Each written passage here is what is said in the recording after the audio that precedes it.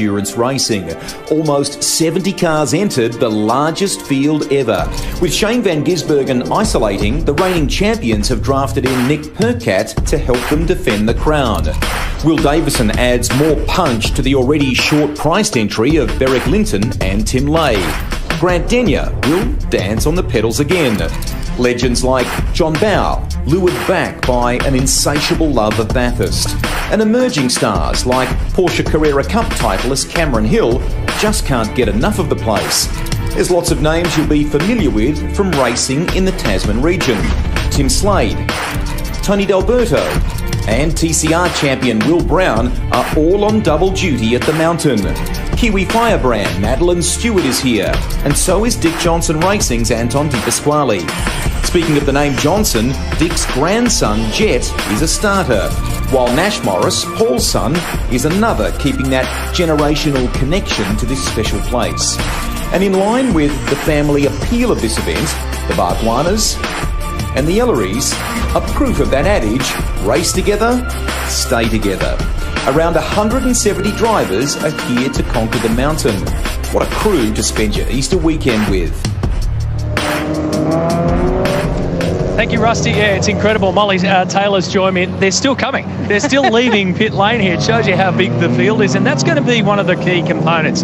So we've spoken about the different brands and all that kind of stuff, but traffic here can be an absolute nightmare. So it's a long race. It's six hours, probably around 130 laps, but you've got to make sure that you stay out of trouble. Normally around Mount Panorama, you say that about the circuit itself, but we're talking about traffic trouble. Oh, completely. I mean, it's busy with 20 or 30 cars. Double that is what we've got in the differential in the, the speeds and the specifications of the car. And it's a long uh, it's a long race. And I mean, everybody's we've been building up to this so long, and um, everyone's so raring to go. And then you put in that sort of excitement and buzz, and everyone wanted to come out of the gates, and then you got to kind of hold that back a bit because you've still got six hours. And the most important thing is, as you say, get those few first laps in cleanly and set yourself up for a good race. It's funny, isn't it? We've been here since the fog was around early this morning and we had to delay the warm up to make sure that it was clean running. Yet it came down to the last couple of minutes before uh, the pit lane was open and it was a mad scramble across every garage from the most professional drivers all the way down to those that are just here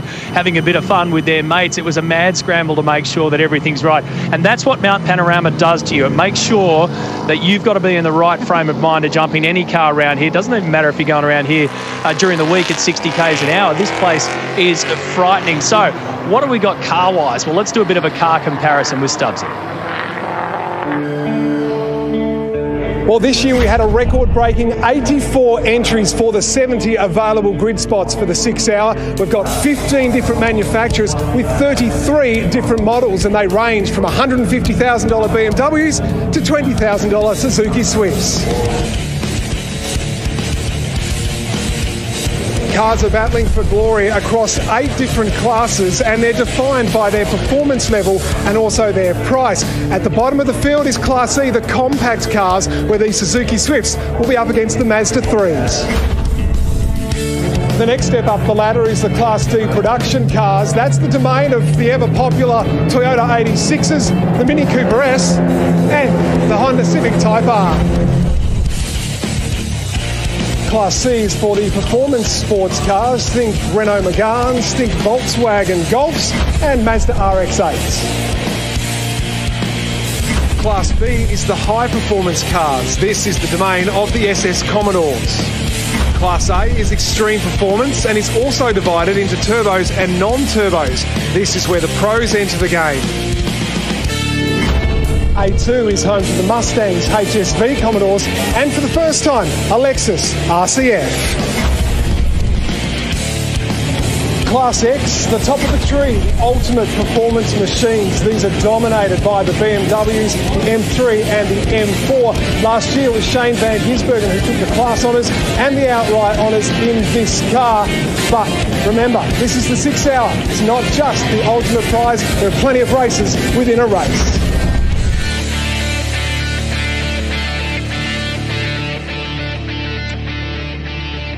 It gives you a really good idea of what we're dealing with over the course of the next six or so hours. So it is approaching 25 minutes after 11 o'clock local time. The race start is at 11.45 this morning. So we've got these 60 plus cars now gone out and they will start to grid up here. They will sit here in a nervous wait before we get rolling at 11.45. So about 20 minutes to think about what's ahead, to make sure that everything has been ticked off, to get that strategy sorted, and then we will get ready for a rolling start. Chris Stubbs.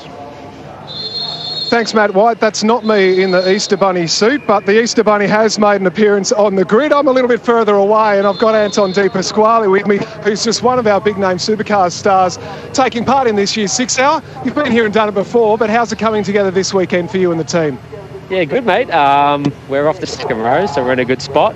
So just chilling out before the race. Um, looking forward to, to a good racing. Anytime you're at Bathurst, it's a good day. So uh, so far, so good. You're in the BMW. They're all at the front of the field. Tell us about your teammates and how the cars come together this weekend. Yeah, so far so good. Um, the other boys did an awesome job. Um, so Anthony for the start. Um, he's looking forward to it. He's been going really well. So yeah, we're all working together well. First one as a team together. So the boys done an awesome job in the car. Um, everything's going to good. It's an awesome team and we're having heaps of fun.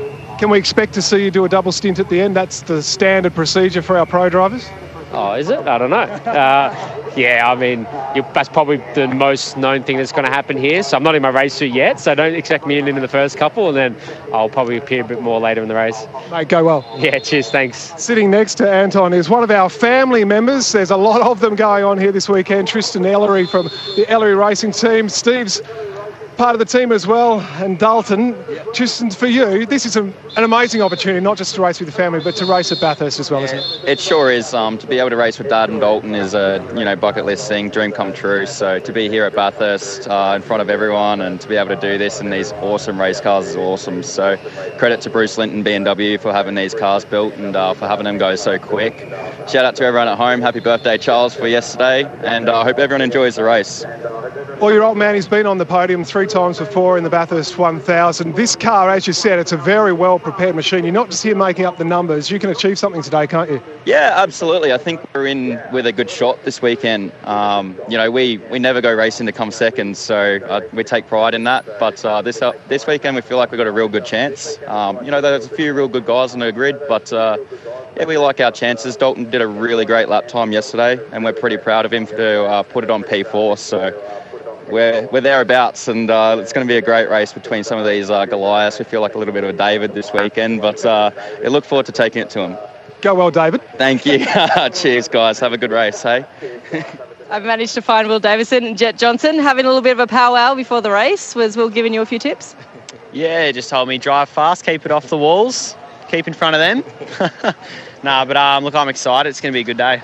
And uh, you've had a little bit of trouble with gearbox gremlins in uh, yesterday's race. How was today for you in the Trans Am? Yeah, it was good. Um, you know, I don't think the TA2 could just keep up with me. I'm just, you know, step ahead of it. But you know, we got that sorted last night. The boys did an awesome job with it. Um, got it sorted, went forward. So, car's clean, ready for the bend next weekend. How different is it jumping into a production car, coming out of that big, uh, big muscle car into into a little bit more nimble production car? Yeah, it's completely different. You can't drive a production car like a proper race car. You know, you've got to be real careful with them, make sure they last. So I think that's going to be the hardest thing for me today is just trying to control myself enough to make it last the whole race. Well, best of luck. And speaking of driving production cars, I watched some of your onboard yesterday, Will, and I mean, it looked exciting. It's um, you know, sometimes you watch onboard and it it looks slower than it feels, but that looked as fast. It, it probably felt a bit sketchy. How was it? Yeah, pretty much doing a 226 felt faster than a 203 in the supercar, to be honest. So, um, yeah, a bit of a bit of I need a bit more rally practice. I think it sort of felt like uh, felt like that the way it was moving around, but it is good fun. Like it's it's still the same same sort of um, art you want to master. So um, we're a long race today, and uh, no, it's it's great to be here. Very different vibe, very different event. Um, and uh, yeah, we're off a pretty good spot. So just having a little catch up with Jet.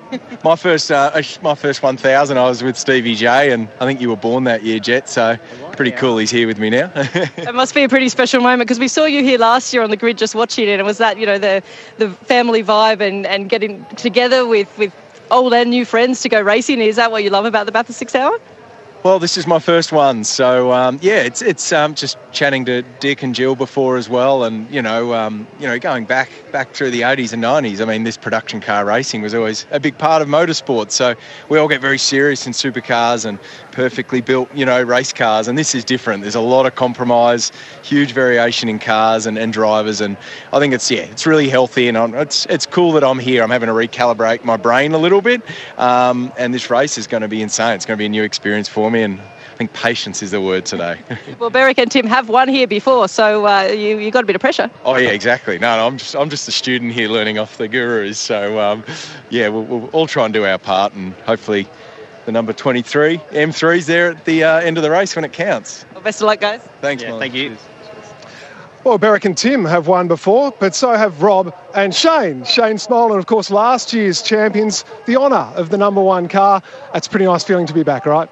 Yeah, absolutely. A um, couple of, uh, well, one, one driver change, um, yeah. which uh, obviously Shane was crook last week, um, but he's still been a, a, great, great help from the sidelines and uh, just wonderful to be back in a car with Nick after, uh, after a few seasons uh, in Carrera Cup and, of course, uh, with Rob. So, look, we're, we're in P6. We're, we're up there. We we were down a little bit in power yesterday, but, uh, but uh, we, we, sort of reset the tune last night, and we seemed to be good in the warm up. So we, we, we found what we thought we'd lost. So who knows? We'll see where we are in the last hour. Well, From Shane Smollen, we'll bounce along to Rob Rubis. Rob, you guys had the honour this week of unveiling your plaque uh, just down the road here at the National Motor Racing Museum at the Winners Walk. That must have been a nice moment. Oh, very special moment, incredible moment in, in terms of all the years of motor racing and so forth I've done in, in any sporting uh, category. That is an incredible thing to get some sort of recognition like that. It's, it's absolutely fantastic. Your time in the car so far this weekend, how have you found it? Oh, fantastic. I think uh, Shane coined it. We had a little few issues, which I think Nick certainly discovered it all a little bit down horsepower. This morning, the car felt great. We're at the point end of the field. I think it's it's a long day, so I think it'll be very good. Go well. Thank you very much. And Nick Percat, Nick getting the call up to jump into the six hour. When did you find out? How much notice did you have? And what your initial reactions were? Um, was it Tuesday or Wednesday? I'm not sure. Basically, um, yeah, Shane rang me and gave me the lowdown. I said, I'll, I'll, ring you back in an hour. I'm just in the middle of a debrief at, at the supercar team. And then by then, the Speed Cafe had announced it and he backed me into a corner, and here I am. And now I've just spent the weekend getting bloody text messages from SVG telling me to go faster. No, it's, it's, a, it's a great event. It's great to be driving with Rob and Shane. And um, yeah, like they touched on, we found our little niggling issues and we're catching helmets. I'm pumped to you know, get into the race and, and and see if we can defend this title for them because it's um, it's very special to have you know your own plaque at Bathurst as a race winner, and uh, it'd be cool to get them another one, and that'd be you know gods of Bathurst. We'll park the car in the museum, and um, off we go. Well, you've done it before. You are a Bathurst 1000 winner. This is a it's a very different event, isn't it? But it's got an amazing feel to it. It's more a motorsport community feel, isn't it? Yeah, it's great. It's um, you know, it's nice and low key, which is how it should be for this this event and the you know what everyone's doing with the you know, production car style of racing, and it's just great. Like we've got fans here on the grid, like any other race meeting that I would go to, and um, the best thing is, you know, we have four cars in our team, and it's it's just fun. We're all just sharing information, data, whatever you know you come across. Everyone you know informs everyone else, and we're just enjoying it. And it's um, it's nice to you know go racing with two guys here. They're very passionate about motorsport, and um, they drag me in, and I'm um, loving every minute. Well, to Nick and to Rob and to Shane, all the very best. thanks. thanks very much. Thank you. Jada, no, Jada, you're no uh, stranger to Bathurst, but since six hour last year, you've had a little bit of an upgrade. Still a BMW, but a bit more grunt. Yeah, my first uh, Bathurst six hour was with Simon in a 135M, and obviously now we've upgraded to an M4, so it's a fair bit more power, and it's definitely interesting on these MRF tyres with these big, heavy cars. Um, it's a lot of fun wheeling these cars around here, so I'm looking forward to six hours today. And you've wheeled Super 2 cars around here as well. Tell us for, for this year, how's your year looking? Yeah, good. Uh, we're still working on our pro- program in the supercars world, so hopefully not too far away from penciling all that together and finding myself on the grid somewhere. All right, best of luck. And we saw uh, the Easter Bunny there looking into your uh, your steering wheel, so we'll, we'll go and uh, just check that he's um, he's behaving himself. Best of luck. Thank you. Hello, Easter Bunny. Do you have a voice? We're not getting much out of him. Where, where is there any Easter eggs though? He ate them all. Oh well. Where's your Easter spirit? all right. I'm not sure we're going to get much more goss out of the Easter Bunny today. I don't know if this guy's the Easter Bunny. I reckon he might be Superman. Tim Slade has just finished the TCR race. I think you jumped into the phone box where you didn't get change. You had a little refresher. Now you bolted out to pair up with Brad Carr here on the front row of the grid in the BMW. So first to you, how have you managed this juggle?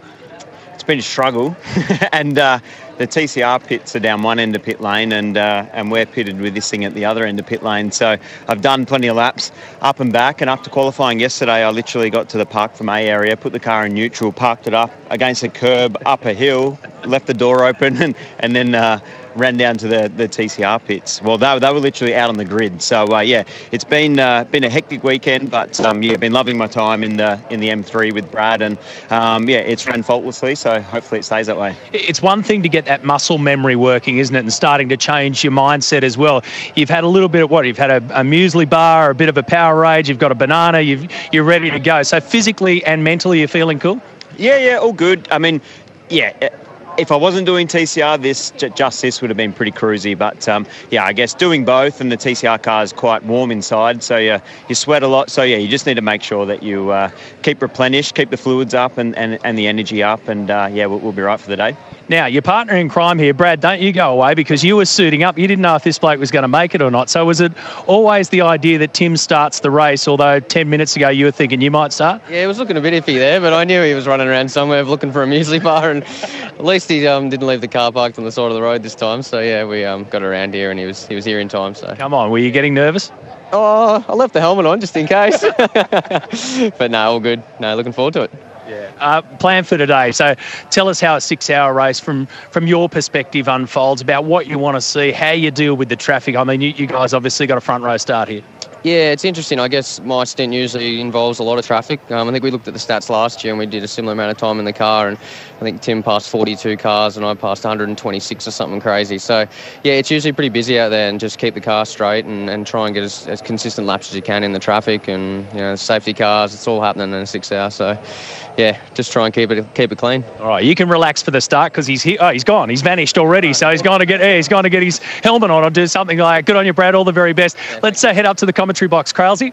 Thanks, Matty. What a great atmosphere it looks like down there on the starting grid. It is absolutely chock a block full of people, including the Easter Bunny. And sorry to Molly for being denied the uh, pre-race chocolates there. Matt Nolte is She's been looking forward to that all day. I know. That was the whole reason she got out of bed this morning.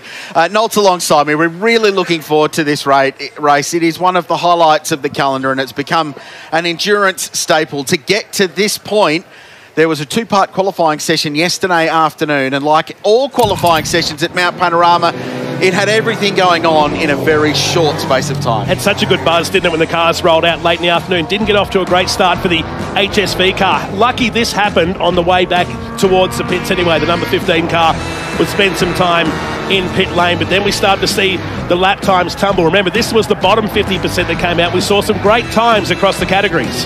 So the bottom half of the field set class C, D, and E, and then the big bangers came out to set the front row of the grid. And gee, it was fast. Big moment for the Sherrin Rentals car, one of the former winners in this race. Uh, had a crash at the top of the mountain. That was the Go Karts Go BMW, just getting past our uh, Class B pole sitting Commodore. Now, the big story was young Tom Sargent. Brilliant lap, second fastest ever in the history of Bathurst six hour racing at Mount Panorama, but unfortunately, there was uh, a ride height infringement with that car and they were excluded from the results. So it means that car 40, the BMW M4, was able to roll across the line thanks to the efforts of David Russell, and therefore they will start on pole position, Molly Taylor.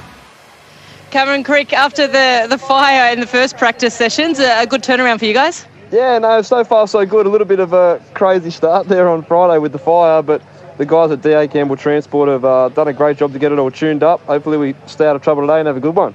And you're happy with how everything's going with the, with the car for the six hours? Yeah, as I said, a few little issues on Friday, but yesterday the car was pretty good. Um, had a few little issues with the front end quality, but I think we've sorted it for now. And um, as I said, big, big race. Hopefully stay out of trouble. That's the point. Good luck. Thank you very much. Cheers. We're just trying to grab Dean Campbell, who's driving with Cameron. What would the, uh, well, you probably haven't had your final talk yet, but what, what are you going to tell him? I'm not going to tell him anything. He's the man for the job. He knows what he's doing. and how, how are you enjoying sharing, uh, you know, obviously a good friendship with, with Cameron? You're yep. both good steerers as well. So how important is that, that good relationship when you're going into something as yeah. intense and long as this? That's right. We have a great, you know, bond together. So, and to be honest, he teaches me a lot of things. So I'm taking his lead, to be honest. And strategy for this race? Uh, look, we don't really just run with it. We've got a bit of a plan, but who knows? Uh, you know, safety cars and you know accidents. We don't know. We just have to take it as it comes. So. Well, best of luck. Thank you. All right, we'll walk over because next to us is also the Mustang of Tony Quinn and Grant Denyer, who had uh, a few problems in the uh, the warm up. So we'll just we'll just get an update on that. Hey, Grant, you're back back in the driver's seat now after uh, yeah missing out after having those issues this morning. Are we all good?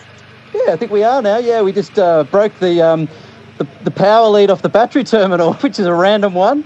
A good. That's what a warm up's for to get all that stuff out of the way. So this thing's been a bit of a handful all weekend, but I think we've sort of tuned it up now and we we sorted some ABS issues, some power issues, and some handling issues, all the issues. so fingers crossed she's sweet to go. You're ticking the whole list. You were saying that you've done some upgrades to this car, but it wasn't showing in its performance. Do you think you've now got on top of that and you're now going to make some steps forward? Yeah, it's been uh, hard to adapt to the upgrades. It just sort of made the car quite difficult to handle, and we've had some power issues. But I think I think we're all right. I think we're in the window now, so it'll be just a matter of just being patient and just picking off a car here, there, and wherever you can, and just trying to survive. We didn't get to finish this one last year, and that's you know that's such a special feeling to cross that that finish line, get the checker at Mount Panorama. That's a special day. So I'd like to do that for Tony. He's been a great supporter of my career for these many years, and it's been fun laughing in the garage with him all day. Well, good luck. We'll see you at the finish. Catch you then. I'm with George Gambino, CEO of our naming rights partner of this event in Hi-Tec Oils. This is the biggest week of the year for you guys, isn't it? Yeah, it's very busy for us this time of year, so it's hard to uh, get here, but we're here. You must be super pleased and proud of the roll up for this year's event, the amount of cars, the energy around it. It's growing year on year, George. Yeah, since 2016 when we started this, it's grown a lot, so we're really impressed with what's going on at the moment. We're thrilled to have you back with us. We've got to go and chat with some drivers. Enjoy today's race, and thank you very much for your ongoing support. Thank you, and good luck to everybody today. Great stuff. There he is, George Gambino. Thank you. We'll wander over here because one of the stalwarts of Australian motor racing, Wayne Russell, is going to start this car. There's a little bit of a flashback. Are you, are you okay? You're a bit emotional when you got in the car on Friday, I think, weren't you? Still am. What are you talking about? You've been nursing a couple of injuries too. Just just give us the, the state of those, and is the, the key here to get your stint done and then let the let the young fellas take over? yeah, pretty much. I, I did a, a hamstring tear on Tuesday last week, which was really dumb, but anyway. And I got uh, old age arthritis in my hand. So, but we're good. We're good to go. I mean, uh, this is another great race, isn't it? Most importantly, enjoy it. Uh, with my boys, it's all good.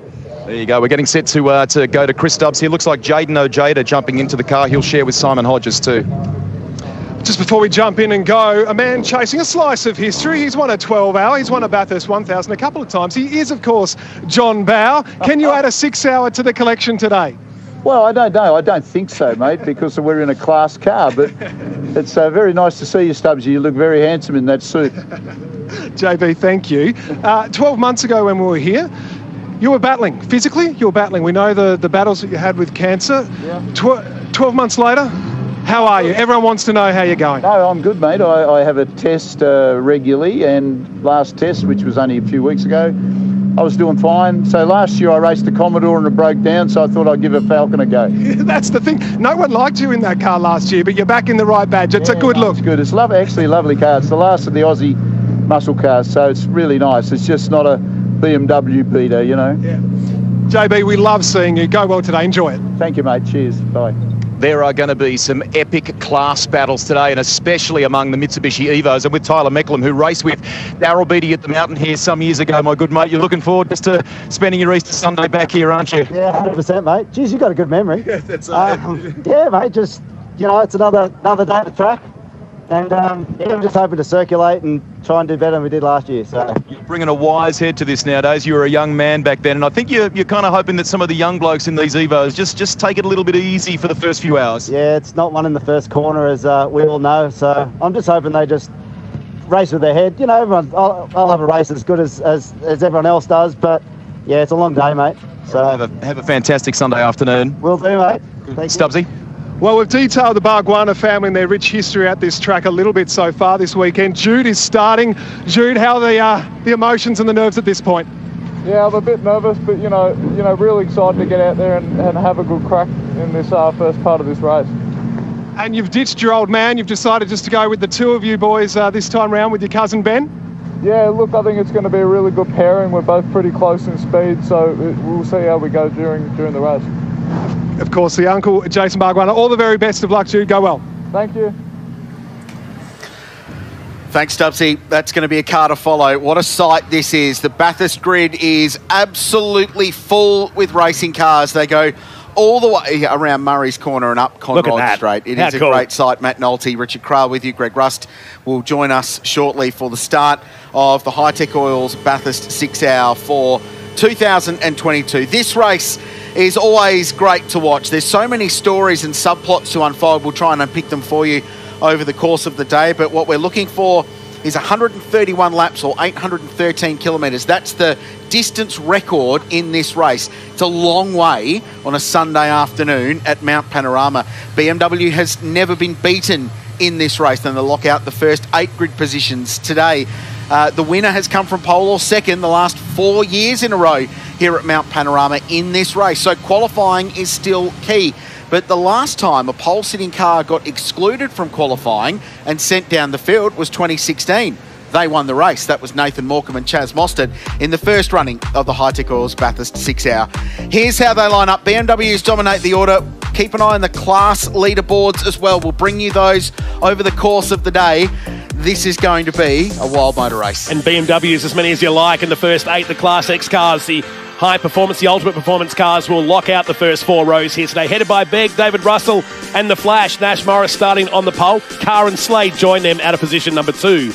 Down the field, you got Lynton, Lay, Will Davison. That's another one of the ones. In fact, any of these guys in the first eight, potential winners here today. I agree with you. A1 and A2 pole position winners on the fifth row of the grid. Very close between the Mercedes A45s, the Mustang GTs, evenly matched. And that Campbell and Crick Evo, after the bonfire they had on Friday, they bounced back really well. That's a good car. Watch out for them. They've been leading the Mitsubishi Charge, a car that's been on the podium here before. Um, Western Alberto, the big HSV, that's an outright car, but they go from 21st. That's probably a slow burn. Watch for them over the course of the day. Uh, more of the A2 contenders there, and we'll start to see the Class C fight, the production sports cars. We love that battle. That's headed up by Jake Camilleri and Scott Nicholas. The boys from Queensland, their Grand Prix Master in Caboolture entry, just in front of 1987 great race winner Peter McLeod, who'll line up alongside with Brock Giblin and Ben McLeod, his grandson. What a wonderful story. They're the Class C pace getters. And over the page, we'll find our Class D leaderboard as well. The D class, of course, the production cars. We get to a whole group of them towards the back of the field. The Shores and Cox starting down there in 47th position. Uh, Mitch McGarry and Wansek from those guys changed an engine here on Friday night. It was a late night for those guys, starting at position number 50 for today's race. They're around the corner here at Mount Panorama of this over 60 car field for this this year's Hi-Tec Oils Bathurst six hour, which stretches right up towards the Hi-Tec Oils Bridge. It's a phenomenal sight. We're about to let them loose very soon. McMaster and Worrell on top in Class E in qualifying, and the Mazdas 1 and 2. Uh, I've had word through, unfortunately, from Jason Symes that the big C63 AMG that did no laps in practice, they changed an engine.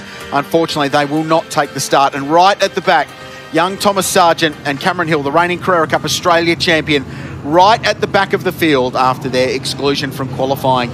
Their first hour of this race will be spent negotiating traffic and making sure they stay on the lead lap. That is absolutely critical today. Keep on the lead lap. It doesn't matter where you are in the field. If you're on the lead lap, you get to the final hour of the motor race, you are a shot at winning this. That is so important, and it will be a story that we follow over the course of the day. So the clock starts ticking. Six hours from now, the checkered flag will drop, and the field will run behind the safety car, and then at the end of this lap, they will get a green flag. and a rolling start too. So expect a big gap between the first and last cars. Will hit lap traffic very, very quickly when you think about 35 plus seconds covering first to last in qualifying yesterday.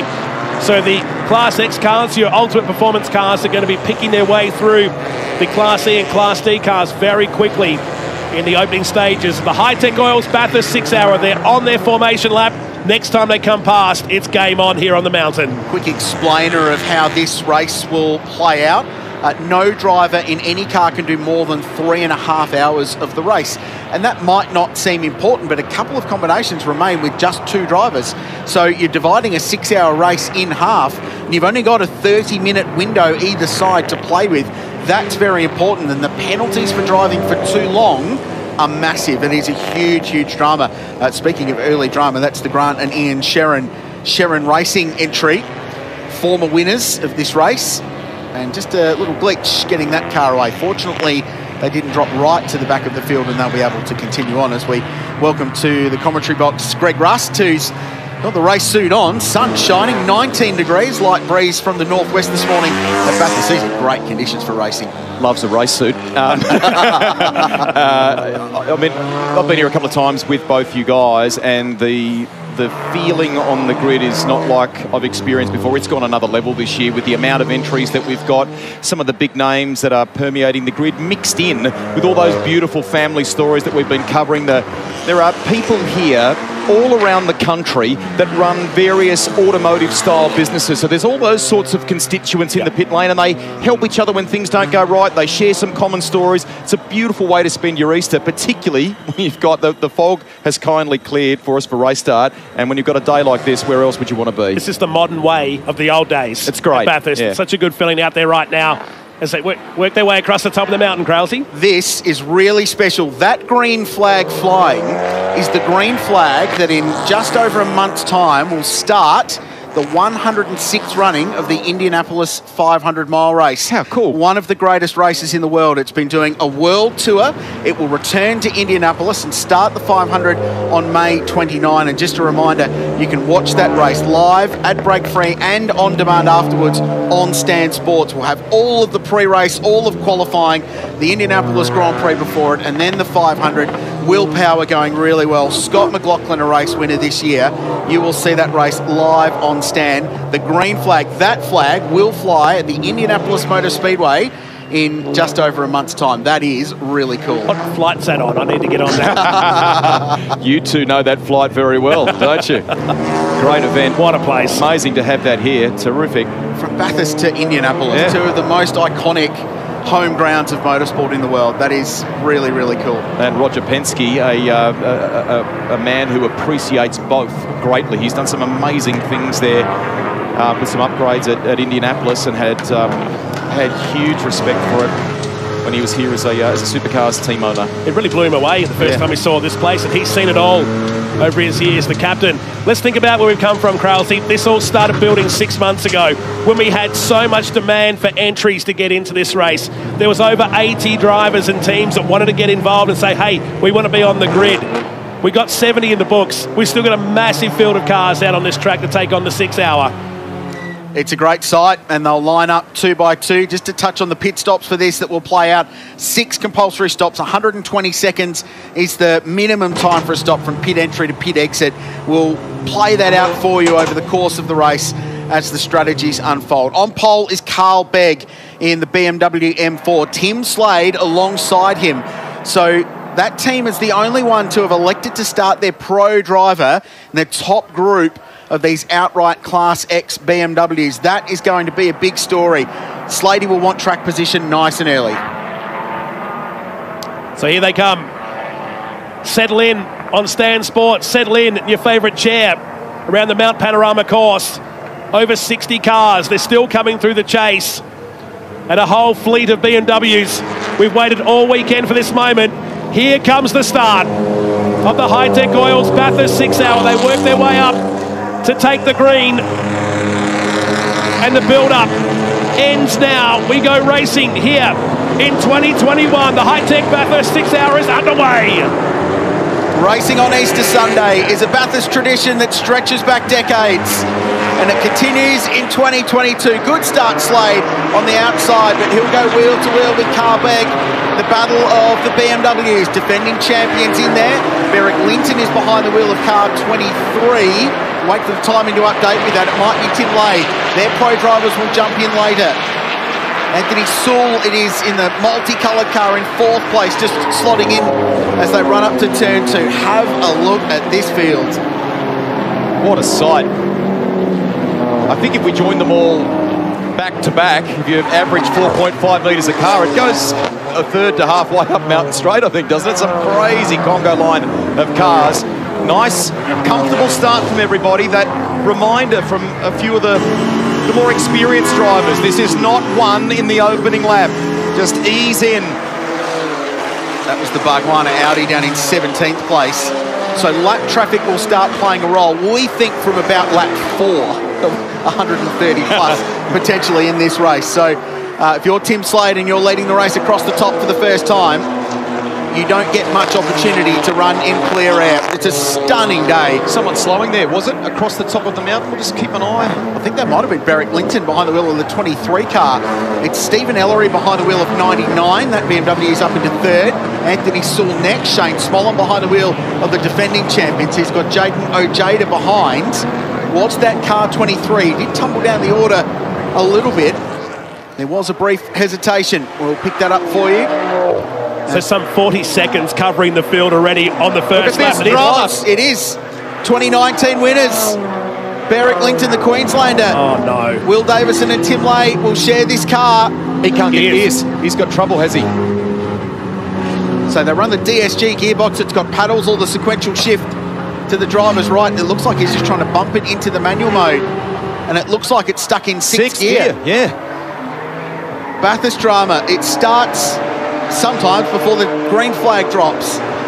And one of their heavy hitters has struck dramas early. I suppose if you're going to get them, get them on lap one because you've got five hours and 50 minutes to try and bounce back. But that's a big story. One lap in the books. Tim Slade leads the race and the Sherrin car as well. So two of the heavy hitting BMWs limping back to pit lane on the opening lap of this race. Now remember, they had an incident during qualifying last night too, but it didn't seem to show any gremlins during the warm-up session a couple of hours ago here at Mount Panorama. They're coming to a stop just by the Hi-Tec Oils Bridge as Tim Slade leads us up Mountain Straight for the second time. Begg runs second, then Ellery in third, back to Sewell and Jayden Ojeda in fifth position as the rest of the field is still coming past us on the main straight. So Beric's in the lane.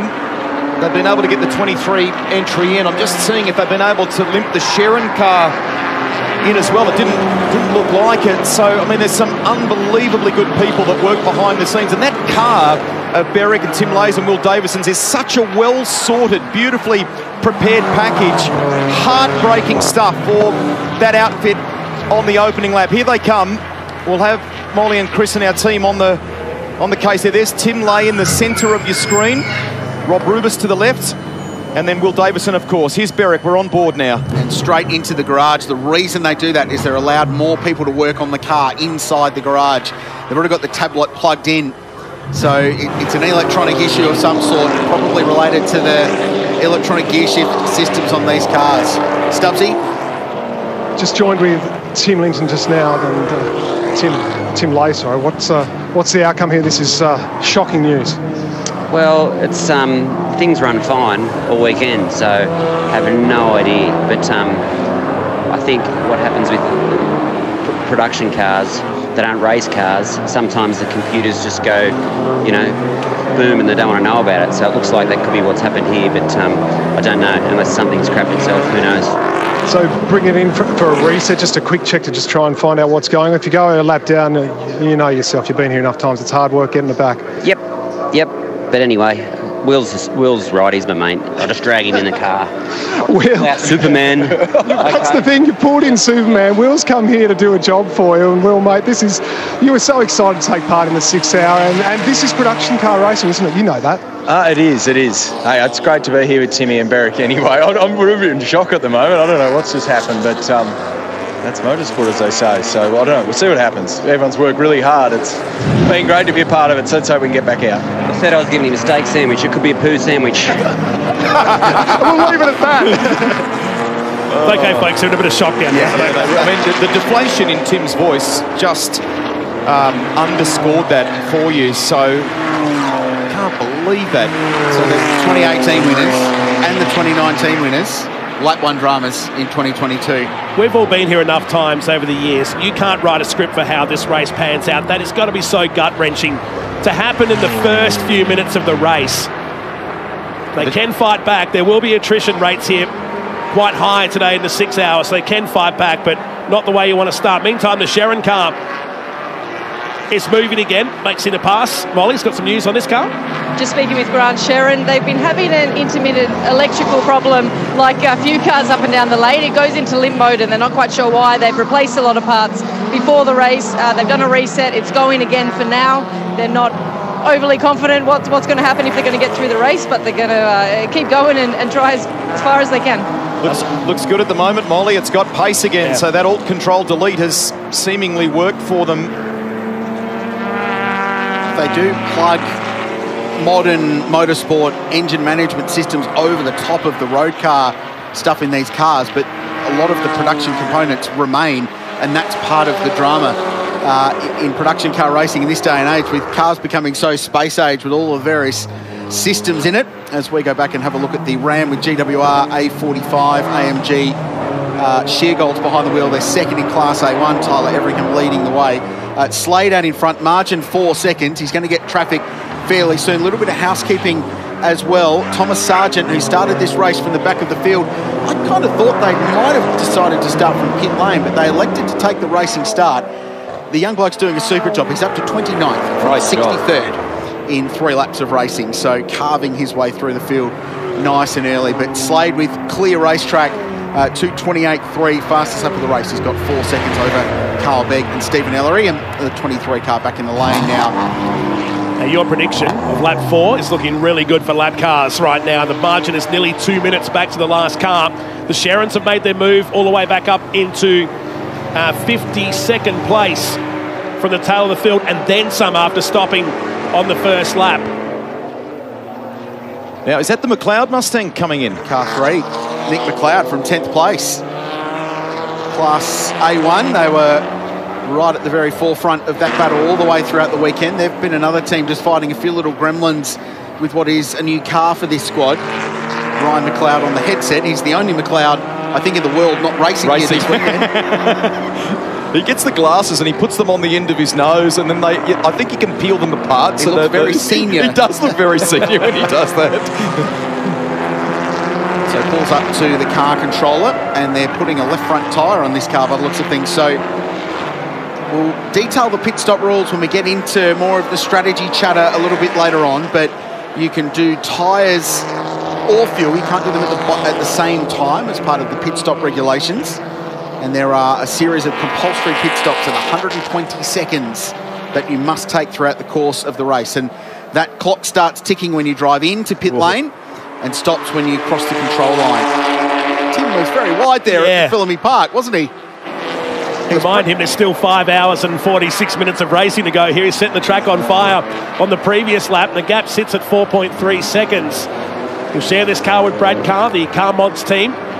Carl Begg runs still back in second position. And Jayden Ojeda has moved up two spots since the start of the race. He's up into P3. This is a good strategy from the Car Mods Australia squad to start Tim Slade. They had track position. They started on the front row. Here's the first lap car. Where are we, Knots? Halfway through lap three. We're on lap Suzuki. four. There we go. That's the first car lapped in this race. And for the rest of the day, that will be the story for this car. So they're in a, a different sort of situation with Brad Carr and Tim Slade because they're a two driver combination. And that's a different way of playing out the race than having three. Three drivers gives you strategic ability to adapt on the fly. You're a little bit more forced into a box when you've only got two drivers in the car because of that driving time that we talked about. And last year, when they finished second, Beric Lynton and Tim Leahey, Tim Leahey did three hours and 27 minutes Just over shy. the course of the race. It was three minutes shy of going over. And it's massive penalties if you eclipse that time.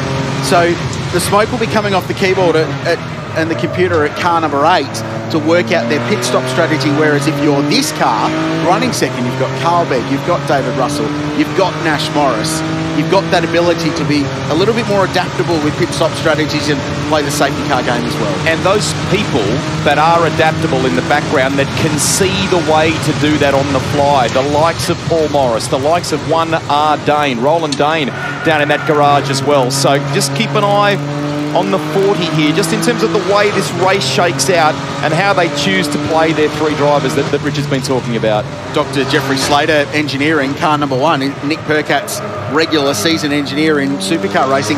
He was already signed up before Nick came on board, so that was a nice little uh, set of circumstances. But he's a Bathurst winning engineer, so there's so many big Oh. brains down there, and that's uh, big smoke from the back of one of the HSVs.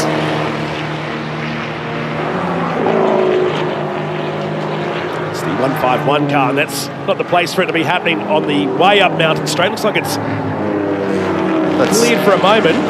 Trav Lindorf behind the wheel, Victorian uh, champion of saloon car racing, very experienced guy. Runs the Casey Accident Repair Centre down there in Melbourne. And he's got Adam Lowndes alongside him. So the car's still going quickly, just trailing some smoke. Race Control will have a look at that. They're running in Class A2, they're 20th outright at the moment, and in the top half a dozen in their class. And Jude Bargwanna has a, a bird's eye view of that. And he'll be the first one to know if that's depositing any fluids on the racetrack. Just enjoy this magic sound of the Audi. Very unique engine notes.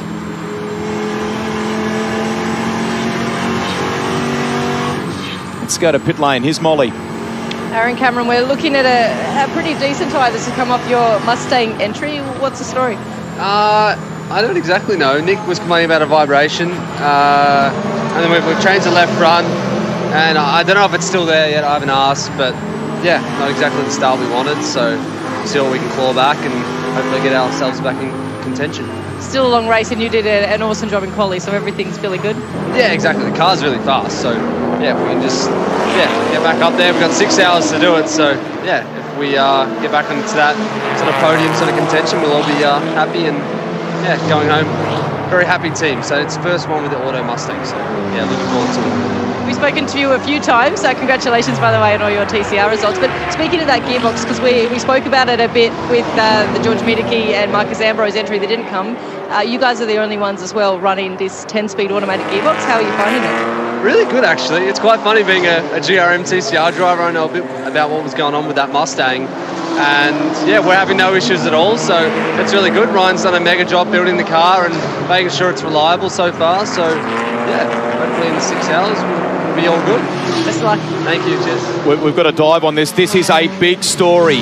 Another of the lead chargers in the Hi-Tec Oils Bathurst six hour has some sort of gremlin going on and has stopped near the start finish line. This is car 40. We've been following them on board. We're running in second place. Carl Begg, David Russell, Nash Morris.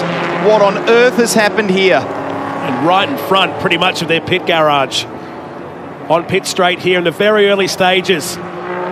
This is going to be one of those days, isn't it? Incredible already. Some of the big names are in trouble.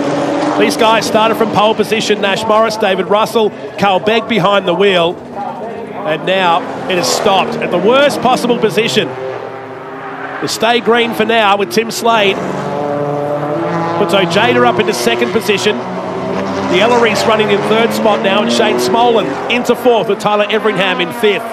Very early days of the Hi-Tec Oils Bathurst six hour for 2022. Might be the last time we'll see a, a yarn like that. No, Slade is making hay here. He's 6.2 seconds, as you point out, in the lead. And You can tell the behaviour of the car over the, the top of the mountain. And that's the Beric Lynton BMW rejoins the field. Lost a lot of time. The car that he'll share with Tim Leahey and with Will Davison. It's great to see it back out there, but a lot of ground lost at the very beginning of this race. All that work, Slady's done, goes to zero. Safety car is called. And this is the worst possible timing for a safety car because the window for a compulsory pit stop doesn't open until 30 minutes into the race. So you cannot tick off one of your boxes until the 30 minute mark. Stubbsy? Fuel pressure issue seems to be the problem for car 40, so they're uh, doing a control alt delete, trying to reset, get those pumps going again, but that's the issue at the moment as they understand it. Thanks to Chris for the update. So we've had BMWs with electrical issues and now one with a, a fuel pressure issue. You can take the opportunity to pit, but it will not count as one of your mandatory pit stops. So you'd basically be throwing away track position by coming into pit lane now. If this safety car lasts seven minutes and 10 seconds from now, you could come into pit lane when that pit window opens. But it's very important. This won't be a long safety car. It will be a flat tow for car 40. The print car Ranger Raptor will hopefully drag that out of the way. I think they've got to get it into neutral. Yeah, exactly. And get a flat tow back to the Mountain Straight gate on the hill and get it to the back of the pits and hopefully they can get this car back out but they're already a lap down. Running second early, Carl Begg was doing a really nice job chasing Tim Slade. Jayden Ojeda has found himself in second position. Handy little start in front of the rising young stars of Aussie Motorsport. Started from seventh position too, just been creeping his way up, of course, with this car stopping, promotes him up another position. They're having a little trouble getting this rolling, I think, here. He's trying to get us into neutral, but they're struggling so far.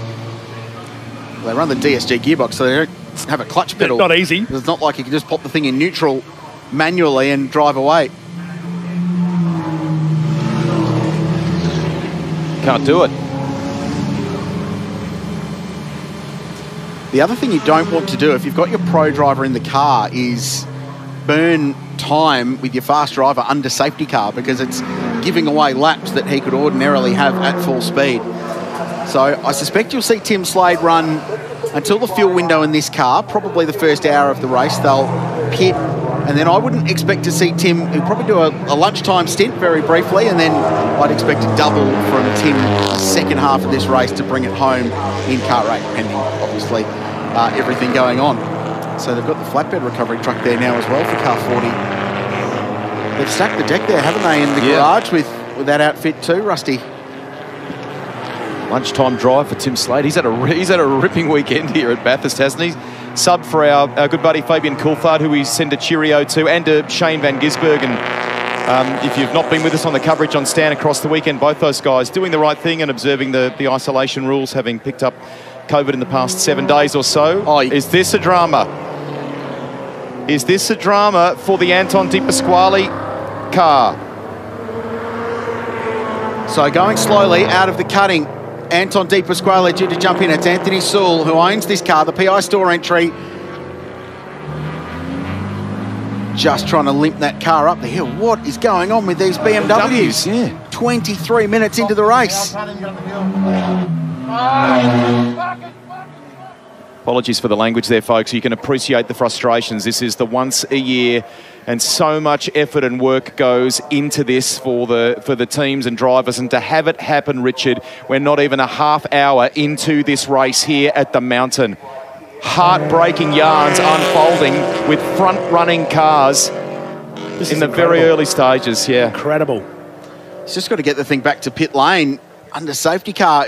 In fact, he's probably got to get it 250 metres and he'll be able to coast the down rest the of the way down the hill. There's Anthony. You're looking at a guy that's had 20 years of experience in production cars and now tries it again. You can hear it hesitating in the in-car camera here. Just get it back if you can. He's right at the top of the mountain here now. So he's got time while the safety car continues to lead the field around, headed by Tim Slade. We're recovering the Carl Begg car. Let's go to pit lane. Molly's with Madeline Stewart. Another heartbreaking story, Madeline Stewart. We've been following the efforts and the, the parts being flown in to be able to get this car out on the grid, but fortunately didn't even make the grid in the in the first instance. What happened? Yeah, so basically the part that we did have flown in, unfortunately, we had a piece of it break. Um, so yeah, rolled out for warm-up lap, but didn't actually make the start. So the the boys at Prime Motorsport have been working really hard to prep the car and hard, really hard to get us out on track this weekend. But unfortunately, it's motorsport, and sometimes these things happen. Yeah, you're exactly right. Doesn't make it any any easier after you've put in so much work to get there. So it's already here. But what's next for you on a positive note?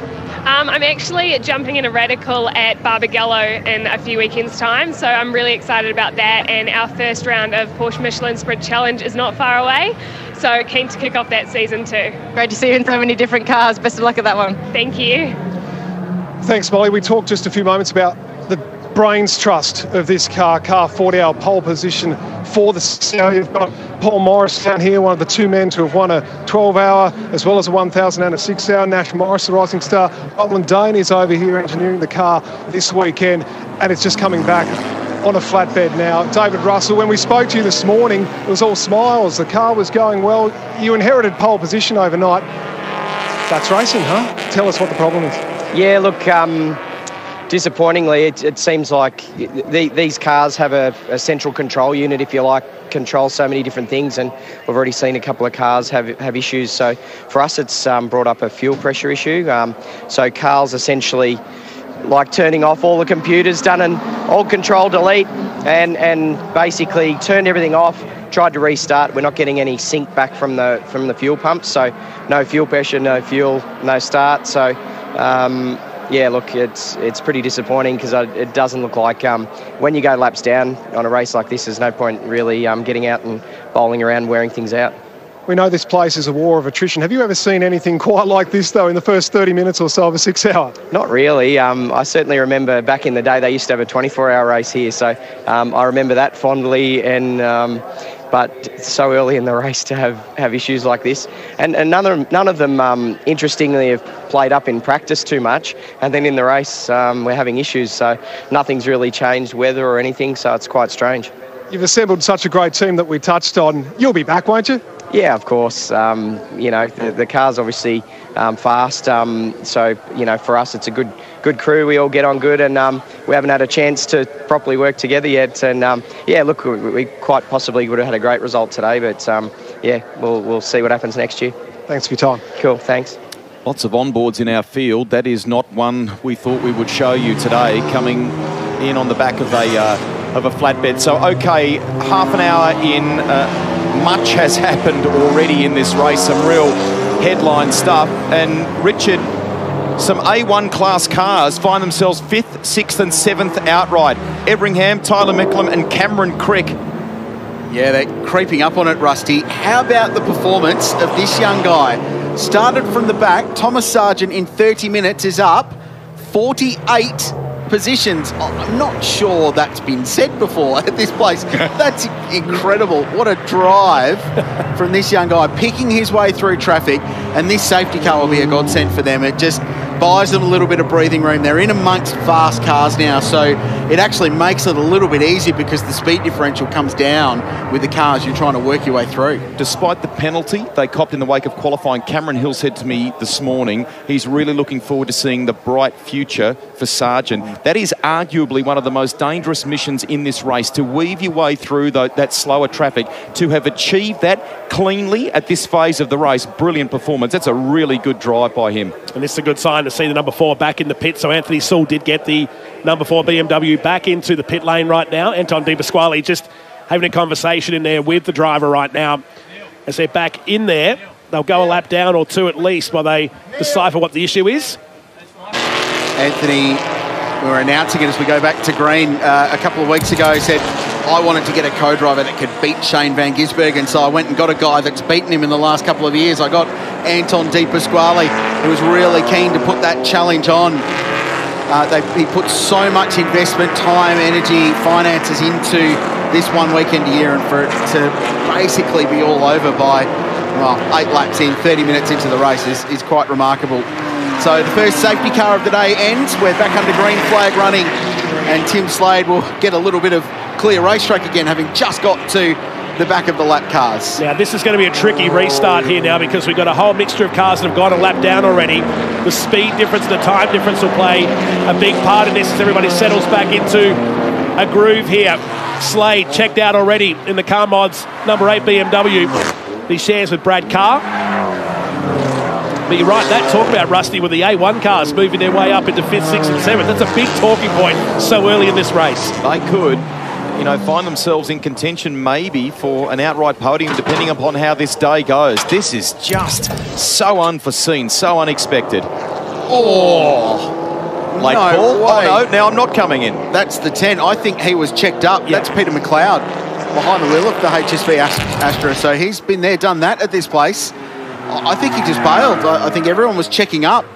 It's like everyone's slowing down for the traffic lights at an intersection and perhaps didn't quite catch it as the field checked up into Murray's. That was big.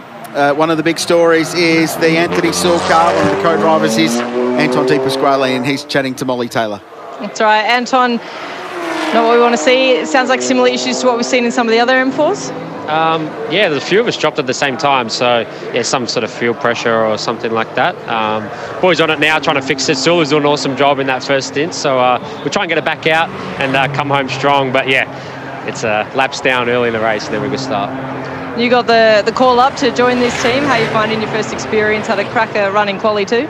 Yeah, yeah it's been good. Um, limited laps, but heaps of fun around here in these cars, like heaps of horsepower, um, hanging on, trying to put a good lap together. So that's been good so far.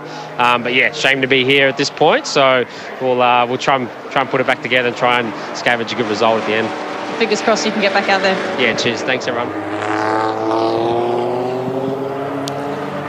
Anton, pretty philosophical as always. He's been there and done that in his glittering young career. He's certainly one of our top racing stars at this point in time. Spent some time in Europe, came back to Australia and full-time driver now for Dick Johnson Racing. It's caught me out a couple of times this weekend seeing both himself and Will Davison getting around in their Shell V-Power racing, racing suits, suits, but in yeah. different different cars. It's quite strange. Tim Slade out in front, already four seconds to the good over Jayden Ojeda. So Stephen Ellery third in car 99. Shane Smollen defending winning number one BMW is fourth. Tyler Mecklem behind the wheel of car 9 we're watching now leads the way in Class A1 and is fifth. And Tyler Everingham is just behind him in sixth position. Cameron Crick in the Evo rounds out the top three in A1. He's seventh. Wayne Russell doing a super job. He's eighth in the Go Karts Go BMW, back of shot. And we go back to Grant Denyer, who's up four spots and has worked his way into the top 10 in the Big Four Mustang. With sheer gold in the AMG, 845, running out the top 10. And this is a, a pleasing sight with the BMW pushed back out into the lane. Fingers crossed it, um, it's cured it. Just on Richard's little update there as well. A reminder on the totem on the left of your screen there, we have colour-coded things for you. We'll follow the class battles, the races within the race as they unfold across the weekend. Wayne's under siege here from Grant Denyer, who'll get him at the top of the of the mountain. So in that A1 example, we, we saw Tyler Mecklem and Everingham and, and Cameron Crick there before uh, battling away. They're fifth, sixth and seventh outright. You can see their blue, coloured blue on your, your totem on the left there. That puts Denyer up into eighth position now and leads the A2 class, Extreme Performance Naturally Aspirated class. One of seven we have in the field here this year's Bathurst Six Hour. Another car stopped on the way up towards the top of Griffins. So they're dropping very quickly in the early stages of the Hi-Tec Oils Bathurst Six Hour. Daniel Cliff and Ashley Heffernan, son of former touring car privateer Kevin, yeah. Queenslander, remember the pinstripe price attack Commodore? Sure do.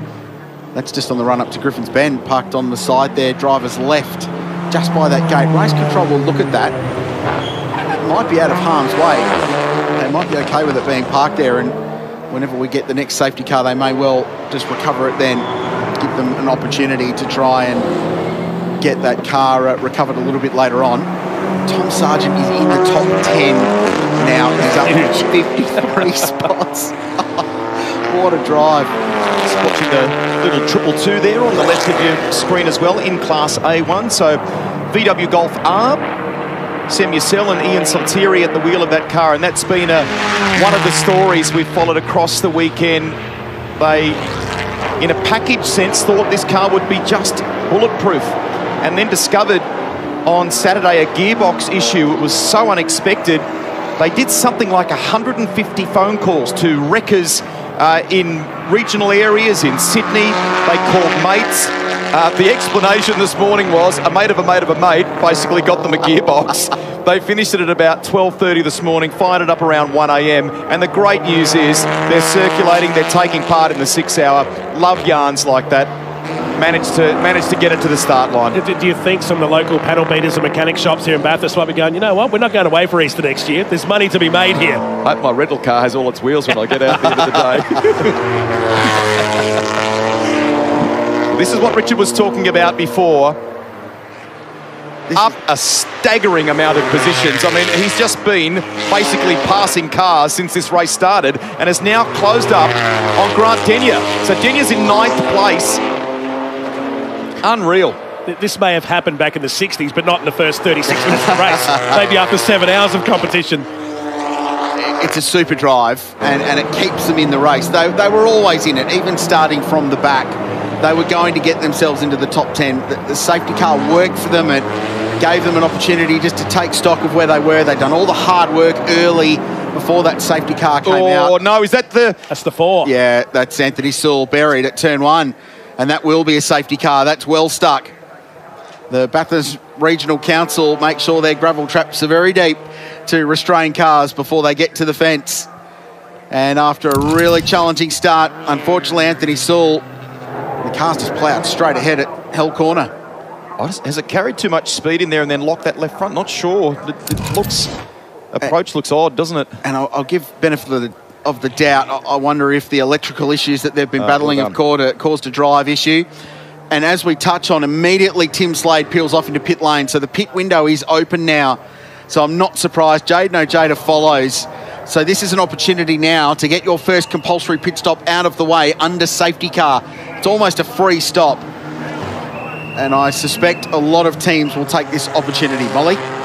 So I've just been uh, chatting to Neil Trama, who's the engineer behind that car with a with a wealth of experience, and it was an issue with the lift pumps. They have to put a, a, a bag tank, uh, what it's called, essentially to uh, to run the race fuel. There was an issue with the lift pumps during that lap. Um, to just got got starved of fuel being fed to the car, uh, but they've been able to reset them. They're working now, and so that that was fixed. Whether this issue is related to anything ongoing with that or not, we'll uh, we'll stand by and find out. Thanks to Molly Taylor, Chris Stubbs in the lane. You'll hear from Matthew White throughout the course of the day. Got a good team here on Stan Sport covering things for you. So the intriguing thing here is now those that may opt not to take service under this safety car. So Shane Smollen is your, your effective race leader on, on the road at the moment at the head of the queue. Won this race last year with Rob Rubis and Shane Van Gisbergen. So that's a replay there. And to Richard's point, maybe maybe the Gremlins, not sure whether that's contributed to it. He was only just starting his first flying lap. He just come out of the pits. That was the first lap. They were about to really test the car out. So Cold tyres, Yeah. angry, upset, frustrated. Uh, that could be the reason. This it's a dangerous combination Yeah, sometimes. isn't it just, especially here. The Lowndes Lindorf car in.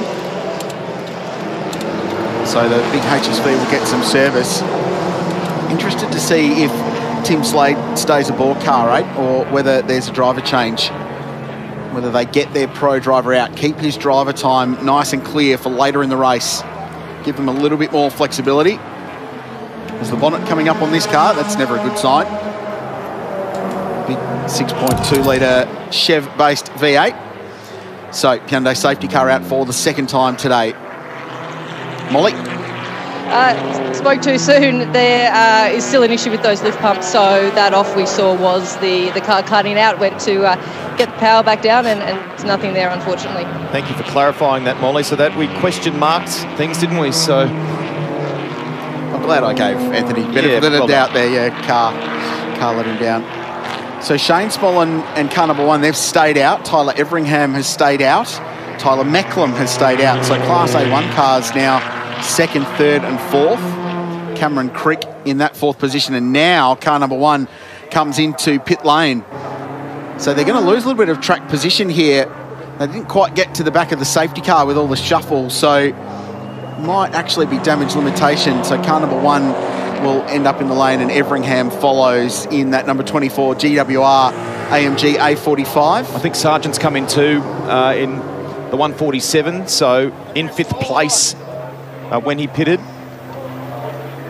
The Russell entry comes in as well, the go-karts go entry. So will Wayne hand that car over? We know that he's had a couple of injuries that he's carried into this race. Very emotional about starting a, a big race at the mountain again with his, with his family, with his sons.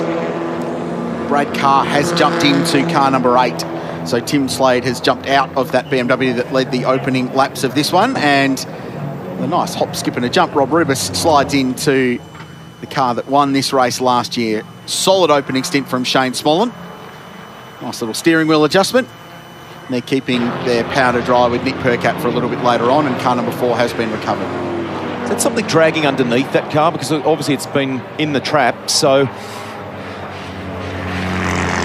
I can't imagine how these guys must feel after investing so Oh, much yeah, deflated into it. Yeah, even more than that, isn't it? Just crippling disbelief that you've come this far to get to this point, and within the first hour.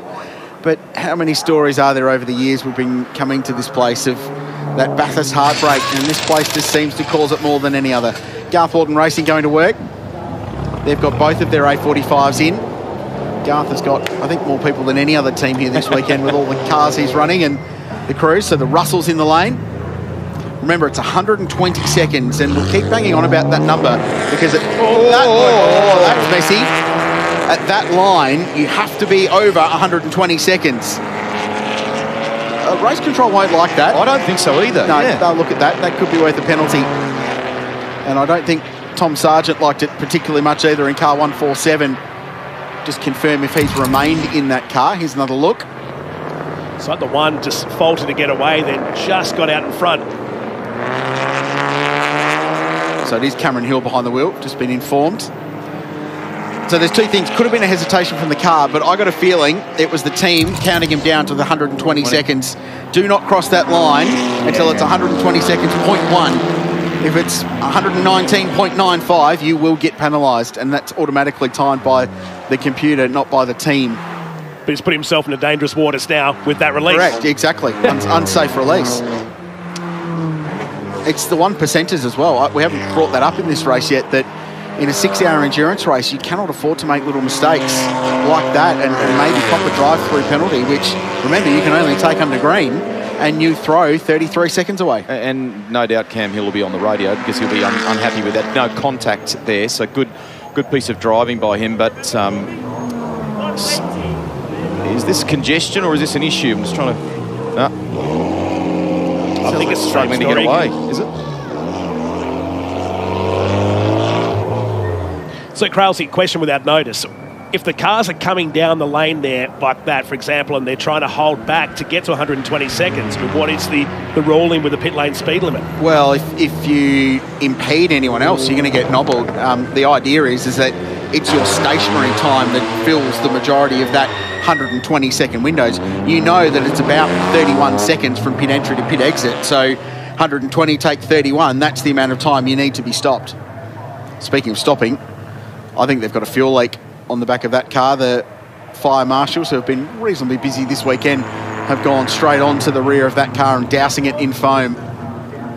Should say a big shout out to them as well for giving up their Easter long weekend. Of course, the recovery crews that help us in each and every round of the speed series and part of this Hi-Tec Oils Bathurst six hour. Well, these people get up here earlier in the week. They're here from dawn till dusk each day and they're put to work in these situations. It won't be the first, the last time we see that happen here today on the mountains. We're still under the safety car, 43 minutes into this year's Hi-Tec Oils Bathurst six hour. Let's go down to pit lane. Stubbsy.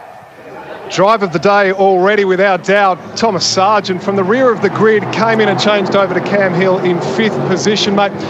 Speed differential, people might think that's easy, but that's a dangerous job with some of those slower cars around. Yeah, for sure. Um, it was really mind blowing to see the speed difference we actually had. So you got to have your eyes up so much, just making sure that you're looking over the crest of the next hill, seeing what's up there, and uh, picking your line, and just you know just being a little bit careful and just being uh, on the side of caution. Have you had a look at the timing monitors? Because there was plenty going on, and some of the biggest names, including some of our recent champions, are out of this race. What have you made of the, the way that's all played out? Yeah, I haven't had a good look yet. I've only just got back, but I did see a, yeah, a couple of those BMWs stop. So, you know, it's unfortunate for them. We never like to see that, uh, but um, you know, we got to take those positions when we can get it, and uh, they. So hopefully they can help us, and we can um, you know get a bit higher. Now, Tom, you did see on the monitor the, the rejoin there with the defending champions. What was your take on that? I saw an email being fired off from the team, so it has uh, been already noted, I'm sure, by the stewards, but just to make sure they have been alerted to it. Your take? Yeah, for sure. I only saw it once. Um, it did look like Cameron was balked when he was trying to get out. So, um, you know, whether or not that's just the perspective of the TV, we'll find out. But uh, yeah, it looked very close, that's for sure. Well, you've got yourself in a good position. Go well. We'll catch up later on. We do. Thanks, Subsy. Thank you. Respect to both of them in the way that they are playing things, okay? So the, the, the drama, the embarrassment, if you will, of losing that pole position. Cameron put his hand up this morning, owned it. They've moved on, and Tom's been very, very good there in his answer to Chris. Just while that's all been playing out, and no doubt will be continuing to be looked at at race control, we're hearing that the lights will go out on the Shannon's Hyundai Motorsport Australia safety car this time around. What about the fact that the name Jay Bow is currently sixth in the order here in the Hi-Tec Oils Bathurst six hour? Johnny Bowe, great stuff. He just gets faster and faster with age, I think. JB, one of the all-time legends of Australian motor racing, leads the Gulf Western World Touring Car Masters season in his Holden's run, a bit of smoke one of the cars, and we will be back to green this lap. It's just been confirmed. So he's still a race winner in TCM. He won the championship here last year, record number of titles, more than 100 race wins in that category. Still going on, celebrated a birthday yesterday, and we do need to say a big happy birthday today for his co-driver, Aaron McGill, who has worked so hard to put that program together in the last of the GT Falcons, they're calling it, and the Ranger Ford is going along really nicely up into sixth place. Talking about Bathurst experience for your opening stint, that's the guy you want, isn't it, JB? Lights out, go back to racing, and Tyler Mecklem will lead the field. And Evo Lancers one and two with Grant Denyer third. So these cars yet to make their first compulsory pit stop. So they've gone off sync in terms of strategy. They can go about an hour on green flag running the Evos based on history. So there's already been quite a few safety car laps. So they'll punch on, they'll keep pushing and just run the thing dry and then get into pit lane for their first pit stop. It's a change of car for Hadrian Morale and uh, Tyler Mecklem this year. They ran an older spec Evo. They brought an Evo 10 to the mountain this year. Remember they had some issues with a, uh, uh, a fuel tank problem in last year's race and they were looking a little bit like now in just a, a very solid, comfortable position in the way that they were tackling the race. So nice start there. Good job by Cameron Crick. And here comes Grant Denyer eyeing up second in this race. There's a few ponies in that pony car. Has the most appropriate sponsor ever, the local legends car for the local legend, Grant Denyer. If you follow him on social media, he's here almost every day of the week, cutting laps on foot or on the push bike. It's rare you meet someone as passionate about this place as G Denyer. Brought the family too yes, yesterday. Yeah. He talked about it being like, you know, come come to work with dad for the day and they loved it. So and, and the crazy grandfather, Tony Quinn as well, just watching on. Tony's been quite quick actually in that car over the weekend. He loves driving the Mustang. Bit of banter between he and Gil Slade this morning with a reference to him yesterday afternoon. So they do love their racing. They don't take it as serious as what you think they do. But right now, Denyer running in second place. In fact, if he looks to the right-hand side, somewhere about now he'll be able to see his house. He literally lives behind the other side of the mountain. He can see in the distance the right-hand side where the Pertex sign is. A great big housing estate that's popped up that most myself and Trailsy will be eyeing off in the future when we retire at old age. Is that where the after party is tonight? Yeah. Place? If it, if it wasn't before, it is now. Saw some smoke from this car, didn't we, while it was under safety car before the race restarted. This machine actually graces the front cover, I think, of, uh, of Australian Muscle Car magazine at the moment. Great story. And they have, with that livery, shone a light on, on family history and involvement with our armed forces and World War II, but this is not uh, this is not going to plan at the moment for them. Darren Forrest behind the wheel of car 29 and actually up inside the top 20. This thing now trailing some smoke. Big VF HSV GTF, uh, GTS I should say. GTF is the Ford. So they'll link that car back to pit lane as we approach the first hour. Remarkably, in the high-tech world, back to six out. Tyler Mecklem with a second up his sleeve over Grant Denyer. This is always hairy when a car's limping down towards the fastest corner in Aussie motorsport. Just thought I'd get that one out the way early. it's, it's mandatory we say that at least Look once at a this. race. It'll happen Look again. at this. This is the battle for the net lead when everyone's shuffled through with the pit stops. These are the first two cars to have completed their stops. And Cameron Hill against Bradley Carr. 10th and 11th on the track right now, while the guys ahead are out of sync, headed by Tyler Mecklem, who's here in the new Evo spec car. Of course, they led laps here last year, leading A1 class out outright before going out three hours into the race. BMW M3 versus the M2. There's the smaller, the baby version up in front there. HSV into pit lane, so they've got themselves to where they can get some service and find out what that drama was. And look at them holding their breath on the way into the Worth cutting, trying to negotiate the slower cars. These are two outright machines and they're working their way through two cars battling for position as they go to Reid Park. It really is hold your breath stuff there. And they emphasise in the driver's briefing that the slower cars really just need to hold their line. The thing that causes the accidents is when the slower cars try to take evasive action or jump out of the way. You let the faster cars do all the work because they're faster. They can do it. Look how much lap time they've lost being caught up behind these lap cars as they run over the top of the hill. It's O'Brien in the 26 so technically not in the same race. Is actually for position, but he's out of sequence in terms of the running order because he's yet to make a pit stop in that uh, earlier spec BMW.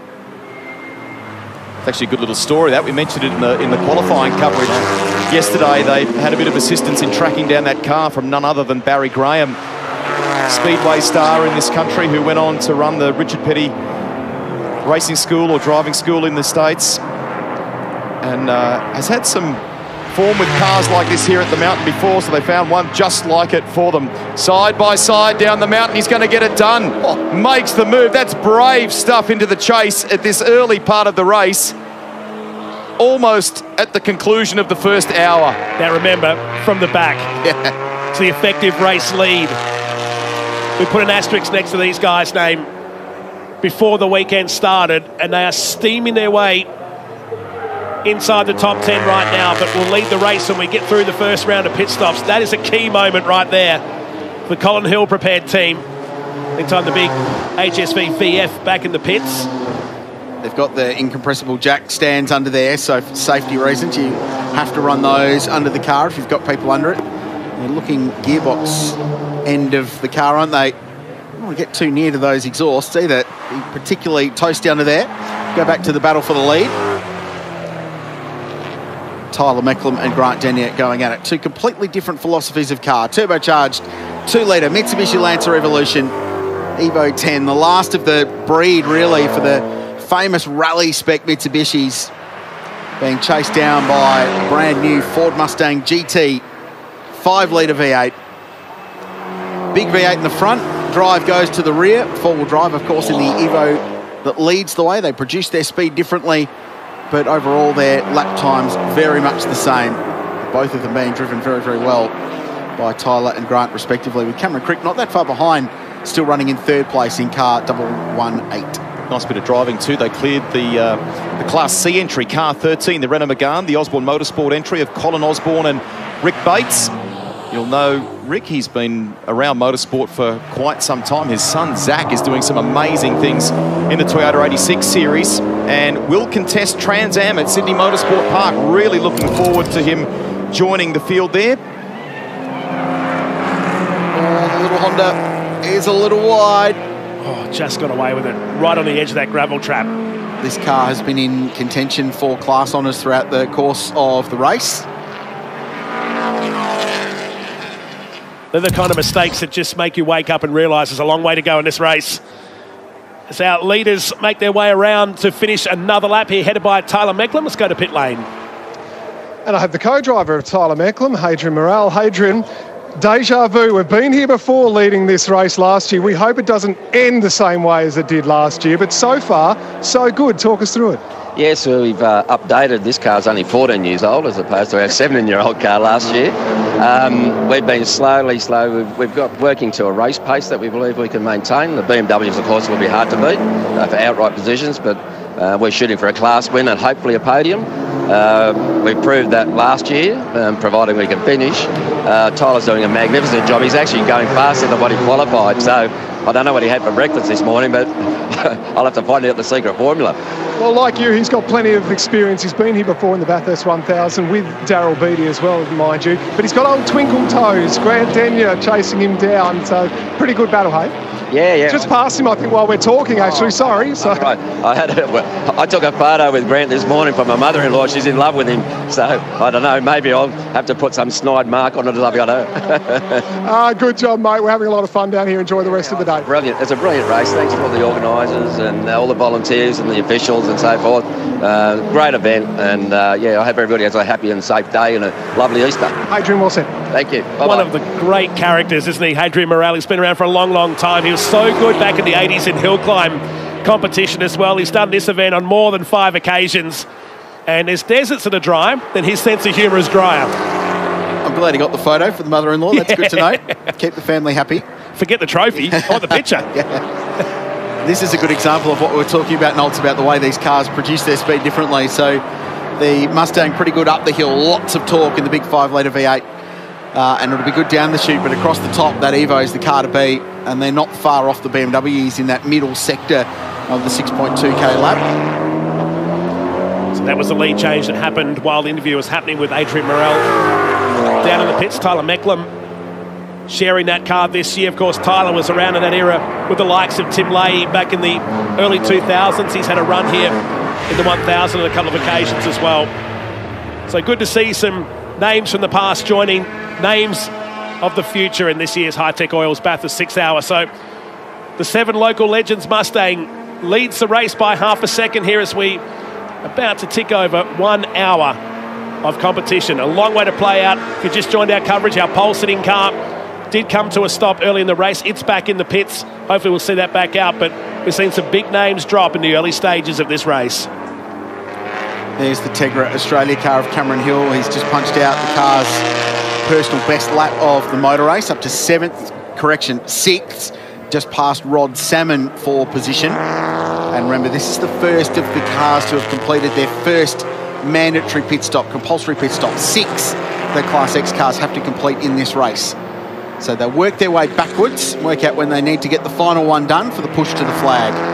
The beauty of this combination is, is that you are pretty evenly matched between Cameron Hill and Tom Sargent.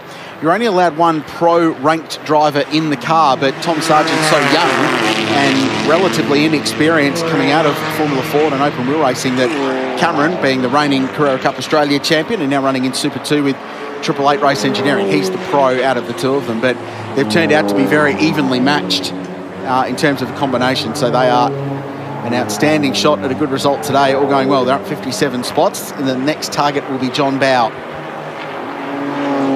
Class D winners here last year. A run down the field just inside the top 10. They will be your effective race leaders as we look further back into the field. This Hi-Tec Oils Bathurst six hour.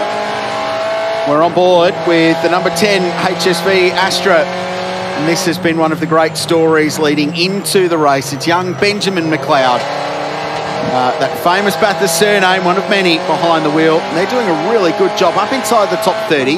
They're in Class C, so it's a race within a race. They're chasing down Hay and Camilleri. So third in Class C at the moment and going along nicely. And we can get more of the family angle here because Chris Stubbs has found the 87 great race winner, Peter McLeod. Racing royalty, the man responsible for all the McLeods that are out there on the grid today is Peter McLeod. Peter, great to see you here. What's it mean to you to be back here at Bathurst and part of the six hour with everyone from the family? Yeah, it's always great to come to Bathurst, and uh, the six hours uh, pretty pretty uh, important, uh, particularly this year because I'm driving with my grandson. And Ryan's sitting out, so the middle generation is stepping back and just watching on. What does it mean to you? It must be super special to, to have the grandsons there. It is. The, the, the three boys are all terrific guys, and they drive very well. They're very enthusiastic. They're uh, led by Ryan, who's you know over the top with everything and does a magnificent job. Probably one of the most important people in motorsport in Australia because the cars that he's designed, the way he's built them, and the regs that, uh, regulations that he's got involved in, in uh, having installed, and that are really first class. And he knows everything, so he's got the person to extend to the grandkids all that knowledge, and they're learning, and they're really promising, and I think they'll be very effective as time goes on.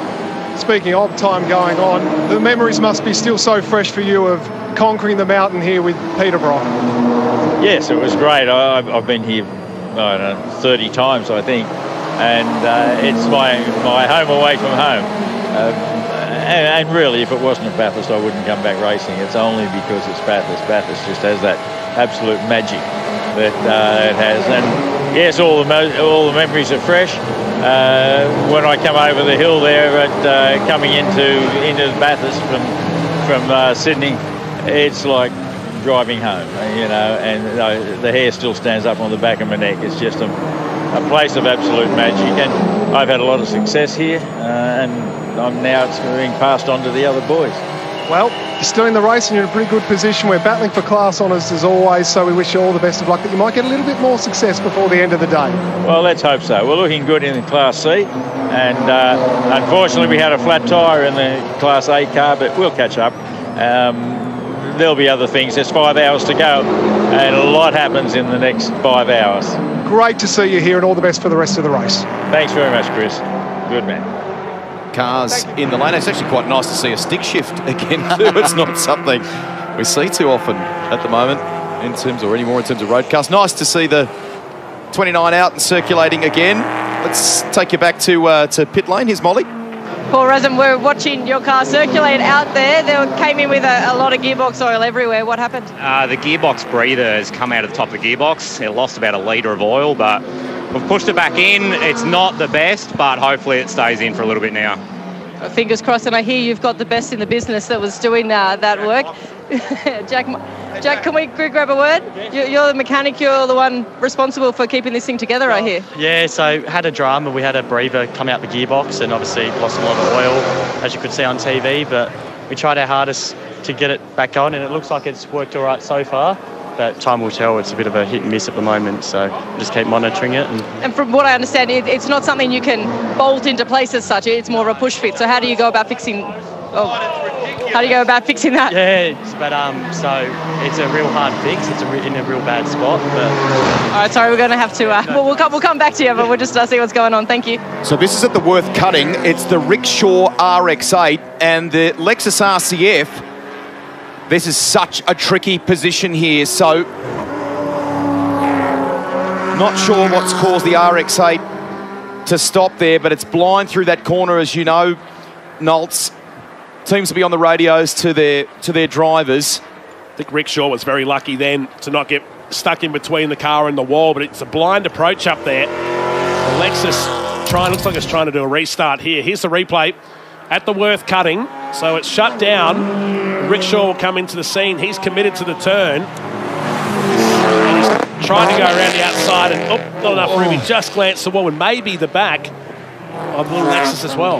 So he shares this car with Tom Shaw and with David Cox. They've got that RX-8 going again. David's actually at the wheel, down in 47. And these guys have done some endurance racing together, things like Nürburgring 24 hours and so on. And Rick was very excited to get that partnership back together. Yeah, David from the UK, one of our international imports now that we can do that again, which is tremendous.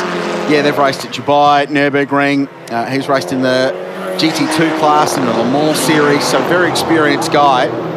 Unfortunately, where that car shut down was such an awkward part of the road, blind and steep on the exit of the Worth cutting. And the Lexus RCF, brand new car this year, unfortunately unable to squeak by. Nice to see the RX-8, something a little bit different, a road Rotary in the field. And Rick has been just a... Uh, a proud runner of those cars for so many years, not just RX-8s, but all sorts of uh, Mazda rotary iterations over time, and he runs the RX-8 Cup, doesn't he? I was just about to say, loves it so much he started a one-make series with them. So uh, rotaries, a distinctive sound, of course. Bathurst history with the Mazda brands back in the Group C days with Allan Moffat and Greg Hansford and those incredible cars that were fast but fragile, got on the podium couple of times. So it's cool to see the Mazda brand back here. And uh, Mazda with the RX-7 won the Bathurst 12 hour in the 90s.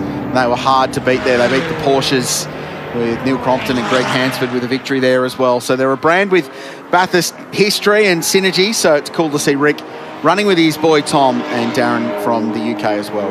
Those cars have actually gone up a little bit in value, I think, for people looking for yes. something in the rotary range for, with, you know, for value. They've gone from in the order of about 20 grand to about 32, I think now, isn't it, for an RX-8 if you're looking, shopping around for one in that sort of range. Rob Rubis, now we're seeing a plus five second penalty attached to car number one. So maybe in the wake of the review of that that uh, that pit lane exit before, which Tom Sargent so beautifully Uh, you know articulated, he, he felt he was balked when Cameron Hill was, was leaving the lane. Maybe race control have reacted here. Five second penalty for Rob Rubis and car one. So that will be, should be able to be taken at the next pit stop, but it's difficult with the timed compulsory stops with that 120 seconds. So do make it 125. We'll, we'll reach out to race control and find out about that. Otherwise, it will be added to their race time at the end of the race, which will give us grey hairs trying to work it out if they're leading by 4.9 seconds when they cross the line. Uh, we'll worry about that when we get to it. I'm very busy with the podium. Yeah, I'm sure you are, yes. I'll, I'll, get the abacus out, don't worry. So, yeah, clearly they've reached uh, determination. To be fair, uh, and, and to give race control their dues, and race control's been a topic of discussion in global motorsport in the last six months, but um, massive props for them keeping the race green there with that RX-8. They gave them time to fix their problem, gave them time to reboot the car, get it fired up, get out of the way without instantly going to a safety car, which could have been a default option given where that car was parked. So well done race control. I think that's a, a really great decision and they're letting the race play out, giving them an opportunity to manually recover and then if they can't go anywhere, obviously they'll throw a safety car. I think they've learned from the last couple of stoppages we have had. The cars have dropped in with either electrical issues, give that opportunity rather than just panic pushing the button, which we have seen on occasions. It does take a long time just to get the field gathered up behind the safety car. So well done. This is the number 27 car in the pits now, the Sherrins, their second stop of the day. Meantime, Cameron Hill is up to third outright now. and he's six seconds away from the cars ahead. Remember, they're out of sync though, but he's literally going to catch these guys in the next few laps. I don't think they're too far away from a stop now, two leaders. They've been going an hour and six. They've had 18 and a half minutes of safety car so far. So there's some fuel saving that comes with that. But I don't think they're that far away from their first pit stop. So there's a very good chance as the cycle shuffles through that Cameron Hill's going to end up leading this motor race within an hour and a half of starting last. just extraordinary performance by then. He's just passed Cameron Crick to get himself into the top three. Does that surprise you they made that many places up so quick? Not with the raw speed they've got, no. No, car speed generally conquers all. If you've got a fast race car, you can do stuff with it and fast racing cars and get your way up the order. Shout out to the 58 as well. Drew Russell at the wheel of that Go Karts Go BMW at the moment. They find themselves in sixth outright. So Dad Wayne, as we have a look here at the replay for Tim Slade, just a little moment wide at the final corner. There'll be Brad Carr behind the wheel Brad now in the number eight. They swapped over early in the race. So I was wondering where the time was lost there. I was just looking on the screen where he did lose that was in the final turn. So the Car Mods Australia entry continues on. The running back in fifth position outright, second in Class X as we're just over one hour into the Hi-Tec Oils Bathurst six hour. Boys, the other thing that we do need to touch on is that the pit stop rules differ throughout the field. So the further down the classes to go, the less compulsory pit stops you have to make. So Cameron Hill and Tom Sargent have to make six 120 second mandatory pit stops in this race. Now, you might take more than that if you need a splash and go with fuel or you need another tyre, whatever it may be. Grant Denyer and Tyler Mecklem, those cars that currently run first and second, they're in class A2 and A1 respectively. They only need to make four compulsory pit stops. So instantly, they're 240 seconds to the better than the BMWs around them. And that's important over the course of a race. Now, generally, safety cars will mean that it doesn't actually change that too much. But they can go longer into the race and they have to make less pit stops than the BMW. So they don't have the outright lap speed, but they can run longer and make less pit lane stops. I was crook with numbers when I was at uh, at high school. The other little factor to weave into that, you talked before about not exceeding maximum three and a half hours at the wheel for the driver. So in the shuffle, in the juggle of those stops, you've got to balance out your drivers as well. So let's get uh, some news from the lane. Here's Molly. Yeah, I found Rick Shaw with the RX-8 that we saw stopped at the cutting, a battery issue or cutout issue. Well, it's, it's only a small problem. You can come here to Bathurst, you can build a brand new race car, and every single component is brand new, and the isolator switch is dodgy. So as David went up into the cutting, the car just turned itself off. And uh, another car nearly ran to the back of us. I think it actually might have just touched him, but he's found a position where the isolator switch works. Car started back up, but it's going like a dream again. And with that, that impact that we saw, is he reporting any damage or the car's still driving okay? No, I think it was just a slight love kiss on the back quarter panel. Car's driving like a dream, trucking along, and happy days. We'll keep going to the end, I hope. And when you come in for the next driver change, is trying to secure that isolator switch to stop it maybe wriggling around something you can do? Well, it hasn't fallen off the dash yet, so it doesn't need securing. But if, you know, if it's not broke, leave it alone. So I think we'll just tell the drivers don't touch it, and we'll see how we go. My son Tom's in the car next to. He's done an excellent job here last year, so hopefully he'll do another good job this year.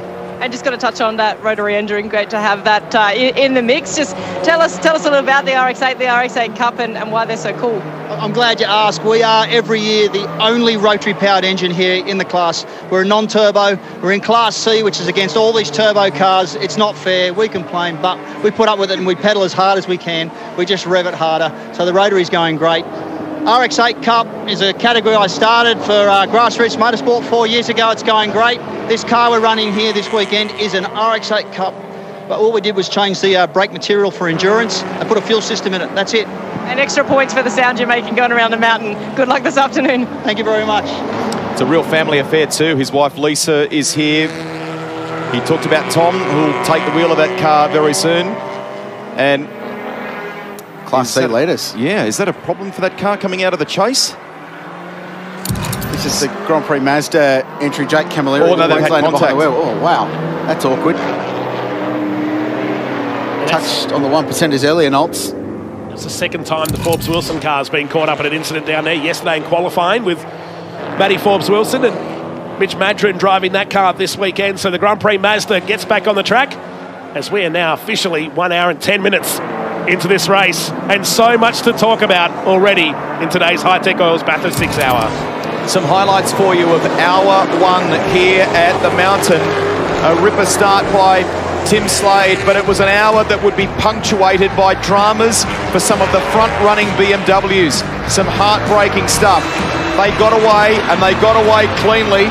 Amazing sight as more than 60 cars ran up the mountain for the first time. Terrific stuff. Well driven by everybody. This was the first big story. The pole sitter coming to a stop here, right in front of the pit straight here. And would bring out the tilt tray. They couldn't get the car into neutral, and Carl Begg was ushering, get me off the track. I need to get this back into the pits. Then Anthony Soole came to a stop. The car slipped into limp mode. Then, on the return out to the track, found the beach, which brought out the second safety car. Five seconds added to car number one at some point in the race, whether it's in a pit stop or in their race ending time for that unsafe release. And then this most recent incident, little nudge of the wall for the Lexus RCF. This has been the story of the day. Tom Sargent and Cameron Hill have blazed their way from the very back of the field, and they are now second outright with a pit stop up their sleeve as well. take a look for you at the leaderboard as things stand heading into our second hour. It's Grant uh, Denyer and Tony Quinn who find themselves at the top. Now, just keep an eye on those colours, those coatings on the left of your screen there. They are in a different class to the X-Class cars, which were our outright uh, runners, if you will, in qualifying. So, as Richard Craill detailed before, they don't have as many compulsory stops to do in this race. This will be a fascinating final five hours, gentlemen, with some of those cars mixing it with those outright X-Class runners. So James Hay leads the way in the VW Scirocco in Class C. Mitch Wooler behind the wheel of the B Pro Racing Toyota 86 leads Class D. Matt Forbes Wilson in the SSV Commodore, the one we just saw uh, with contact at the chase on top in Class B in the big SSV. And Dave Worrell currently leads Class E. So the race within a race, and they're up inside the top 50, so they've made plenty of ground already. And we'll confirm those class leaderboards for you. The race within a race. And if you win Class C, D, or E, it doesn't matter. You're a class winner. You'll stand on that podium this afternoon. You'll get a Bathurst Winners Trophy. And for a lot of them, it will mean as much, if not more, than winning the Bathurst 1000 or the 12 hour.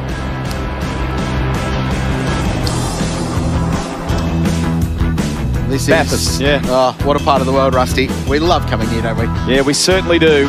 You filmed that earlier this week. Bit of a That was you, pre-race workout. Yeah. Just Matthew Nolte at his best, wasn't it? we are, I mean, we, we're having a little giggle here. We want to have fun on our Easter Sunday. We are welcomed back wonderfully by the people of Bathurst every year for all of the events. Dramas to the right front of this car. It's a tyre. It's torn away from the, the sheer gold entry down in the pits.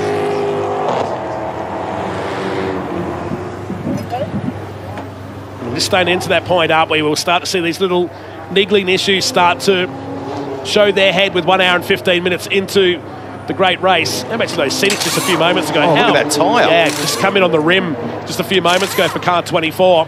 They've been off the road somewhere with that, with uh, all the debris caught up in there. Just uh, a little bit of housekeeping. Tyler Mecklem has just pitted, uh, former leader. So first of four mandatory stops for the Evo Lancer, which elevates Cameron Hill to the race lead.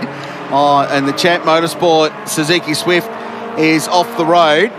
Do we connect the dots here and wonder if there were Between the two. a, a lap traffic incident? Is this a drama for the Tyler Mecklem car? Bonnet is up. No. They were leading the race. Wow. Have we got that? That is that car, Yep. is it not? Yep. That's car nine. Nick McLeod in two in car three. That's the big Ford Mustang. It's got some fluid over the, the guard there, hasn't it? So, and that doesn't look like a good colour either, does it? What's happened there? Down the bonnet as well. Going so well. They were just trucking along beautifully, weren't they? You don't want to be a key contender in this race. You don't want to lead, yeah. No. I'm Oh, worried man. for the 147. Cameron Hill's out in front now. It's only seven tenths of a second, but they've got 20 seconds back to the car mods BMW running back in third. Then the Russells, fourth outright, third in Class X. The safety car has been called once again here during the Hi-Tec Oils Bathurst six hour. Another key contender in trouble here. In the 155, the Suzuki Swift with Steve McHugh, Michael Hopp, and Daniel Natoli has got away from the wall, but has stopped on top of the curb just on the exit of the DBA chase. It's by the Hi-Tec Oils Bridge. Now comes the safety car once again. It's Michael Hopp behind the wheel, so they'll pick up Cameron Hill in car 147, who is the race leader. He's still at the top of the hill and diving into pit lane. Yeah, this is a smart call. Time to perfection to get their stop out of the way under safety car. Well, they they've been making jokes and into pit lane as well for Cameron Hill. So this is smart stuff from these race teams.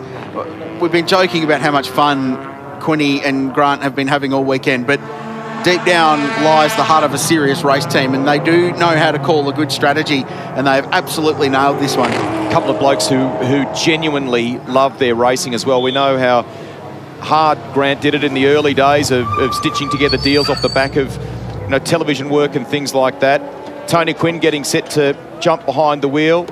He's got a very big presence in this part of the world now as a circuit owner. Recently acquired Queensland Raceway, as those of you who are close to the sport will know. And in New Zealand owns the Hampton Downs and Highlands facilities, which are just world class. And recently acquired uh, what Aussies would probably say is Taupo. Uh, the correct pronunciation is Taupo, which is um, sort of in central North Island. And that's a beautiful track they'll do some great things with as well. Thank you to the Australian ambassador to New Zealand for I try to learn. I'm update. trying to learn the correct pronunciation. Thank you. The field rolls into pit lane, so almost all of the leading contenders have dived into the lane. Grant Denyer's in, Cameron Hill's in, Brad Carr stops, uh, Drew Russell stops in the go-karts go-kart. It's busy in pit lane. Jack Winters in in the Evo.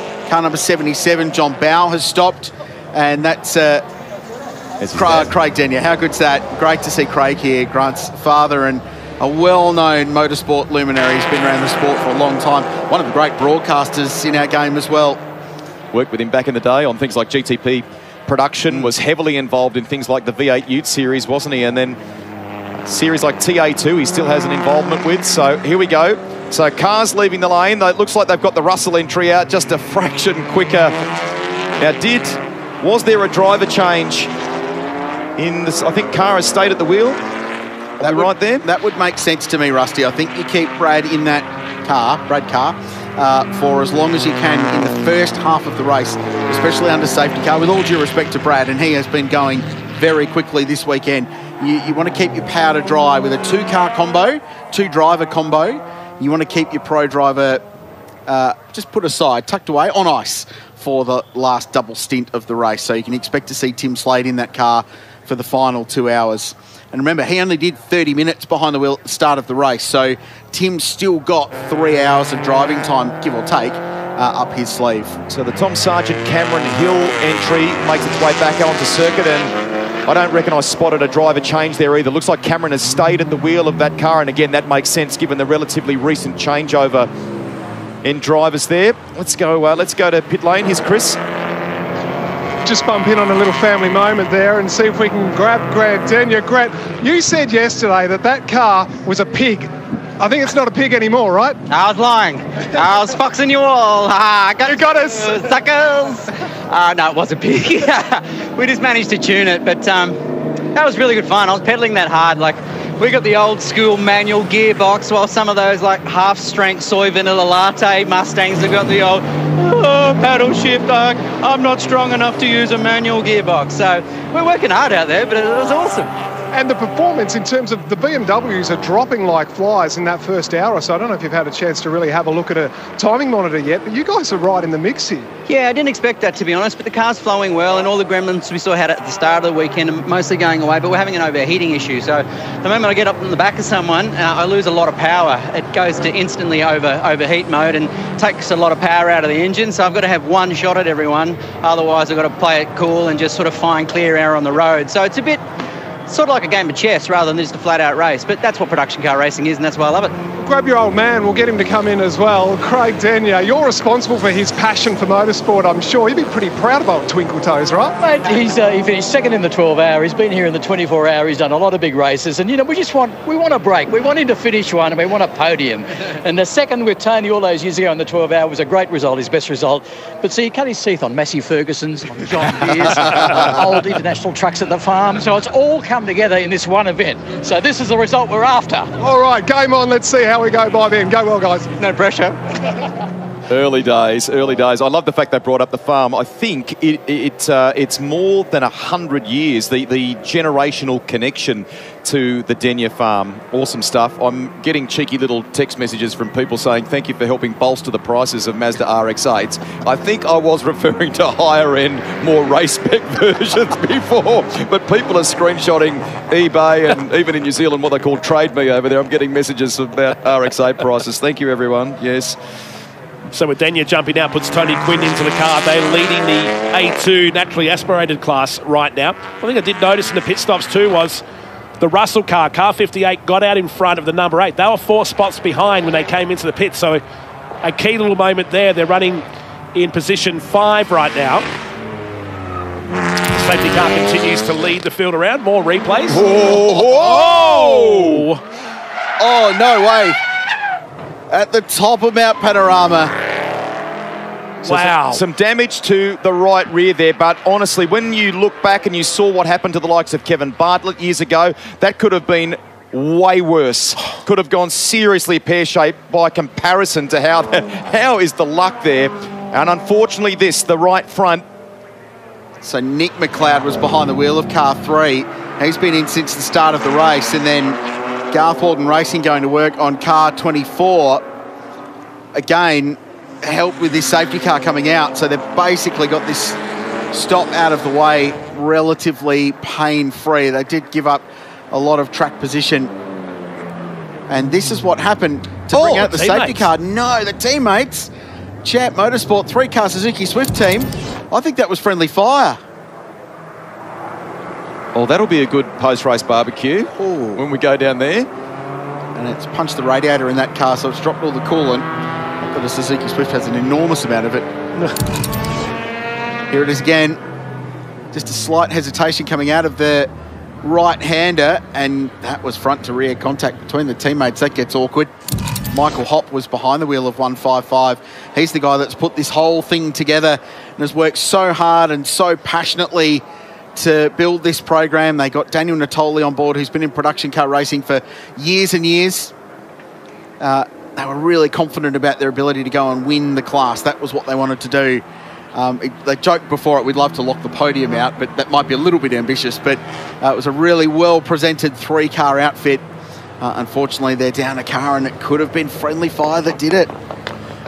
And they've had a, a busy sort of few hours across Friday practice and so on. Some um, some gearbox issues for one of the cars. I think they've had two gearbox changes in one car. But you're right, expanding the operation from two to three cars for for this year's race. What a magic day at the mountain. Had a little message before as well from Justin Murray from Super Cheap Auto. It does look amazing from on high going down through there, doesn't it? Let's go back. We, saw the scenic shots just before of how good this place is when you come here later in the year, but to see how green it is, I mean, it's been a lot of waterfall in this region in the last five to six months, but Bathurst looking resplendent as ever as the safety car is out here.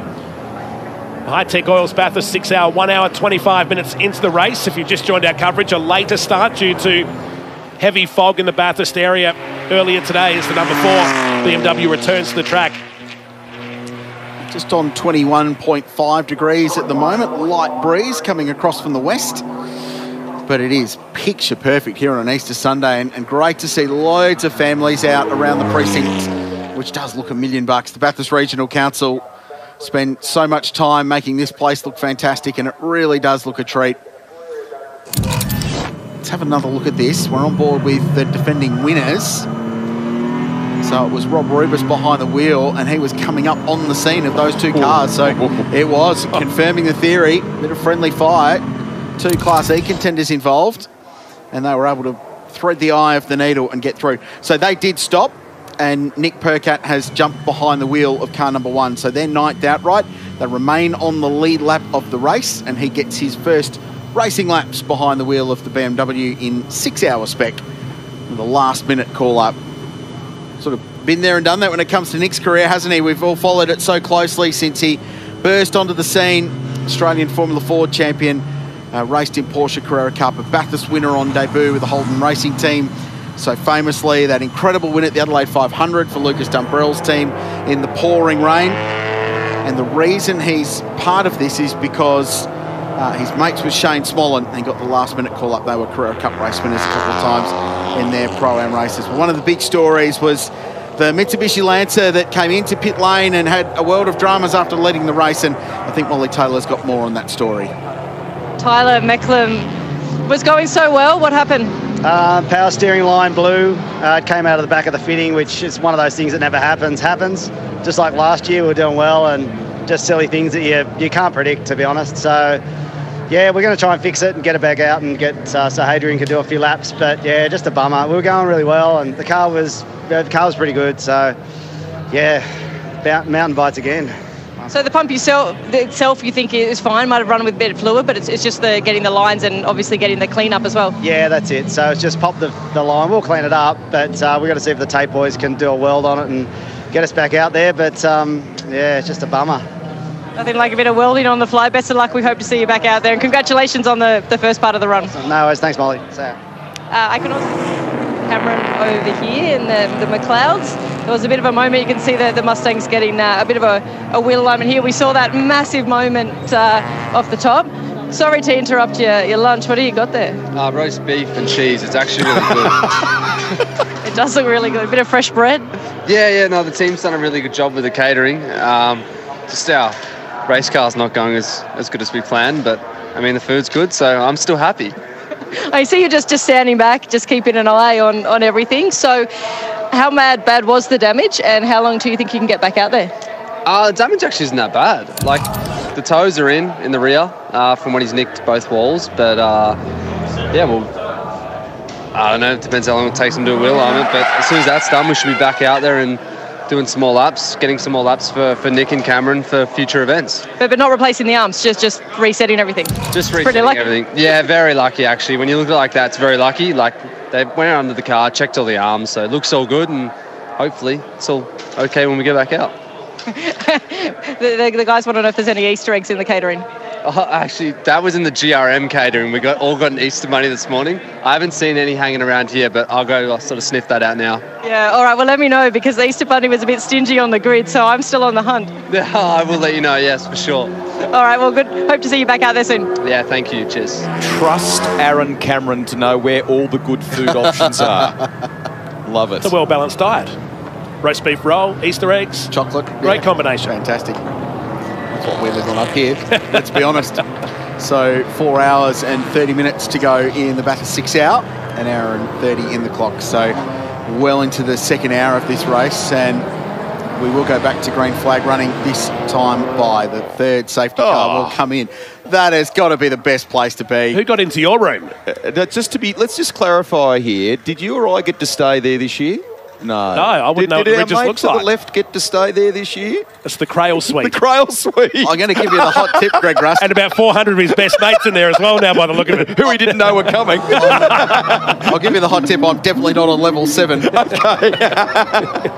Oh, we love it. He's done a, s- done a super job over the past week, our mate. Who, that might giving him a bit of a wind up though. All right, we've got to reset here, recalibrate, get ready to go racing once again. Hope you're enjoying the live, uninterrupted coverage here on Stan. Hi-Tec Oils Bathurst six hour.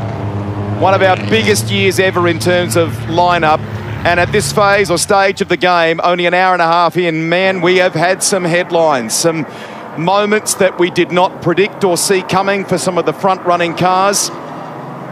And I don't think it'll be the last time that the safety car, we will probably need a safety car refuel at some point, will be on track today, gentlemen. I don't want that, to be fair, but I think it's going to be a busy day at the office. How are we going to do the highlights at the end of this race? We're going to get a short amount of time to do it. There's enough just in the first hour to cover it. Well, Rusty's going to be here doing podiums until about midnight, so we'll just roll them in there. So four hours and 28 minutes to go. It's a sprint race by Bathurst comparisons, but there's still so much to play out, and it's Tristan Ellery who will lead the field back to green. So this team, the 99 BMW, elected not to stop during that sequence. They're only one pit stop into the race. So too Dylan O'Keeffe in the AMG A45 that is second, the green and black car, and so too Jude Bargwanna, who's behind the wheel of the Burson TTRS that currently runs third. They're a little bit further down in the queue. There you go, down the inside of the McLeod Astra, or at least thinking about it. Behind that is Drew Russell in the Go Karts Go BMW. He's fourth. Bradley Carr in car number eight is fifth on the road. And then you go back to Tony Quinn and Cameron Hill in car one, four, seven. So two stops in for Russell, two stops for Carr, the entry that he shares with Tim Slade, and Cameron Hill got a, a second pit stop away in car 147 under the safety car, playing the smart strategy game. So they're already two of their six stops ticked off in the race, and that will be very pleasing to them. Busy pack of cars making their way up to the Worth cutting here in our latest restart, the Hi-Tec Oils Bathurst six hour.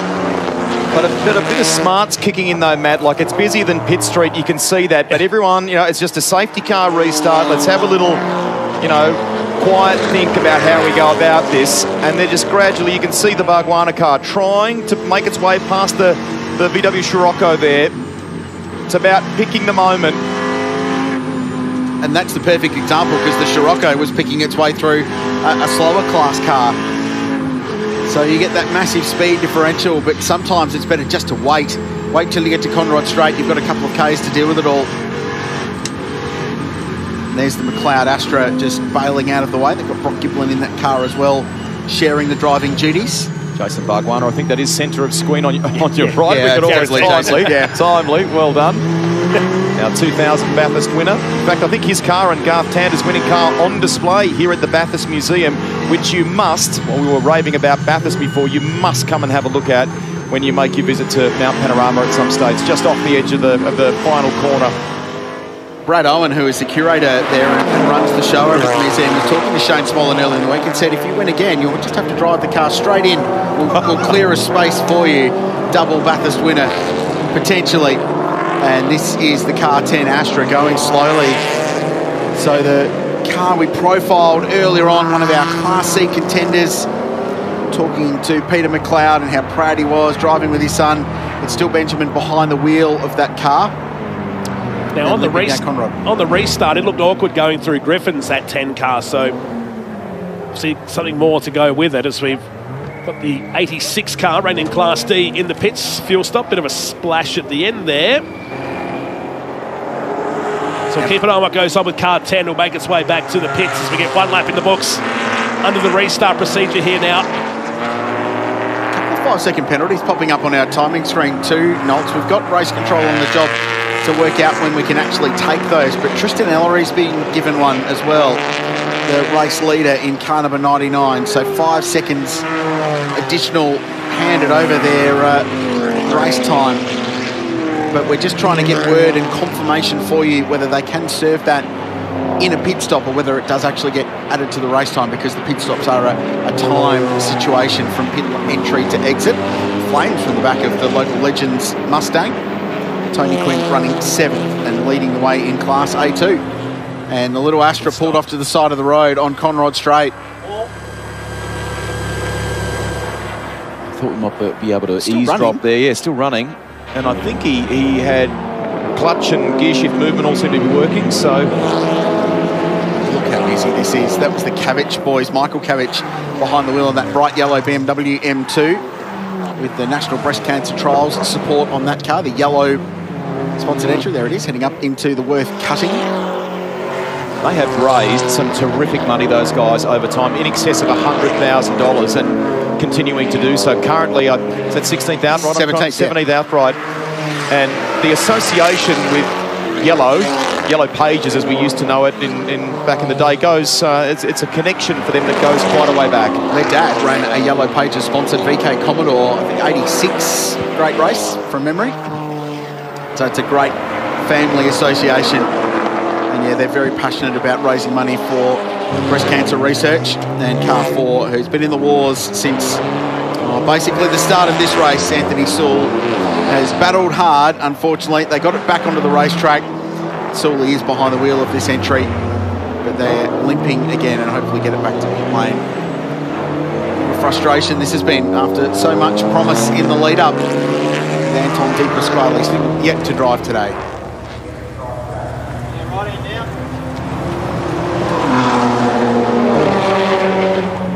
So the McLeod team will get car number three back into the race. What's he up to? Aaron Cameron on the tools. But oh, oh. Easter eggs.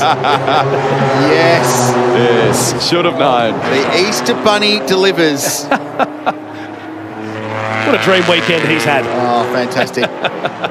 he can drive a bit, that bloke, can't he? Uh, amazing in Super Cheap Auto TCR. He was in the S5000 last weekend at Albert Park and very, very fast. Well, in the Tasman Series last year here, actually, at, at Panorama. And we're watching the Mustang pull away from Duke Bargwanna. How's the horsepower from the 5-litre V8 in the drag race up the hill? The all-wheel drive five-cylinder turbo that they ran at Sydney last year to get their head around it in November before bringing it here for the Hi-Tec Oils Bathurst 6 Hours, prepared by Scott Bargwanna in the family workshop here in Sydney. Of course, Harry and Alf raced for over 50 years here.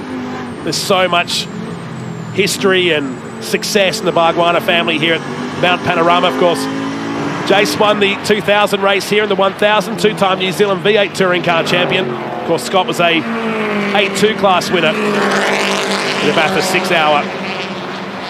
A lot of hype about this car as far back as 12 months ago when they announced they were going to bring the Burson Auto Parts out in TT and take on some of the big names here at the six hour. Now, Richard has been rightly in contact with Motorsport Australia race control as we get some clarity around that, that five second penalty rule. And our, our colleague Shane Van Gisbergen, who would love to be here to defend this crown, has, um, has just messaged and reminded me about the fact that I think he got a five, five second penalty yeah. last year, and there's no real way to clear it. And so Shane's, you know, in, in his opinion, rightly pointed out that, you know, he doesn't necessarily like that rule.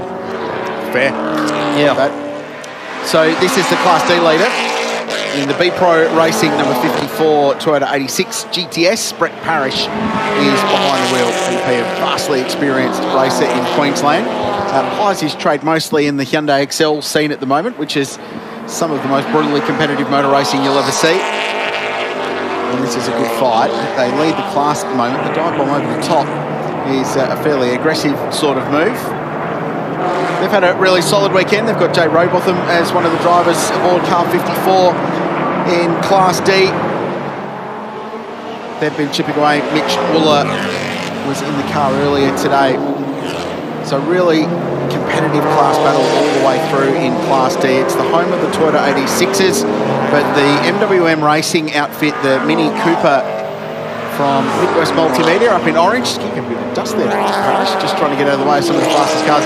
They've been very competitive all weekend as well, so that's going to be a really good fight that will evolve. We'll keep you up to speed with where your favourite team or drivers might be going. James Keane uh, shown down in 50th position at the moment in Class D, so they were leading it early on, but a few dramas for the Mini as we jump back on board with Beric Lynton and cast your mind back to the start of the race. This car with the fueling issues that they had has gone a long way down the field there. 11 laps behind from what I can tell from where Tristan Ellery, the race leader, is at the moment. So this is just a, a pride-gaining exercise now for Beric and his amazing Queensland team that have a, a, huge track record here. Still never qualified outside the top six in every edition of the Hi-Tec Oils Bathurst 6 Hour Tim Leahey remains remarkably competitive. And let's perhaps just ride for a bit with the Queenslander and the BMW is negotiating some traffic and take us for a tour of Mount Panorama.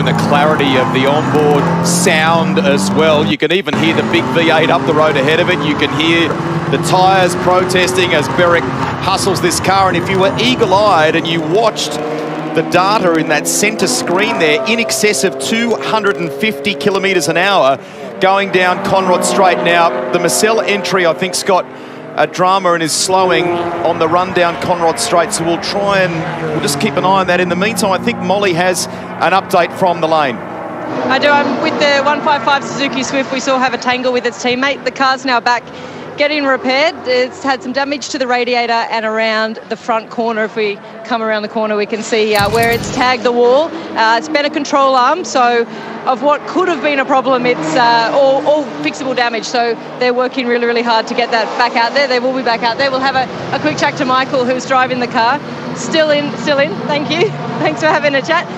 Tell, tell us what happened. Oh, mate, I was just uh, coming down the chase and uh, slipstreaming uh, Dave Bailey. He just got in the car. That was his outlap. And uh, we were coming both together out of the chase quite nicely. And yeah, all of a sudden he just slowed down. So I'm not sure if it was uh, maybe a missed gear or just not getting traction through that corner there. And unfortunately, I, I punted our own car. I'm very, very disappointed. So you haven't had any words with, with them yet to, to know what happened from their side? No, not yet. No, I haven't had a chance to talk to Dave yet. He's in the car with the radio comms, of course. But yeah, I'm just, absolutely gutted for the team. You know, we've just put so much effort to get here, and and you know, go and tag your own your own car. It's just you know crazy. Well, we look forward to seeing you back out there. Cheers, thanks. We'll get it fixed. Sounds good. And if we just uh, spin the camera around, uh, we can see in the background over here the number four BMW entry that are really not, not having a good day. They've been backwards in and out of the pits. Uh, speaking with the guys, they had the issue with the lift pumps. They brought it back in and then they have changed the wiring for those lift pumps. So rather than going through the power distribu- distribution module, uh, the PDM, they've gone straight to the ECU. So it's always getting power. Thought that would fix it. Come back in, that's not fixing it. And now they're doing a bit of a process of elimination to try and uh, to see what's causing that uh, that power loss um, to those lift pumps. Well done, Molly. Thank you. I'm intrigued about if there's a little element of commonality in some of these BMW issues here today. You can see that left rear kicking up off the deck. That's about as quick as the Swift will go through turn one, and even using a little bit of bit of rally style, two wheels off in the um, in the grass. The reason I flagged that is because uh, it's obviously taken a little bit of time, Richard, but but the Lynton crew seem like they've been able to get on top of it. That car's going again, so I just I'd love to know what it is, how they resolved it. I agree. I think they will too. Yeah, absolutely. So that will filter down the lane, I'm sure. I've just been in conversation with race control just about the penalties that have been applied, and we've been talking about them popping up on our timing monitor. So uh, five second time penalties, and a lot of them are for passing under safety car boards and flags, and that will be, for the most part, fast cars passing slower cars, even when the safety car's out and there's been a bunch of safety car restart procedures. None of our main contenders have been nobbled there, but uh, a lot of restart procedure breaches. So that will be relating to weaving when the safety car lights are out or potentially overlapping before the control line uh, underneath the High Hightickles Bridge here on pit straight at Mount Panorama. Lots of people. And you often find that in this race, a lot of people, this is the only race they'll do a year. So they're not up to speed necessarily with all of the minutiae of the rules and regulations around it. So it's easy to trip yourself up and make an error under a safety car and uh, running to the rule of those laws and the penalties will be applied. Lots of 86s slash Subaru BRZs in the field, and I probably pronounced that wrong for those watching via Motorsport TV in uh, .tv in New Zealand. You guys say Subaru. And these guys have had a little bit of a battle on their hands in uh, Class D in Car 11 on the back foot this weekend, but great work by the TAFE crew here, among others, to, to get them back in the, in the game. Well, here's our Group X leader, the Chelgrave entry, the 99. Go-karts go entry, putting a bit of pressure on there too. Well, this Continuing. is a battle for the lead. They'd yeah. swap they'd swap positions twice on the previous lap while we had the updates going on there. So battle for the lead here, climbing Mountain Straight. So Tristan Ellery and Drew Russell. Drew's a massively underrated young driver. Spent some time in supercars, long time in Super 2 with the family team. Be absolutely thriving on this opportunity. Go-Karts goes the family firm in Newcastle long links to there, and we heard from Wayne Russell at the start of the show. so proud to be racing with his boys. Did the opening stint of this race, and they are very much in contention. And this is the Jayden Ojeda uh, BMW in the lane.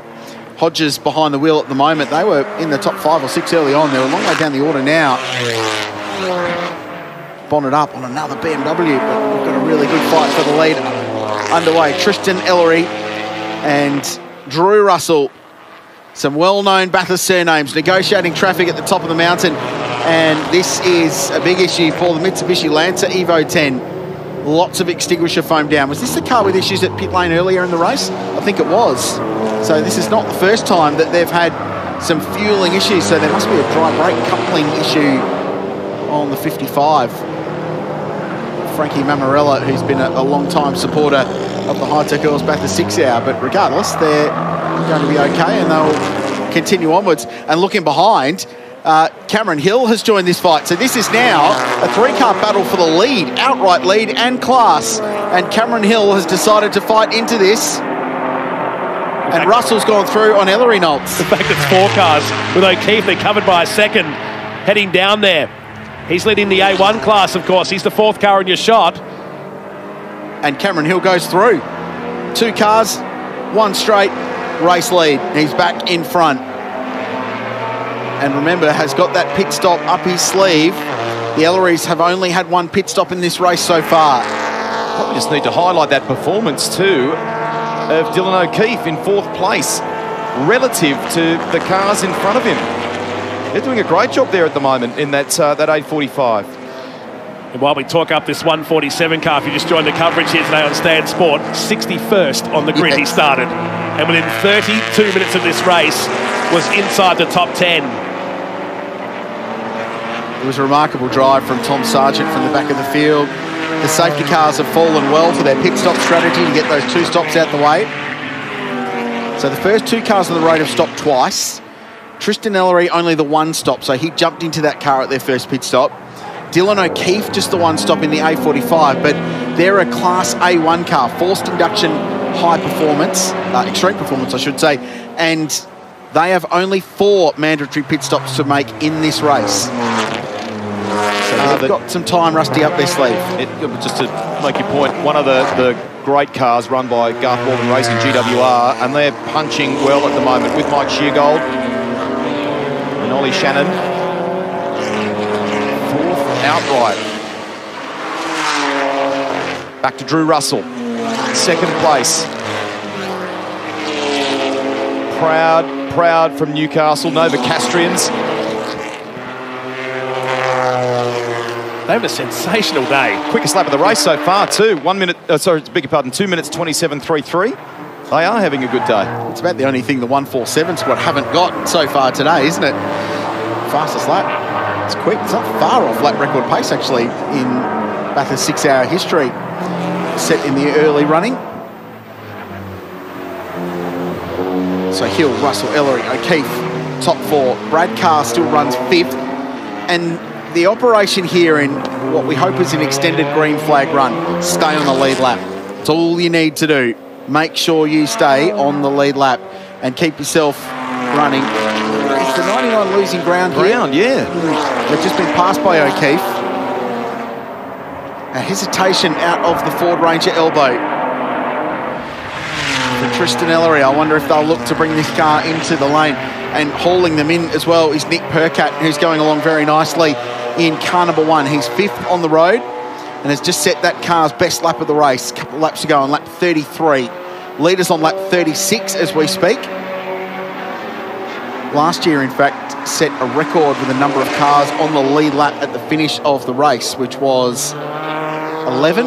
And into the lane comes car number 99. So they last stopped on lap 11. Ooh, had some trouble getting into the lane there and just grazed the the sand trap there. So he lost nearly 13 seconds on that lap alone to the guys ahead. Remember, he was leading this race just a couple of laps ago. It doesn't look entirely happy. It didn't look like it was tracking like right. It was crabbing, crabbing it? Yeah. yeah. I wonder if they've got broken toe link or bent, suspe bent suspension arm, perhaps. Maybe a little bit of contact. And, and look at yeah, it. It's not tracking straight. That car's got a massive, massive issue with the suspension. Yeah, the, the right rear corner's towed out. That is not BMW factory standard. I wonder, contact with a lap car, a brush of the fence across the top of the mountain would be the two obvious candidates. So they'll get the driver change out the way first. So the pit stop rules are that you can refuel and driver change at the same time, and then any other work goes into the racing car. Now he's got his He's hands furious. on. Yeah, he's furious. And let's, let's go to the lane, Molly. I managed to track down Vivek from MRF Tyres. You are the tyre supplier for every car at the Bathurst Six Hours, so big weekend for you. How many tyres have you bought and fitted for this weekend? Uh, Molly, thanks, uh, thanks to talk to you first. And uh, this has been an unbelievable weekend this year. ARG has put up a very, very good show. Uh, we have about close to about 65 cars on the grid. Uh, to answer to your question, we bought in about 1,200 tires, and I think we take home about 100. I think 100 or 150 back home. Yeah. And I have to shout out to my boys who, who did a really, really a good job pumping them up from Wednesday morning, 8 o'clock, and still working, so which, which is very good. Unreal, no, no rest, and I, I don't want to be the one taking stock of all those numbers and trying to keep keep uh, record of all of that. But how important it is for MRF to be involved, you know, at the grassroots level of motorsport, but then also all, all the way up the top. Uh, th- this is a very, very important uh, uh, race for us, you know, where we so- showcase the exact product what we manufacture for a normal car, you know, um, for people who are driving a BMW M4 or a Suzuki Swift. So this is our target market for us, for MRF. This is our philosophy, where we want to supply tires to the production cars rather than a Formula One cars. And the rally cars. And the rally cars. Well, our, our, our motto is the tires you race are the tires you buy. You know what I mean? So it's like what we say, you know, you race on Monday, sorry, Sunday, and you buy on Monday. You know, similar to that. This is our focus category, and that is why we are putting in a lot of effort, a lot of investment, and uh, it's been awesome working with the ARG as well. Uh, and we are very, very pleased, very, very pleased. Great to see you, and congratulations, and thank you for all your support. Yeah, absolutely. And also, I want to shout out to all the people in MRF. There are people watching in India as well. You know, uh, we have a very limited population, 1.3 million. So, you know, it's fantastic. Uh, thank you very much. Thanks, Vivek. Cheers. Often seen around rally events and all sorts, Vivek. We go back and have a look at our A1 class leader there in Dylan O'Keeffe. Meantime, here in the lane, car one, driver change time. Nick Percat jumping out. You could tell that by the, the trademark helmet. We've been riding with Nick in car. Prestige Connects driving suit. That lets you know it's Shane Smollen who started the race for these guys. Shane's been a, a guy that's been around things like Carrera Cup for many years. Very proud to have won this race last year. Very, very you know, special moment in uh, in his career. And in business terms, he and Rob Rubis have done some great things. Rob on the, the more or less the restaurant side. This is his game of golf, if you will. And Shane's had a, a, a very strong presence in real estate and things around northwest Sydney over the years. what we're seeing here with this team is a situation of if it ain't broke, don't fix it, because they are almost identically mirroring the strategy they used last year to win the race. So last year, Shane Smollen started, went to lap 14. They plugged Rob Rubis in, he went to lap 32. SV jumped, SVG jumped in for a brief stint from lap 33 to 41 last year. It was only about 25 minutes. And then Smollen and Rubis did the bulk of the midday stuff and Shane jumped in for what sort of worked out to be a triple stint, really, uh, for the run to the end to get all of his driving time out of the way. So right now they're mirroring that. Nick Percat's just done a short stint in the early phases of the race. I don't think we'll see Nick now until the last driver change they do in this car. But it worked for them last year, so why not again? We should just uh, quickly say that we were we were gutted that Shane Van Gisbergen couldn't be here with us this weekend to defend that crown. And on a on a kind of selfish note, we were really looking forward to seeing him at the wheel of a Trans Am too. So he's on the mend and doing all the right things as far as ISO is concerned, and regularly messaging us here. So he's clearly watching the, the coverage. And uh, thank you, mate. We know you'd love to be at the wheel. That's that's what you. Uh, that's what your preference would be. Right. Kind of kind of form he's in. Every other driver in the paddock went, oh, we'd love to see him here, but gives us a shot.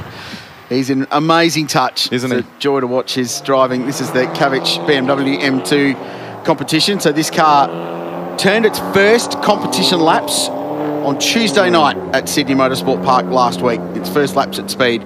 They just got this build finish at GWR shook the car down, and it's been a, a learning process for Ben and Michael Cavich over the course of the weekend. It is, in theory, the same spec as the car that currently leads the race as the 23 BMW peels off into pit lane. Remember, they are a long way down. Just circulating for car. Pride, yeah. So we saw Will Davison on standby there before for the changeover. So obviously diving in once Beric jumps out of the other car. In terms of the Lynton garage, this is the the Ellery entry, and rightly, the attention is on that right rear where we thought the car was crabbing before. Now, they released it from its stop, which we sort of did a double take because we weren't sure that the problem had been addressed. I didn't recall them seeing, looking at the actual right rear of that car when it initially came into the pits. Meantime, the 23 is in, so we're approaching the two-hour mark of this year's Hi-Tec Oils Bathurst six-hour. And loads to talk about, isn't there? This will shock you. Shane Van Gisbergen has the full setup at home, timing, everything going. I know there'll be magic. Awesome. They're looking good so far. They've got that five-second penalty for an unsafe release hanging over their head, but they encountered that penalty situation last year and managed to deal with it, no worries. So Will Davison will get some laps aboard car 23. So at least he'll get some seat time and experience this with Beric Lynton and Tim Leahey. It was an interesting move for this team. This is the first time they've run three drivers in their car. It's it's been Lynton and Lay since the start of this race, but elected the to go the three driver option just for that strategic flexibility that they saw with the sister car run out of the same stable and car number one that won the race last year. So we will get some seat time now.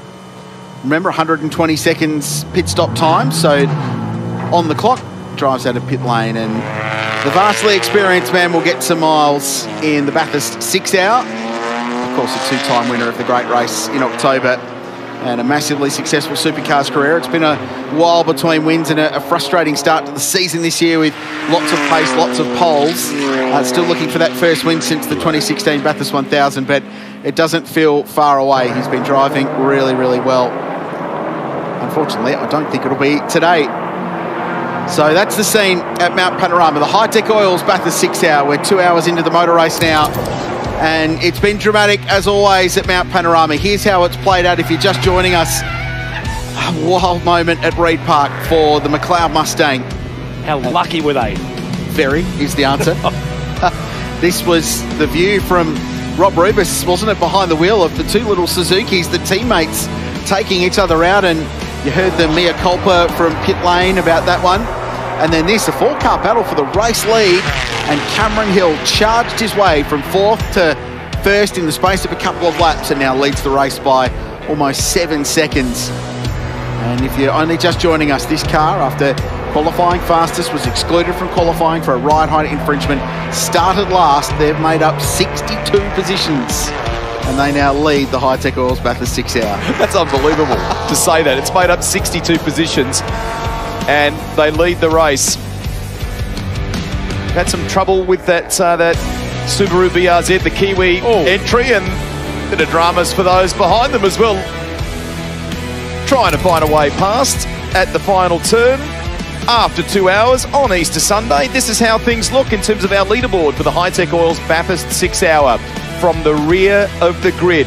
Tom Sargent, Cameron Hill lead the way in Class X. Great job being done by Dylan O'Keeffe, Sheer Gold and Shannon there to be not only leading Class A1 but third outright. Jake Camilleri and Scott Nicholas, 14th outright in the Mazda 3 MPS and leading the way in Class C. That is a giant killing proportions of uh, performance of Bathurst proportions there. Uh, work your way down to 29th is the leader in Class D. That's the Honda Integra Type R, and it's Ben Crossland behind the wheel of that car. And you can see the leader in Class E, McMaster and Worrell, in the Mazda 3 SP25. So they're 38th outright in the Hi-Tec Oils Bathurst 6 hour of 2022. And the class leaders, which is always a story in this race. The fight for the various podium finishes in X class, it's Cameron Hill that leads the way. Dylan O'Keeffe remains behind the wheel of the A45 AMG and third outright PS, uh, Tony Quinn in A2 in the Ford Mustang.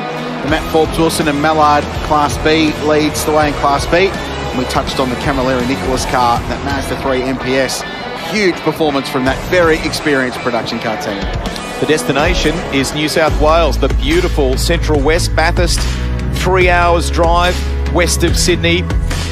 So much history in this part of the world. It's a beautiful place to visit over Easter. Come in and take the sights, take in the sights, enjoy some beautiful food, wonderful hospitality, and while you are here, come to the six hour, the Easter races. This car had some gearbox issues with a, he's got a bumper issue at the moment. A rear bumper issue. Race control won't like that. No. They will look at that very quickly and say, no, bad sportsmanship flag will need to come out and get that car into pit lane. Rusty, I'm delighted to tell you that uh, a lot of people will have grown up watching Bathurst coverages with not just your voice, but the man who's rotated in to join us for this middle stint in the Hi-Tec Oils Bathurst 6 Hour. It's a very good afternoon to our host with the most here on Stan Sport's Speed Series coverage, Matty White. Good afternoon, Matty. Crailsy, Rusty, great to be with you. Is there any better place than to be sitting here on Easter Sunday watching six hours of this incredible race around this amazing racetrack? It's been an incredible start too. Uh, so much drama as we thought. Um, normally we say just add water to motorsport and it all falls apart. Well, we haven't needed any this time around. I've been sitting back over the last couple of hours. That thing needs a uh, little bit of a jig up before they get it back in. But I've been sitting around the last couple of hours and making some observations, some observations of the first two hours of the six hours. So, as you've spoken about uh, the car in the lead at the moment, what now 62 places they've made up since the starting car 147. So Thomas Sargent 50 plus places for his first stint from rear of the grid up to fifth. I'm voting Thomas Sargent as my Uber driver who's going to get me through peak hour traffic. Peak hour traffic, Tom, I, I, need you to just weave your way through this. Can you get me to work on time and maybe pick up 50 odd places along the way? It's the run over the Blue Mountains on Easter Monday that you need him to get you to the airport on time. Uh, yeah, it was a magic drive, wasn't it? Uh, with more on a really impressive performance. The Ellerys have been going well, and Chris Stubbs can tell us more about that. Thanks, Richard. How quickly things change. We know that in production car racing. Tristan Ellery, 15 minutes ago, you were leading the race car, and now you're here with me and you're pretty dejected. Tell us yeah. what happened. We could see it looked like there was a problem with the rear of the car when you handed over. Yeah, I just uh, lost the rear of the car coming into the dipper there, and just uh, the rear broke out. And there's too much going on, couldn't catch it, but uh, just a driver error. Um, you know, the mountain bites hard, and we just got a we've got a somewhat straight race car. Dad's in the car now, so got a bit of a job to do. We don't like to make it easy, so um, yeah. Look, safety car will get us back in it. We'll get a lap back, and uh, we'll just keep on keeping on. And hopefully, uh, by the end of the race, we're able to make up the time that I've just lost. So we're loving watching the family compete. Fair to say you were disappointed with yourself. The hands on the head when you got out. I think you went to speak to your brother and he was like, "Not now. Time will heal wounds." But it's it's disappointing, isn't it? How bad's the damage to the car? And then you copped a penalty while we are setting up for the interview. Yeah, so I didn't realise the penalty. I'm not sure if it was me that sped through pit lane or Dad, but um, yeah, we've got a five-second penalty as well to add salt to the wound. But um, look, yeah, it's you know the highs in motorsport are very high. You feel great. You're on top of a cloud, and the lows are really low. So. Uh, we're gutted, we're dejected. You know, we had a real shot of winning this. We still do, but um, we just have to make it a little bit harder for ourselves. Um, we've got a, a, lot of ground to cover. So, you know, Dalton's going to be all right. He's just got to reset and he'll jump back in the car hopefully soon. Um, yeah, and hopefully there's not too much damage to the car. Felt like a little bit right hand down. A little bit of a gear miss issue as well some through some of my stints, but um, just got to manage it and bring the car home. Plenty of people not in the race at this point already. You still are, so all the best for the rest of the day. Thank you, Stubbsy. Cheers. Cheers, guys. Tristan Ellery, who is unmistakably a chip off the old block, isn't he, in terms of his dad, Stephen, who's driving the car. Dalton is a part of that team, Tristan's brother. And Dalton's been on double duty this weekend, racing in Trans Am as well, although had some gearbox issues with that car. Ellery, Ellery, and Ellery, can we help you? a couple of other observations that I've made in the last couple of hours, the first couple of hours. Now, we always talk about Rusty since you and I have been coming here for over a couple of decades about how much experience matters and those that can come here and, and tame the mountain by pure luck or just pure speed, but experience counts around here. And I was watching closely the local legends entry of Grant Denyer, going, this guy's driving around here like he drives it every day. Because he, He does. does. he does. Experience matters, all right, especially when you live over the back and you spend every day there. And there's also been a bit of word around Twitter that uh, Matt Nolte and the Easter Bunny have not been seen in the same place twice. That'll Uh, get back. so I'm just saying that the last couple of hours I haven't seen the Easter Bunny. Now Matt Nolte stepped out of the commentary box. I'm wondering if we see the bunny make an appearance. Read into that what you will. Do, do you do you do this for radio when you've got your radio show? Because I'm like, if I want to get on the open line, can I? If you've, if you've floated a topic that's interested me, can I jump on the open line? That's right. You can have your say on that one at any time. But I, I got to say, Crailsy, one of the calls of the first couple of hours that this this is the modern day Bathurst of old, isn't it? And that was a, a really good summation, I think, of, of what was unfolding before our eyes there, especially off that rolling start and seeing so many cars snake their way around the mountain. And then you go up and down the pit lane like we've been doing the last couple of days, and those wonderful stories and the community spirit. Uh oh, more trouble for the Sherrin entry. So they're 37th. They're about 13 laps down after all their various dramas today. So they're out of contention. And another control alt delete. And another good call from race control to let them try and get that car refired and get it back to pit lane without going to a safety car again. So we remain with the three safety cars so far today. The Bargwannas are in the top 10. They're currently seventh in the Burson Auto Parts entry, and I think they're second in Class A1. So doing a super job at the moment in the Audi TT. Yeah, they're just in front of Mark Griffith. Will Brown will drive car number 19, the A45 AMG. Will's been enjoying himself. I saw him at dinner last night, chilled out and relaxed and uh, doing the double duties with the TCR car. Here's the Mazda RX-8. Uh, I've got word through that their prices have gone up four or five hundred percent in the last two Sorry. hours. Just two hours alone. I was referring to race cars, well presented, beautiful ones, not necessarily ones that you might buy unadjusted. Here we go. Riding with Jude Bargwanna. Across the top.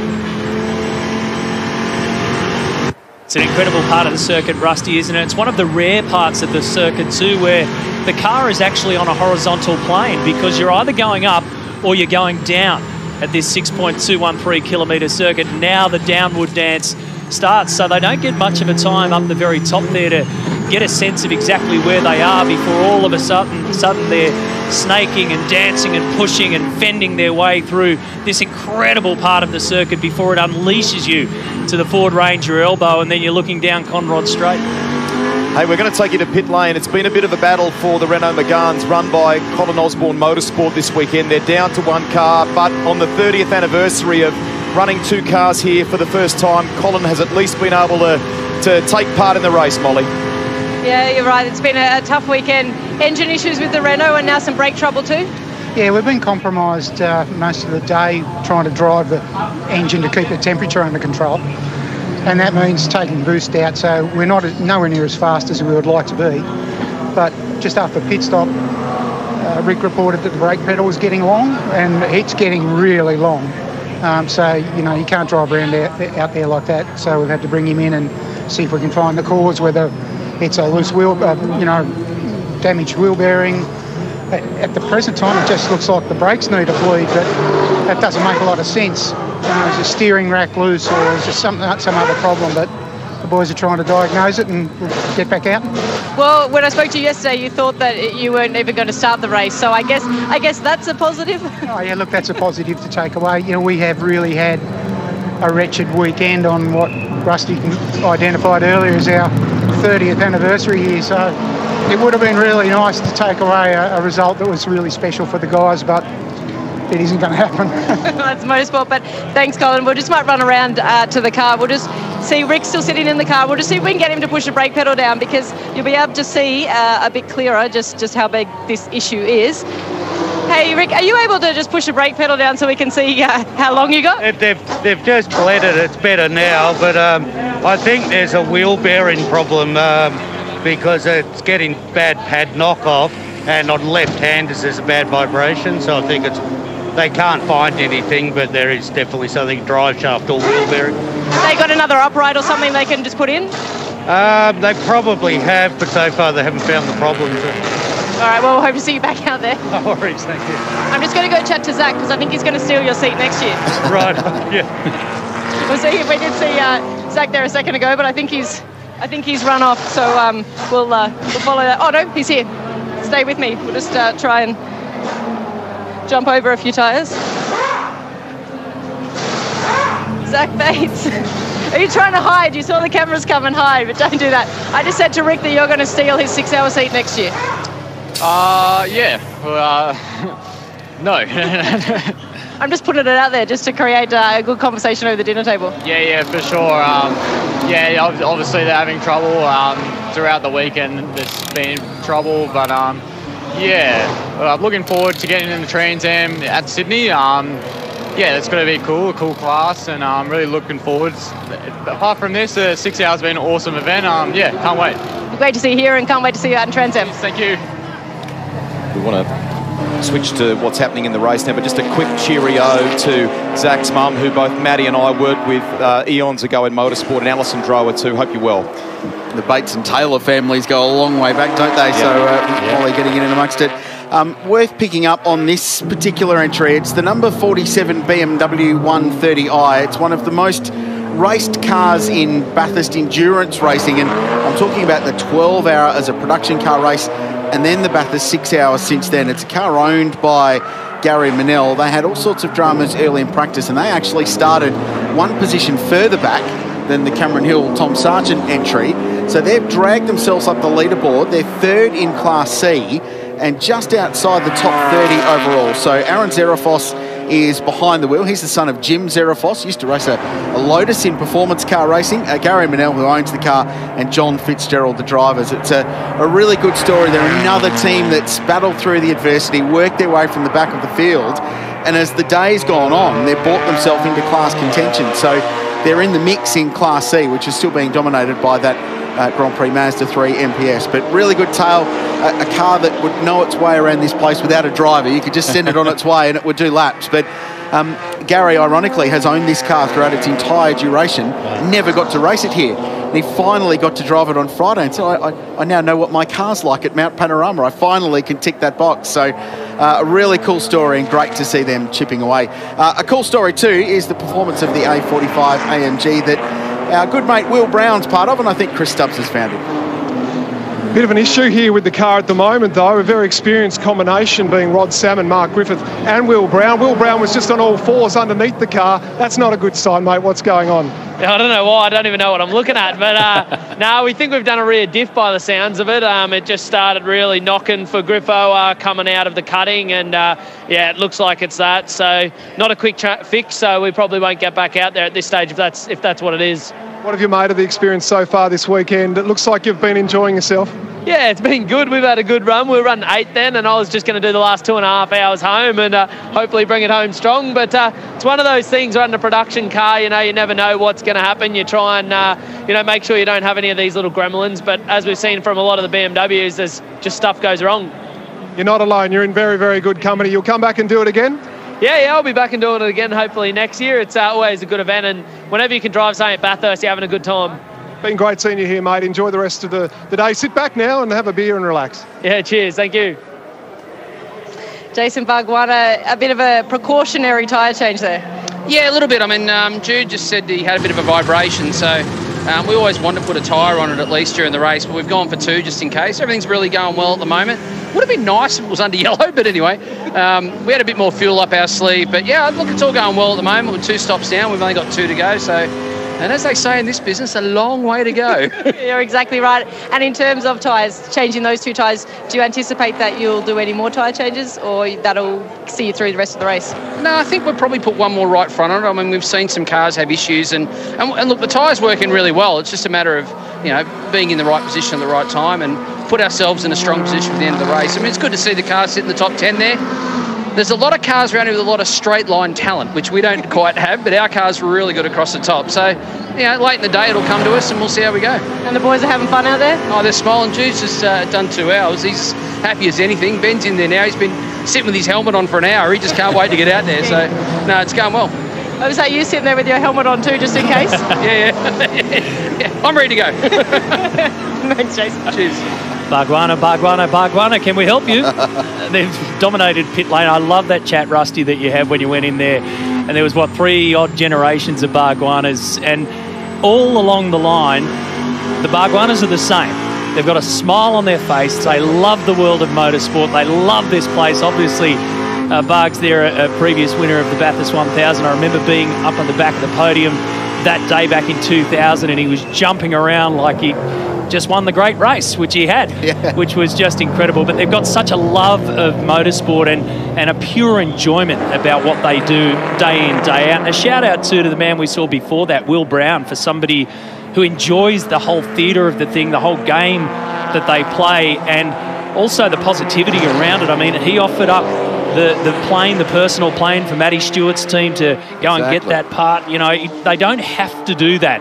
And even when things aren't going well, they step up and they still smile because they know that any day at Bathurst is a good day, especially if you are behind the wheel of a car. And when you're looking at sites like this from our Pertec uh, high up camera, well, take a look at that. Does it get any better than that, folks?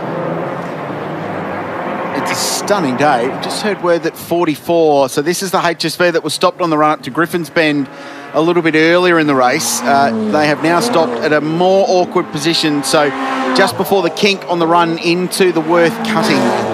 We were just looking at the Class B leaders. Oh, they've got it refired. Good news. And once again, race control just letting them try and self-service and now just have to merge into traffic safely and get themselves out of harm's way. So the 44 HSV Commodore as uh, uh, the 29 back in pit lane. Haven't they had a, a, tough day? We heard from Dave Razum earlier on in the race. The rear bumper bar torn off that car, one of a, a myriad of problems. Um, to touch on Matt Forbes Wilson and uh, Mark Mallard, they've done a really good job in Class B and they're up to 17th outright and that is a, a bog stock SSV road going Commodore, not a HSV. That's the the, the entry-level version Commodore performance car. They've done a really nice job, reliable performance. And Mark Mallard is from New Zealand. He's been one of those who've been able to, with the change in border rules between the two countries, uh, come over, and it's ticking a box. He's always wanted to come and drive at Mount Panorama. He's been raving all week. Tony D'Alberto, you can see on the left of your screen, is jumping out of the car, and here's that's what we've been talking about, Mark Mallard. He was just so thrilled. It's been a, a dream for him. He's watched Bathurst races. He's raced at all sorts of circuits in New Zealand, I should point out, uh, as well, but this is big box tech. 17 outright is a huge performance in what at the time when we used to build cars here in Australia was a, a $50,000 V8 Holden Commodore, Matty, and they just continue to circulate. It's one of the things I love about this race is you follow these stories throughout the day and you look at the results at the end of it and go, 15th outright, that's incredible, what a performance. And they sometimes creep up on it, but it's the quiet achiever performances in a race like this that sometimes go unheralded, but at the end of the day, they're on the podium, they've got a class victory or a class podium, and they will celebrate as hard as anyone who's won the race outright. It's a really interesting time of the day, I find. I'd like your opinion on, on this from both of you because we've had our first couple of hours of this race. Now, the natural adrenaline of the first couple of hours is going to get you across a whole heap of things. We had a bit of stop start there. The Gremlins got into the BMWs, but those who go out there from the start are firing on adrenaline. So they are absolutely pumping. Now we're in the middle part of the race. What is it? Just gone two o'clock. So some of the people have had a bit of lunch. You're getting to that part of the day. We've done driver changes. The cars are starting to feel a little bit awkward. We're not in Kansas anymore, Toto. We're, we're in the hard part of this race. So for me, this is a really interesting part of the race because the adrenaline will kick in again at the back end when conditions change. We'll be uh, watching the sun start to set. But this is the time when little mistakes can start to creep in. It's human nature, isn't it? In the middle of the day, we start to get tired, you take your eye off the ball. And if you take your eye off the ball, Rusty, here for one minute, doesn't matter if you're thinking about the next Tim Tam that you're going to get when you finally get back into pit lane, you can spell big trouble. Are there Tim Tams in pit lane? I've really got to go. hey, um, to, you know, I mean, just to, to your point there, with experienced people behind the scenes, when you've got a Paul Morris or a Roland Dane or, you know, people like that of that calibre in certain teams, or if you've got drivers like John Bowe that are a part of the mix, that's when those sorts of guys, at moments like you're talking now, yeah. absolutely are worth their weight in gold. Just to settle it all down, keep it in perspective and, and remind everyone how far we've got to go. Molly?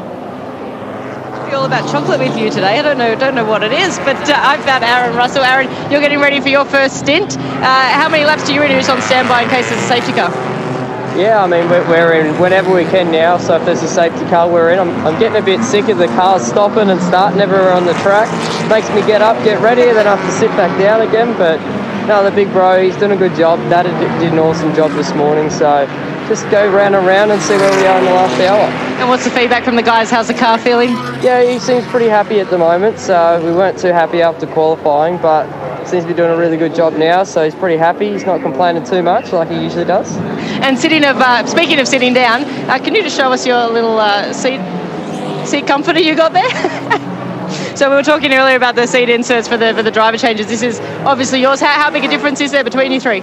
Uh, they're about 100 mil taller than me, but I'm really short in the torso and the legs, so yeah, it's a bit awkward, but you just deal with it. Um, I get sick of carrying it, so I thought I'd sit on it. Makes it heaps easier.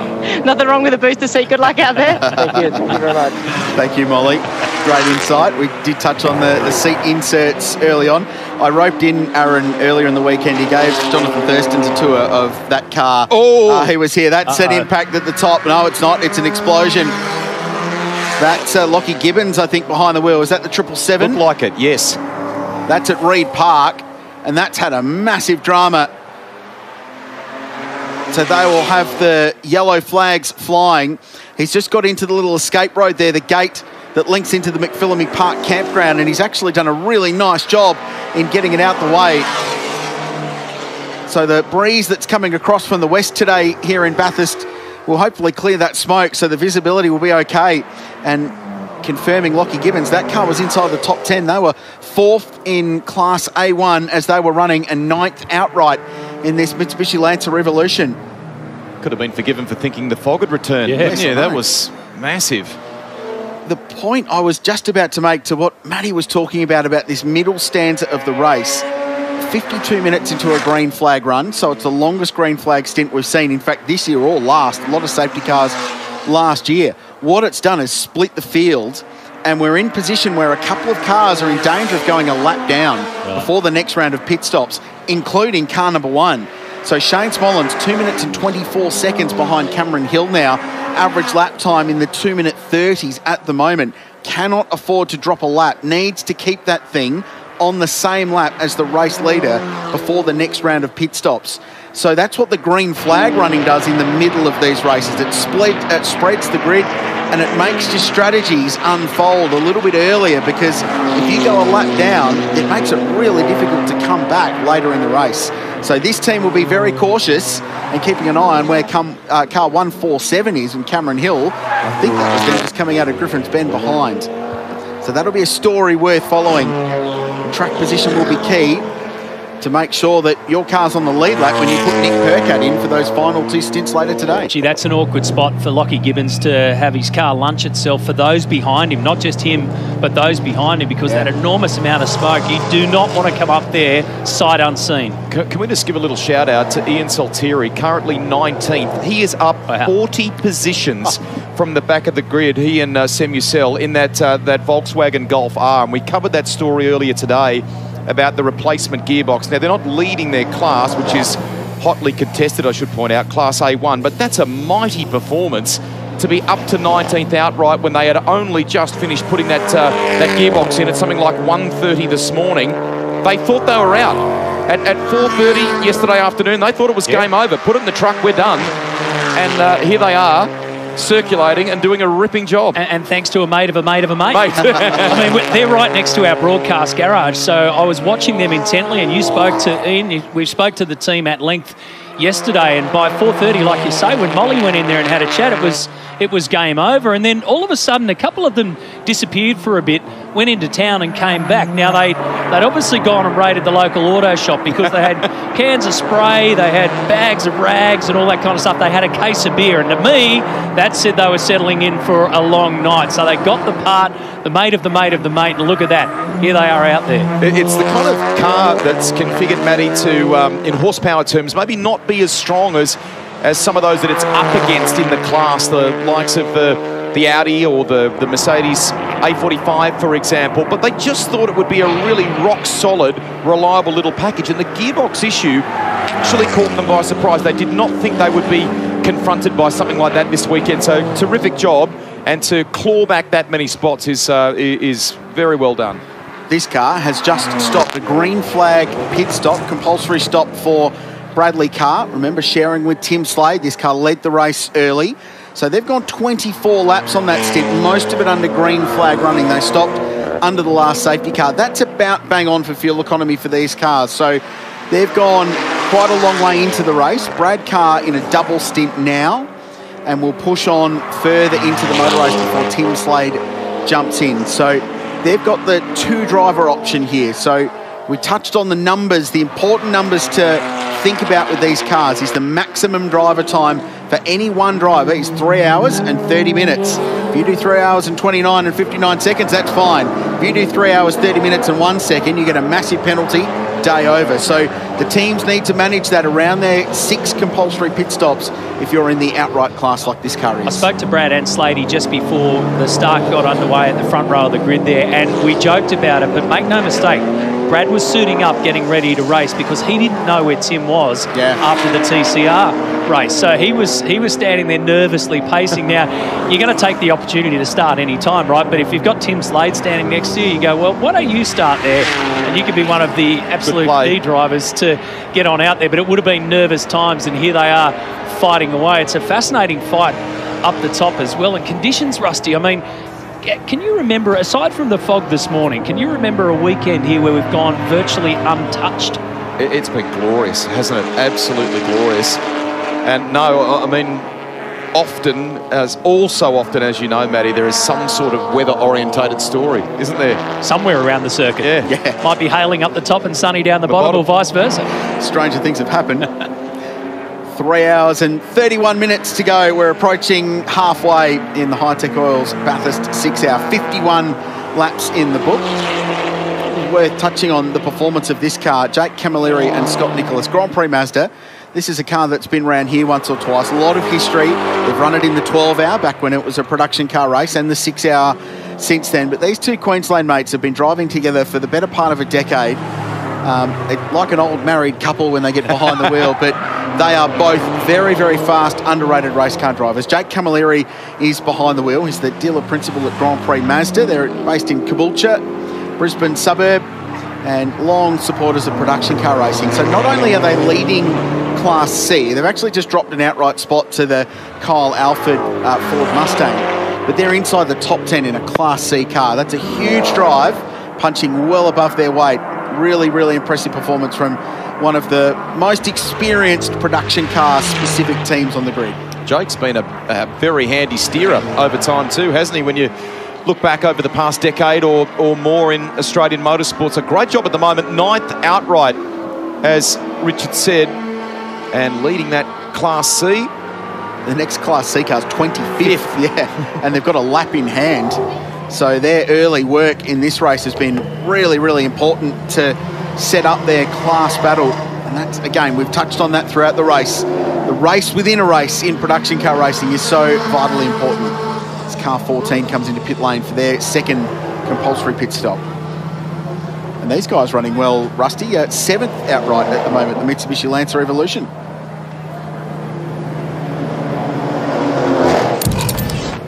Now, you wouldn't want to be a car controller, would you? Uh-oh. Ooh. Oh. Well, I've seen worse, but Oh, yeah. uncomfortable. That's a slab. Ooh. Oh, no, it didn't get him at all. No, There's no problem with that. Nah, prop Ah, for it. That's a, that's a 9 out of 10. You two are harsh. I've never been car controller for you two. Forget it. I'd never be a car controller, full stop. I love the little attention to detail. So as he lets car 14 go now, you may have noticed on the back of the the sign some some stickered bullet points, key things. Yeah, don't hit that he well, don't hit me. Probably wouldn't have been one of them. That's a given. But lots of little things about loosening belts and key things to check on. As we watch the Ian Saltiri, Samuel Golf R hit back out of the lane. It's interesting, isn't it? You know, even if you've got a, uh, that, that certified time that you have to spend in pit lane, Rusty, you, you know better than anyone. You could spend five minutes driving up pit lane or you've got yourself 50 seconds. It will always feel fast. Everything feels as though it's happening in super fast motion. So those little things of of you know let's hit the brake pedal, let's get the brakes working, let's adjust our um, just calms everything belts. down again, doesn't Well, it? Yeah. Everything feels rushed in there, even though they've got a lifetime, it seems, to get from one end of the pit lane to the other. And quite often we look up and we go, how did they make that mistake? How did they go out there without putting their safety net up or their belts on or whatever it is? It's because things feel so under pressure in pit lane, regardless of whether there's no cars around you, whether it's the back end of the race or not. That's what pit lane anywhere does. And that's why those good guys do those little reminders, and girls for that matter. We've got a very strong presence of, even in the, the driver's seat this weekend, lots of uh, female involvement in and participation in motorsport. How many times we hear it, Rusty? Pump the brakes, pump the brakes. Yes, exactly. Yeah. Even simple stuff like pull your belts tight and make sure your drink hose is connected. Radio is so important, having that two-way communication. We're watching Brad Carr. And this team remain on the lead lap of the race. 52 laps in the books for the Carmont Australia BMW M3. And Chris Stubbs has more on it. That's it. I have the co-driver Tim Slade. At this point in a six-hour, if you're wearing a tyre like this, it's quite often not a good thing. But it, in fact, is all part of the plan for Tim Slade, mate. Talk us through how things are going so far and why you're still dressed like this. Um, yeah, all good. Stubbsy, thanks. Um, yeah, I, I obviously started the race, and then I guess just the way our strategy is, I get a big long break, probably the biggest break I've had all weekend, um, and then jump in at the end and, and do um, yeah all the, all the laps home. So I think Brad's got probably another 40 minutes ahead of him, and then I'll get changed shortly and uh, and jump back in. But no, the cars, you know, it's ran faultlessly all weekend. Um, touchwood stays that way, but yeah, it was it was great in the first stint. Just sort of I guess, stroked it along. Um, it, it's a long race for a production car, and the main thing is to obviously be that at the end. So, um, yeah, we'll uh, see how it all pans out. This point, 12 months ago, you guys were right in the hunt. You had multiple issues with the front right. Have you done something different this year to try and make sure that that's not a problem?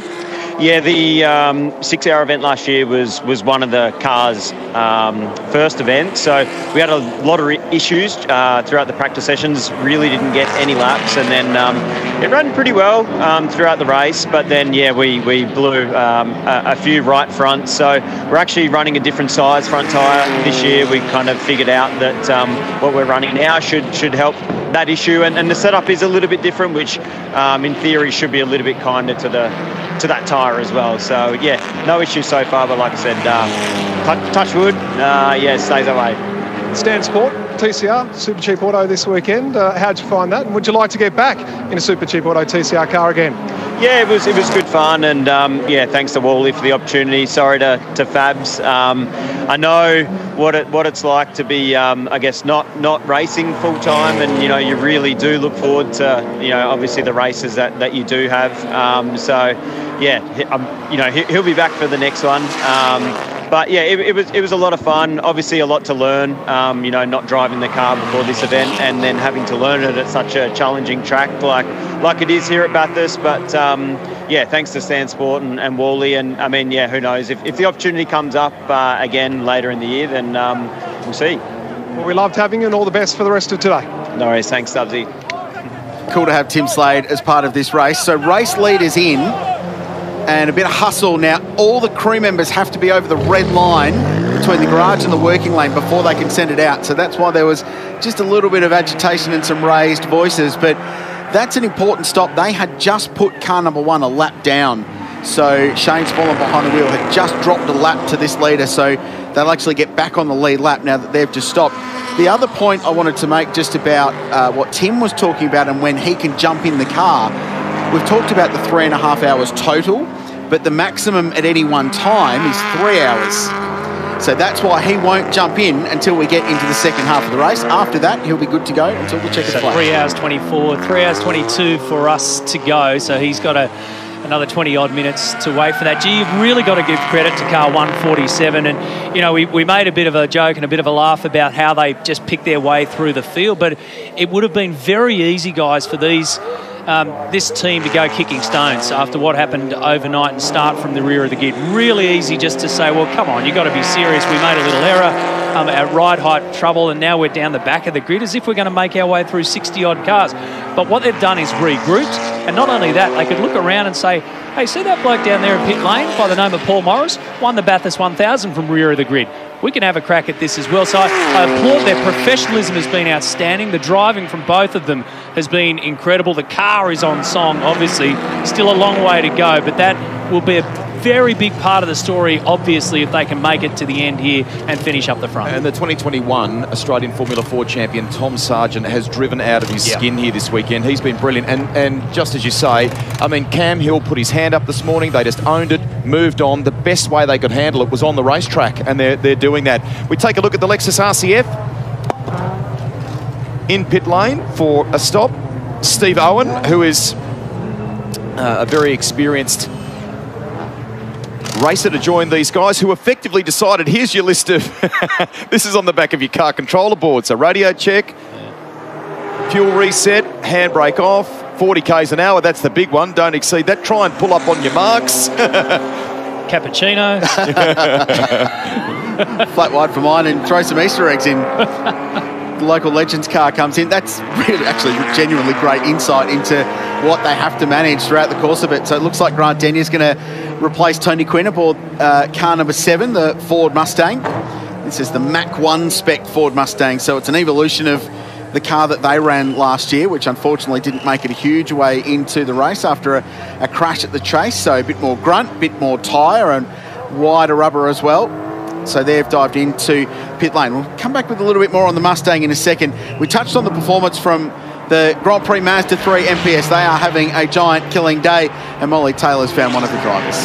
The Jake Camilleri, you just did a big stint in the Mazda, leading your class. I think you've moved up about 20 spots so far today, so so far so good.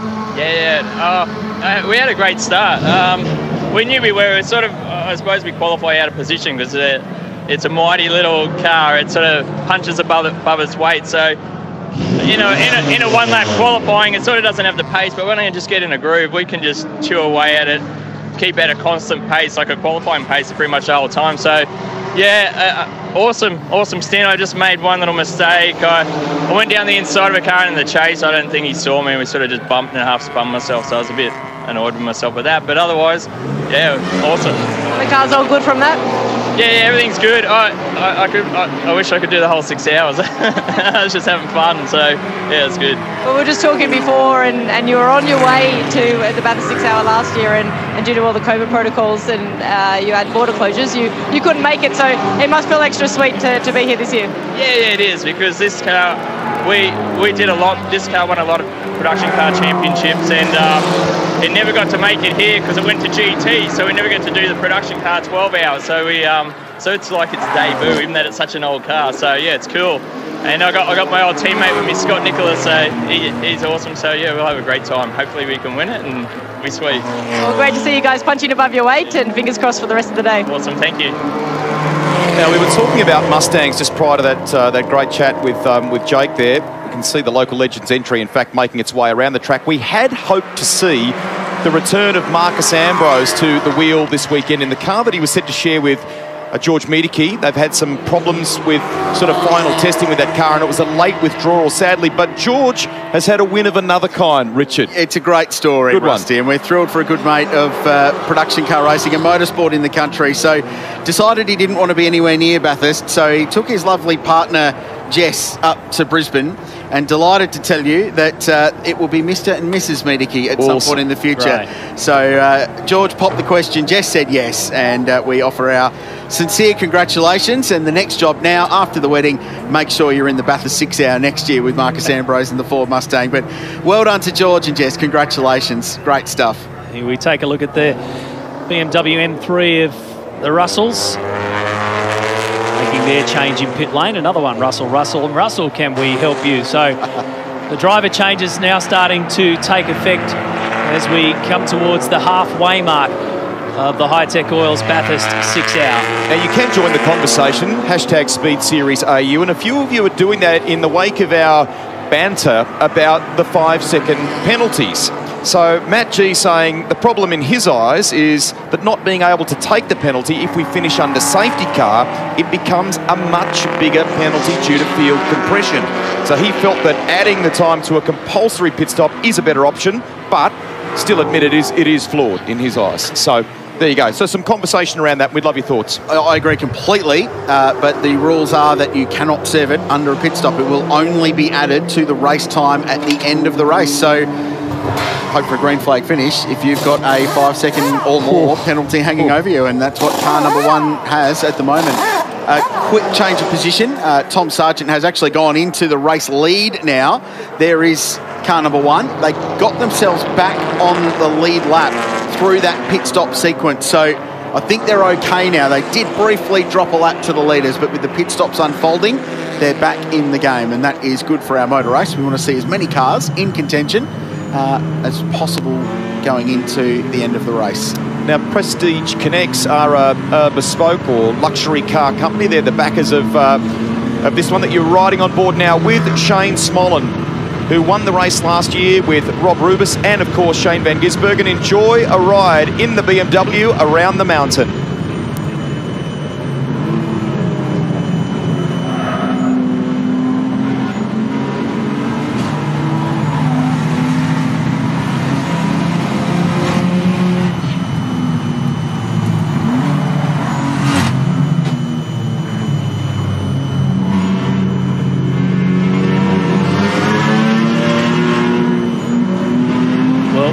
Trouble there on the left.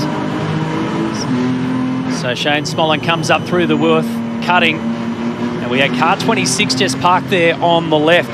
So the Chris O'Brien, Ben Wilkinson entry, the BMW, but I think they've got that going. So let's ride again up the top of the mountain. Great on the way as we head towards the very peak of Mount Panorama.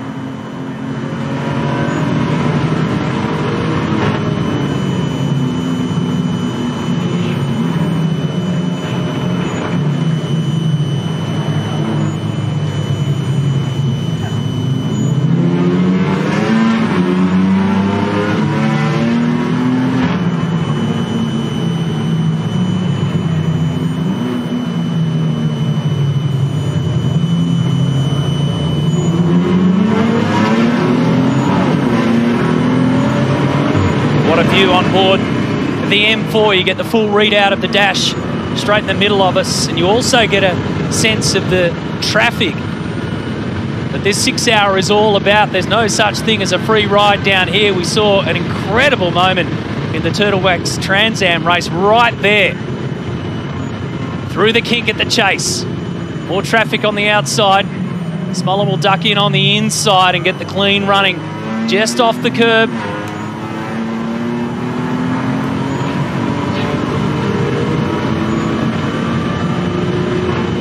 Down to Murray's we go. So car 147, Sargent leading the way. Oh. Got out of that one in the end. He's having a go, Matty. Fourth place at the moment. That lap a 237.9. Oh, it's hard work sometimes. The Bathurst six hour down at Osborne Motorsport. he's, just, he's just been caught out by his mates as well. If there's anything worse than getting caught out, having a nap, it's waking up in the middle of being caught out. Oh, it looks like he's earned a nap. You know, we're almost halfway into the race. Exactly. Molly Stubbsy, can we get some Easter egg chocolates down there? We need a, a caffeine hit, a coffee chocolate hit at least down there. This is uh, one of the many family combinations. Cole Alford, his dad Tony. Tony, for a long time behind the Donut King franchise around Australia, long time racer GT racing and production car racing, and pairing up with his boy Kyle in this Ford Mustang. So they were entrenched inside the top 10 as well, and one of the A2 contenders. In fact, they were second in Class A2 behind Grant Denyer and Tony Quinn, who are back up to six outright, by the way. They're going along very, very nicely. And that BMW we saw stop fortunately recovered. Another tick of the box to race control, who continued to let the race play out without triggering a nervous yellow. Uh, they were inside the top 10 as well. They've since dropped outside of that. Matt Forbes Wilson out of car 73. Mark Mallard getting ready to get in. No real rush down here. Take the drink bottle out with you. Take the booster seat. You're ready to rumble. 13th outright this car and going along very nicely, leading the way in Class B.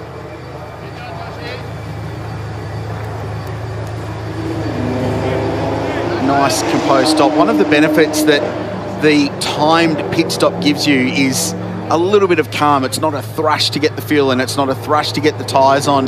You can have a bit of a breath. It, it, it's in there for a safety reason as well, for that particular reason. And some of these teams not as well resourced as professional racing outfits because a lot of them are just family outfits going motor racing. The Russells back in the lane. So this will be their fourth pit stop. Aaron Russell is currently behind the wheel. They're third on the road. I reckon there was only two or three laps that they put down before coming back in. So on your right of screen is Shane Smollen, who in the order is behind Aaron Russell. So Matty's rightly question mark the stop here for car 58. So we'll get onto that story for you. And you're riding with Shane as he comes up to turn one now, and that's the pass effectively, albeit with the BMW in the lane, and there's a drama here. There's a problem going on for the Russell family. This has been a tough day for BMW, hasn't it? Matty was spot on. Three laps in this stint for Aaron behind the wheel. We heard from Drew. Oh, and 151 at the kink. The run up to the cutting. That doesn't appear to be going anywhere. It's Adam Lowndes behind the wheel. This is the car he shares with Travis Lindorff. They'd been having a pretty solid day. And what has occurred? Has there been a, an accident or has the car just pulled to a halt, waved yellow flags? It's such a narrow, steep part of the road. Well, it's not lined up against the wall there. It's sort of come in at a little bit of an angle. Had a chat with both Travis and Adam this morning at the coffee shop as we cruised on in and they were looking forward to the day, the weather ahead and just a little bit of fun out there in car 151. So the, the Hyundai safety car will be um, released and it heads out to Mountain Straight. So we'll try and get to the bottom of that one. Was it some sort of failure? Was there something a little bit more sinister behind it? We'll have to wait and see. That'll be a sigh of relief for the Russells because they'll buy a little bit of time to resolve whatever problem it is they've got in car 58, but they've dropped out of the top three with that time in the lane. Now, it hasn't been that long since we've seen the leaders in pit lane. So Tom Sargent's only five laps into his stint, Brad Carr only eight laps. But I wonder if they'll take the opportunity to tick another compulsory pit stop box. Can only do one per safety car. What's going on on the top of that? Uh, That's open heart. Yeah. And that's the answer to the question. So Brad Carr into pit lane straight away. I'm not surprised at this. Uh, basically a free pit stop under yellow, so you get it out the way. You can tick the boxes, and uh, that will be their fourth compulsory pit stop of six So they've got to make. They can't put Tim in yet. Oh, they, they, I mean, they could. I don't think they will, but they could. Doesn't, doesn't look like it. No, because they could still put Tim in maybe for an hour, but it just it reduces your flexibility later in the race. You want Tim in for as long as you can in the, the final third of the motor race. And they've clearly elected just to put fuel in that car and they're going to put a right front tyre in and car number one comes in the lane as well. Now they're a different kettle of fish because they've got three drivers, so I wonder if they may put Nick Percat behind the wheel of car number one or keep him saved up for the end and maybe give Rob Rubis a little bit more driving time. I just had flashbacks when I saw that car parked up before right where our cameraman was of 2005 and a bloke named Ambrose who's here this weekend with Gary Rogers Motorsport and a bloke watching in Hawke's Bay, New Zealand in Greg Murphy. Very unforgettable day at the mountain. So they got that car moving again. So Gee, I don't remember that, Rusty. What happened? you don't there? remember that day? Anything happen of, of significance? Were you both on that day? It was pretty heated. It was uh, as in oh broadcasting. Yeah, absolutely, absolutely. I was. Yeah, that was a. Uh, that was an unforgettable day. That was highlight reel, that kind of stuff. So there is a driver, ch- there is a driver change going on in car number one. So Smollen out, Rubis back in. So Rob will tick off a bit more driver time now, and they'll keep Nick fresh for the end of the race. Take you through some highlights now of the Hi-Tec Oils Bathurst six hour, our most recent hour of competition, and a bit has unfolded here at the mountain. The story has been the unbelievable climb from the back of the grid to the race lead for Tom Sargent and Cameron Hill. Rubbed out from pole position for an infringement around ride height this morning, and they have come back to lead this race. Dramas for the Ellery family. Stephen, Tristan, and Dalton. This car has had some issues with leaking oil from a gearbox breather, then a drama with the rear bumper, then this for the 777. The Mitsubishi Lancer of Matthew Boylan and Lachlan Gibbons. We thought it was shades of the morning fog that greeted us here at the mountain and delayed everything by half an hour. A chance to take service and some pit stops because this car stopped, albeit for a moment, just before worth cutting. So this is the way things stand in the six hour. From the rear of the grid, that M2 competition of Cameron Hill and Tom Sargent finds itself at the top from Carr and Slade, who are also in very good shape. A couple of other stories. Grant Denyer and Tony Quinn are not only fifth outright, but leading Class A2. And well done to the team of Dylan O'Keeffe, Sheargold and Shannon, who are not only uh, leading their class, but in the top three outright. Superb performance.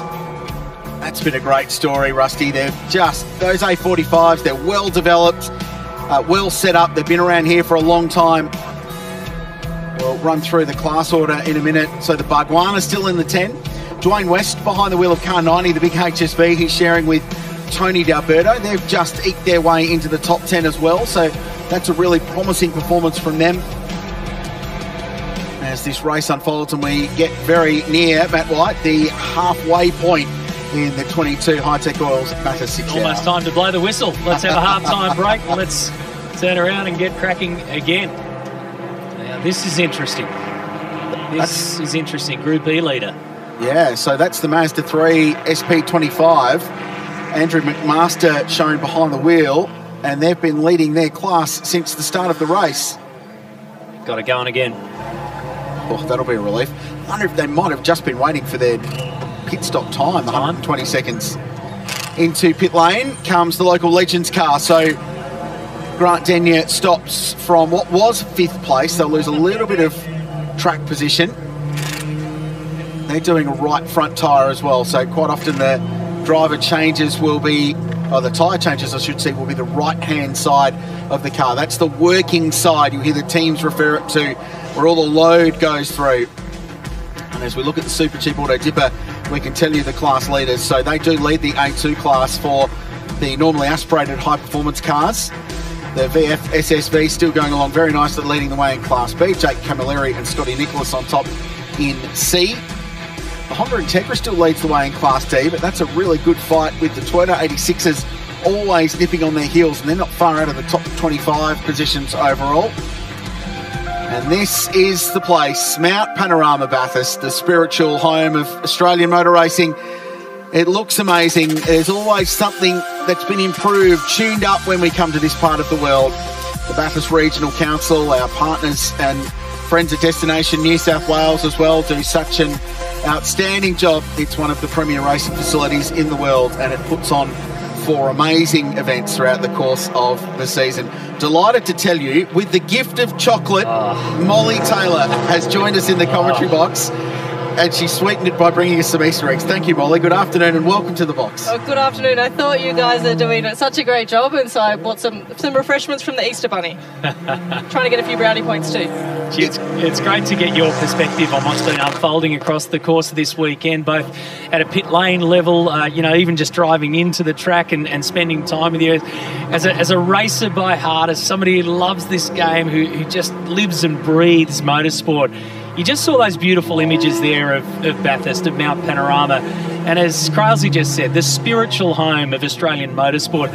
It doesn't matter what category you drive in, what car you drive in, this is the place that everybody wants to come and it just brings the next level feeling, doesn't it? Yeah, you can feel just right when you when you come in the gates, you can feel that buzz just across, not only from the competitors but the people here, the, the families and friends and support crews, and, and all the fans out there as well. It's incredible. And this is probably the only the only time they get to maybe sit back across the top and, and think about it all and, and have a look because otherwise it's uh, there's a little bit going on. But uh, I'm just excited to be here because I feel like I've been walking up and down pit lane and I want to see what, what's actually happening. It's been busy down there, hasn't it? Lots of stories unfolding. Loved your work. Um, some really good impromptu interviews. Liked hearing what Aaron Cameron was having for lunch. Didn't have much else oh, to I do. look great. Lights are out on the Hyundai safety car. And we'll go back to green flag racing. So you need to go back a little bit in the field to pick up the leader here, which is car eight. So uh, the BMW that is the first car in the train is not the race leader. Brad Carr being shown on top. Timing will tick over. So lots of pit stops ticked off during that uh, fourth and most recent safety car. Just the eight minutes under yellow in that instance, and we're back to green at Mount Panorama. Quite a big spread here with one car going very, very slowly. And of course, you cannot overlap, even if it's a lap car, before you get to the control line. So the, the Commodore, that's the Lindorff car, was going into pit lane. There's a massive delay. It must be nearly 20 seconds. The field all stacked up. And Gee, that's uh, been brutal for including this car, which is the race leader. Absolutely bizarre, wasn't it? I mean, that's a huge gap there, and I just wonder if the car that was pulling into pit lane was the cause of most of that because the leaders, the first group, or those on track leading at the moment, well, they're halfway up the top of the mountain by now. Fortunately, it didn't include the actual race leader. They're cars that are trying to get a lap back, so it's actually given them a bit of a free kick in a way as work goes on on this Commodore.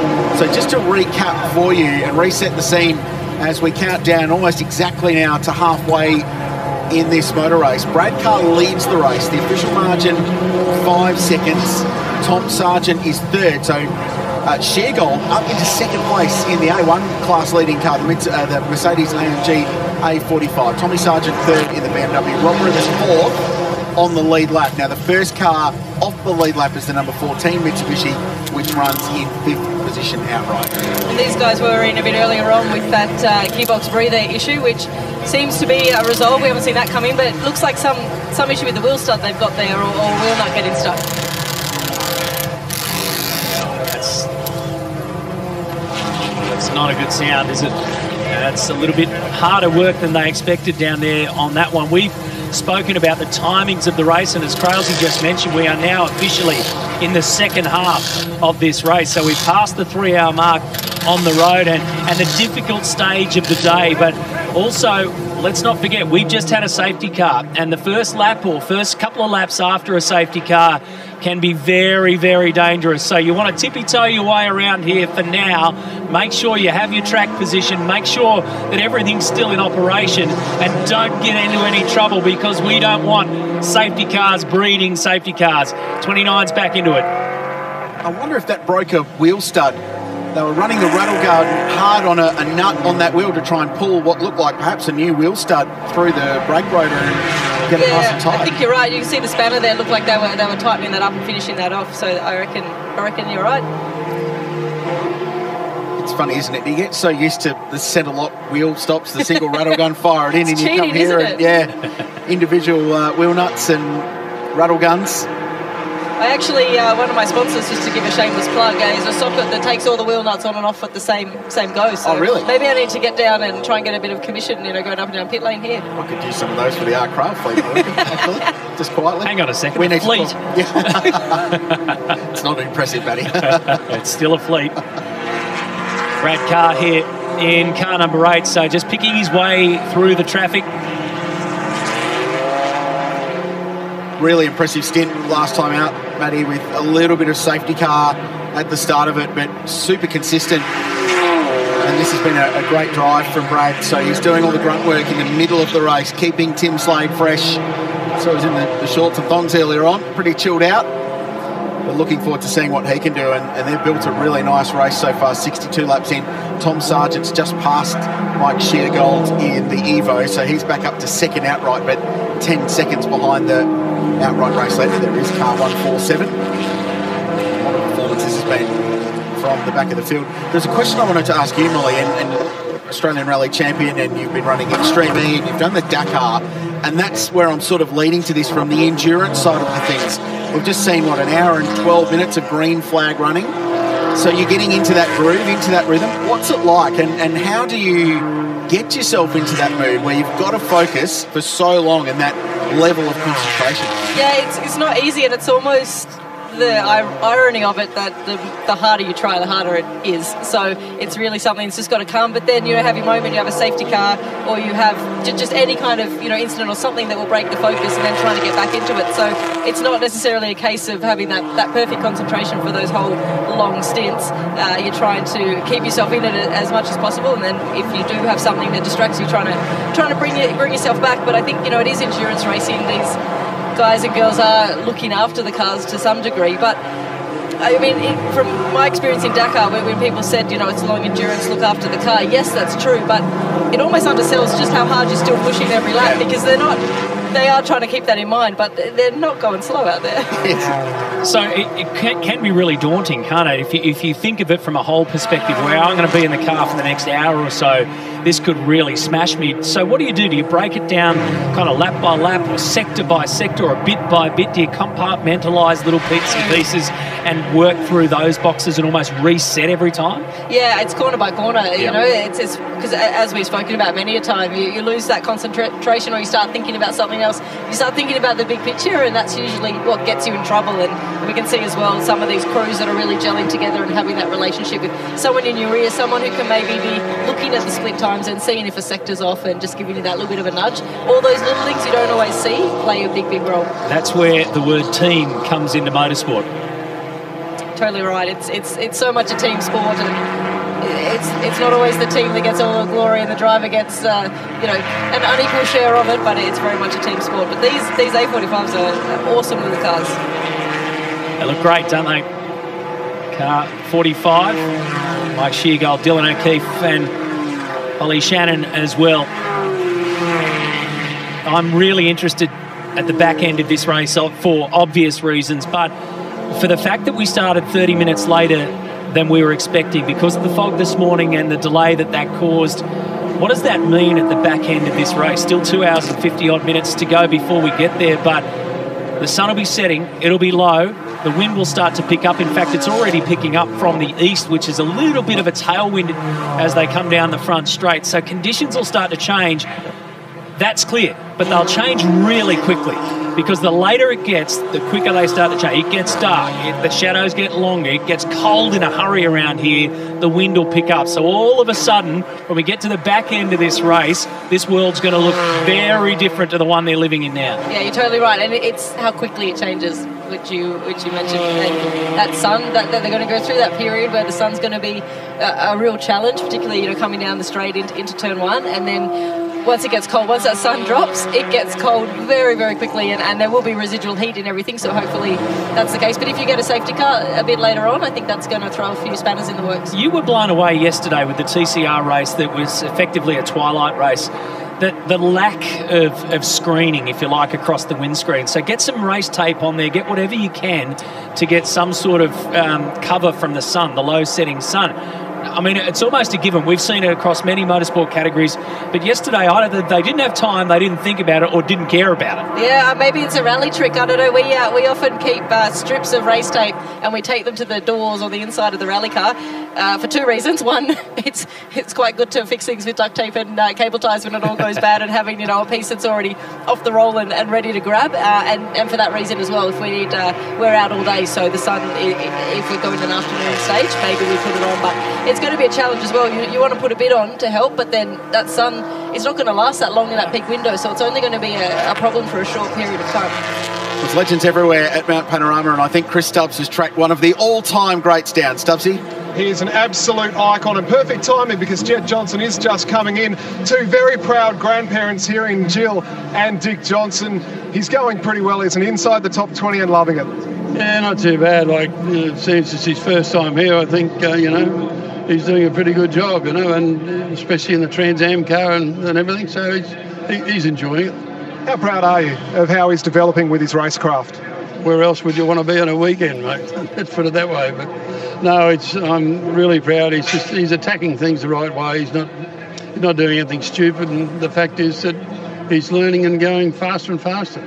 Dick, there's a man by the name of Peter McLeod here a Bathurst winner like yourself, he's back in the car this weekend racing with his grandsons. What would it take to get you back in a car? that ain't going to happen, I can tell you. There's no way. What, what if we put out some sort of like campaign on social media on our coverage here today? We did it for when you hit the rock and got you some coin. Maybe we can do something for you. Well, maybe if it's in one of the new Raptors, mate, they got a fair bit of grunt. And in terms of the Supercars Championship at the moment, Anton De Pasquale with your team in second place, he's trucking on quite all right, hey? Yeah, he's doing a really good job, and so is Will. I think you know the whole team's performing very well, and and obviously we've got to find a little bit more speed, and we'll be right up there. We might uh, head on over and see if we can just grab Jet as well. Great to catch up with you, Dick, and uh, enjoy the rest of the race. Don't work too hard. Oh, don't won't. I won't. Best seat in the house, right in front of the monitors. I'll duck on over and see if we can grab Jet. Sorry to butt into the conversation there. How was that? You're at Mount Panorama in a race car. You've been here in the Turtle Wax Trans Am. How is it in the six hour though? Oh, it's unreal. You know, I think it's the best thing about it is you can get in, get into a groove and sit there and work on everything lap after lap for an hour and a half, two hours. So, you know, I love it. I've never really done anything like this for this length of time, and it's unreal. I'm loving it. Who gives the better advice, Dad or Granddad? Oh, that's a good question. I'm gonna, I'm gonna have to say it's gonna be Dad on this one, to be honest. But uh, We're trying to start a campaign to get Dick back into the car because Pete McLeod is back racing at his age, so we reckon Dick can do it too. Can you get the family back together? oh mate, I'm 100% keen for that. Mate, I'll- I'm doing anything I can to get him back in a car here. Mate, we would love to see you going very well and enjoy the rest of the weekend. Yeah, thanks. Have a good one. Cheers, Jet. Uh, well done, Stubbsy. Fine, fine work from you. That is such a great story. I would be the first signatory on a Johnson Johnson and Johnson Bathurst six-hour campaign next year. Gee, I'll there's a the lot to there's a lot to unpack from that little uh, set of interviews there, isn't there? So, a um, Dick has no intention whatsoever of driving again. B, can you imagine if social media was around and, and crowdfunding and all that stuff when he hit the rock? I mean, they, they, the whole of Australia jumped on board for that. Can you imagine if we threw it out to social media? And C, does Jet know that these interviews are also going out on the big screen? And Granddad just heard that as well, where you're backing your dad over over DJ. Uh, wow, what a what a great little trip down memory lane on so many ways there. It's a tough, tough question to answer. You're not going to win with, with whatever you answer in that one, are you? Oh, that's great. That's good. Stevie J will be very proud of the answer, though. I think his dad is, uh, continues to race, of course, in the Touring Car Masters Series. You catch all that action on Stan Sports. In fact, they're back at Sydney Motorsport Park, which will be the next round of the Speed Series with the Shannon's Motorsport Australia Nationals, end of May.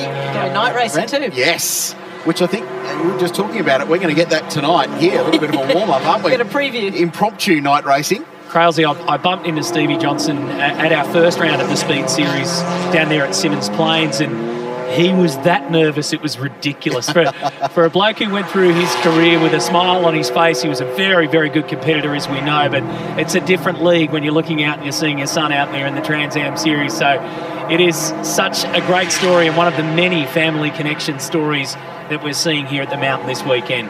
We just saw Brad Carr give a little wave as he was passing, I think, one of those Suzuki Swifts. So uh, it- it's good. I mean, it- it's one of the, the tricks of this race is negotiating traffic. So it's, it's nice to see it all be done very civilised and uh, friendly there.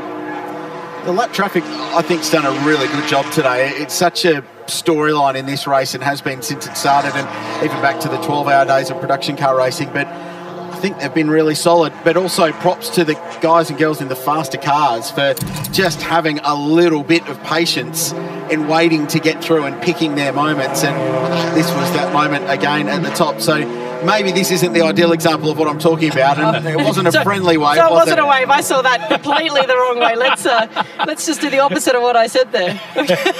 I genuinely believe what I was saying, Molly, but uh, yeah, that, I'm not selling So that. you're so nice, Molly, aren't you? Molly said, "Oh, look, he just gave a lovely wave on the way past. He You gave can tell the, he gave the to being in bird." I was trying to back up what you were saying Well, that's all Matty. no, red card, not happy. Thanks, thanks for having me back, Crailsy. I try. I try.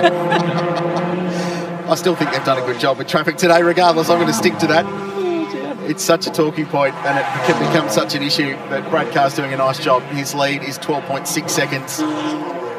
And he's taking advantage every time he can of the real estate that he's getting. Now, it's not easy, but there are these big gaps along the way that are opening up where he has a bit of a good run and then he comes up to traffic. So he's, he's taking advantage of that good run. The car looks really settled and uh, they are putting down good time. So that car is in good hands with Brad Carr. Rusty. Thought we'd catch up with the guys that are leading this race and have done a superb job since the start of it. Cam Hill, you were just in the, the analysis of the last pit stop. You're a little bit worried about how it shook out.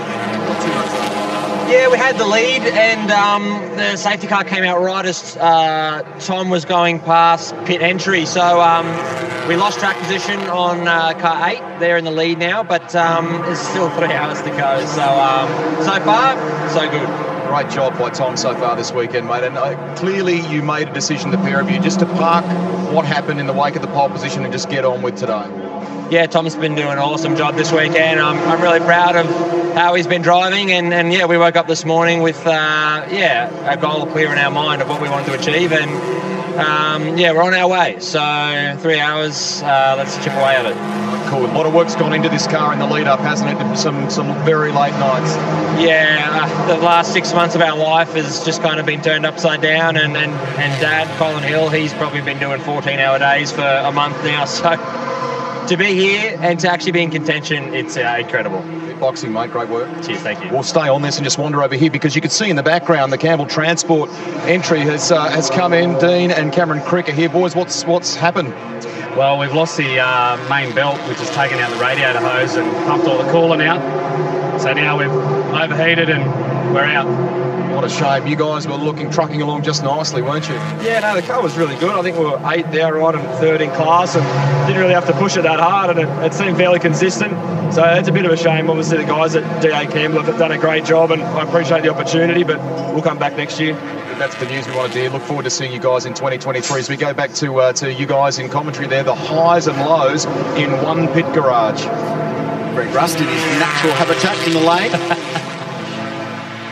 Yeah, that's a, a, shame. That, that was a really good story, that Mitsubishi team with the fire on Friday in practice. It was a fuel breather hose came loose and dropped some raw fuel on the hot exhaust and they had a backfire and it went boom. Uh, fortunately for them, it happened in pit lane so they could get onto it.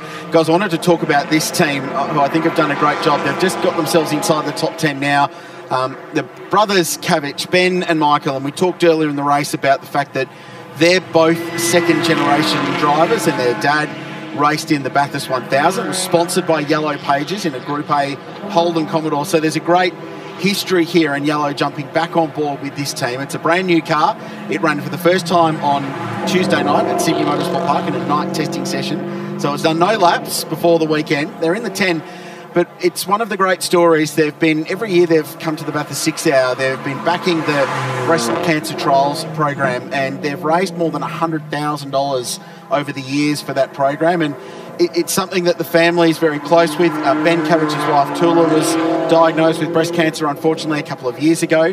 They're hoping to raise thirty thousand dollars this year and they use this race for good to raise awareness and funds for a, a, very important cause. So it's worth singling out, but also the fact that they've got themselves in the 10 and they're going long. Actually, they've just through a couple of pit stops jumped up to sixth position. So um, positive story off the track, but a really good one so far on it as well. Car yeah. looks awesome too. Yeah, the car looks great. I mean we were wandering down pit lane uh, yesterday or the day before. Bang! It just popped out. We had, actually had to go and dive in there just to get out of the sun. I think I got more sunburn off the car.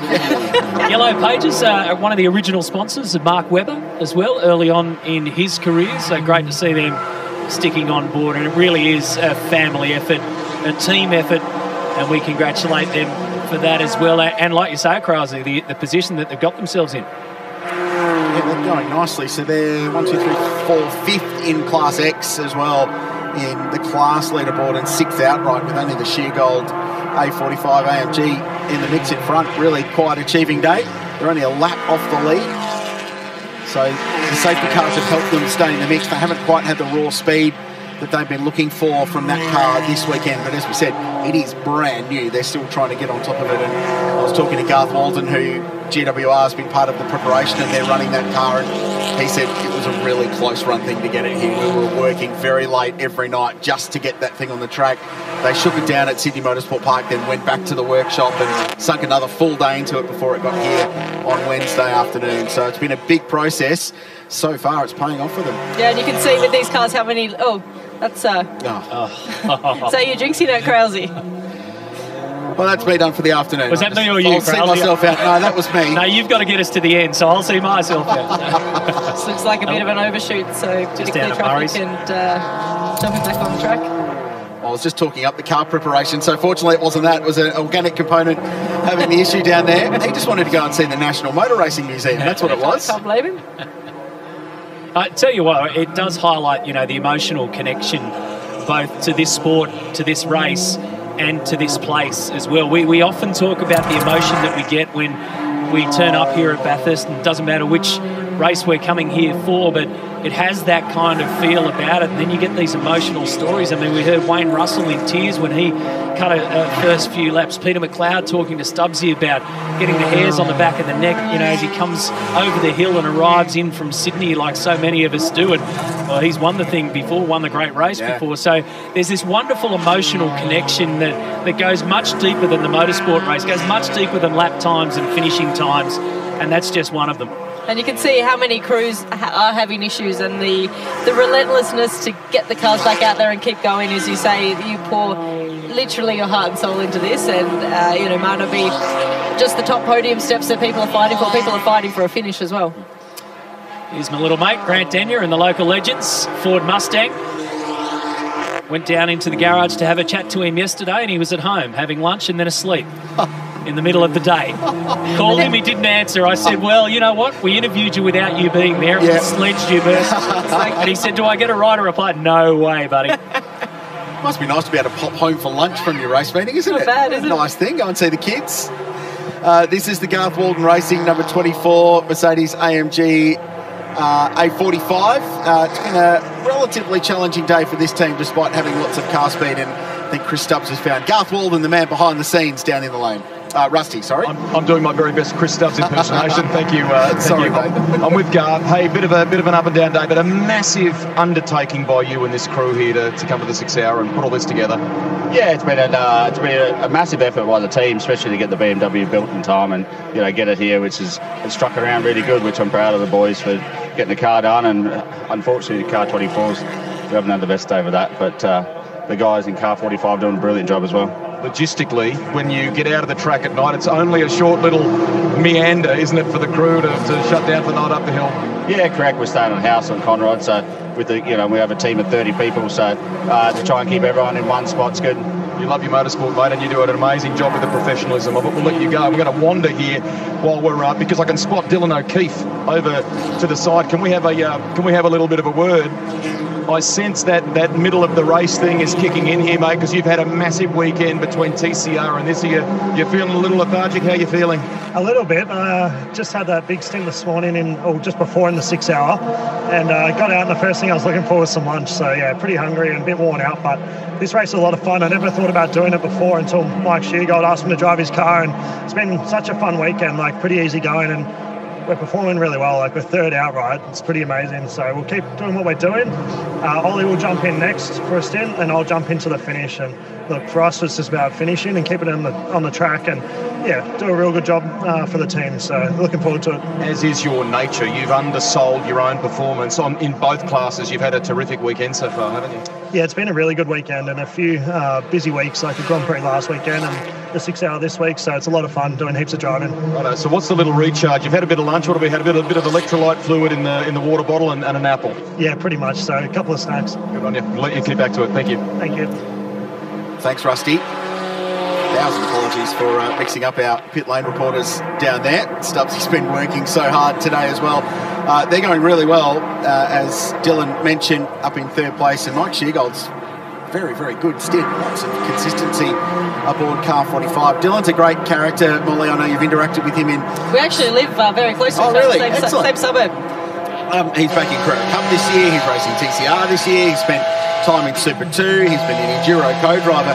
For a young bloke, vastly experienced guy. Yeah, and, and such a lovely guy, as you say, a, a quiet achiever. Um, and we've just yeah seen him pace in, in whatever he, he jumps in. He, he's right up there. And we also saw uh, a, a couple of shots of the number four BMW that's been having all those electrical dramas. And just before I, I came up, I had, another chat to Neil Trump, who's been giving me the uh, the stage by stage updates. Um, and they were trying to diagnose in a bit of trial and error to see if they could source. They thought it was one thing, tried that, it wasn't, but uh, they have actually got on top of that. They know what the issue was. Um, it was a dodgy uh, battery isolator, Oh, so really? they've basically uh, bypassed that for the fuel pumps.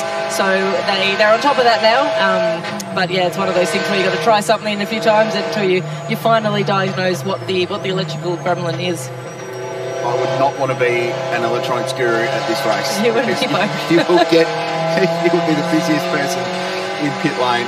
It's the simplest little things as well. Little battery isolator switch, and they use that to protect the fuel system. Obviously, you hit the isolator switch, and all the electronics in the car goes dead. But if you do that unintentionally, all the fuel system in the car goes dead, and you're out of the race. So Yeah, we saw it with the RX-8 as well. Uh, Rick Shaw having having an issue with, with that too. So it's um, yeah something that, that, that can happen. And I guess with these cars being production cars, they have the standard wiring looms, which have a whole lot of things that in a race car you don't need. And there's a few things that they tap into in terms of putting in the, the fuel tanks for the race systems and a few bits and pieces. So you try not to mess around with it too much, but there is that inevitable kind of crossover and a few issues that can arise from that perspective. we heard before with you with Madeline Stewart, unfortunately out of the race with uh, the HSV Astra, and they had a clutch master cylinder fail, and part of the reason that died was the traction control in the car, which uses the brakes to slow it down and, and stop wheel spin um, and, and drag the car back straight, I suppose, if, it, if it's going loose.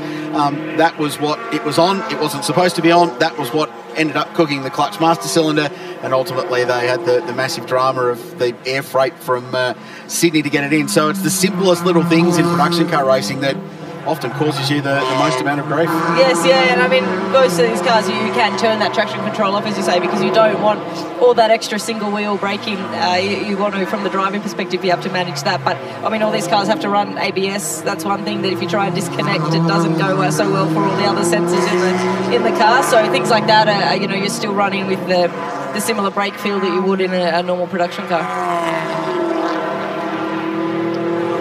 71 laps into the Hi-Tec Oils Bathurst 6 hour, 2 hours and 37 on the clock. Well into the second half now. Brad Carr continues to lead the way. You've missed nothing out in front. 14.2 seconds is the leading margin. We're following uh, our Class E competitors in the battle in the Mazda 3 SP25. Dave Worrell behind the wheel here. Andrew McMaster, his co-driver, sporting a fairly good mullet. Oh, outstanding, outstanding bit of hair work. Works on the works on the tools as part of his beer company throughout the week. And just loves this style of racing. So many. Sorry, did you say beer company? What's your research, mate? That's, that's living the dream. That man is living the dream. Well, everybody out here is living the dream right now. So there we go. Car number two. That's the Mazda 3 SP 25 there. Installation. So just taking a look up the front and the battle between Carr and Sargent. So in terms of the top of the tree, if you like, the gap's been hovering around 12.8, 13 seconds. At some stages, Brad Carr's managed to push that out almost towards a 14 second lead, and then Tom Sargent has pulled that back. Now, you've got to then assume that essentially their pace is the same. It's more likely that traffic is making the difference over those lap times.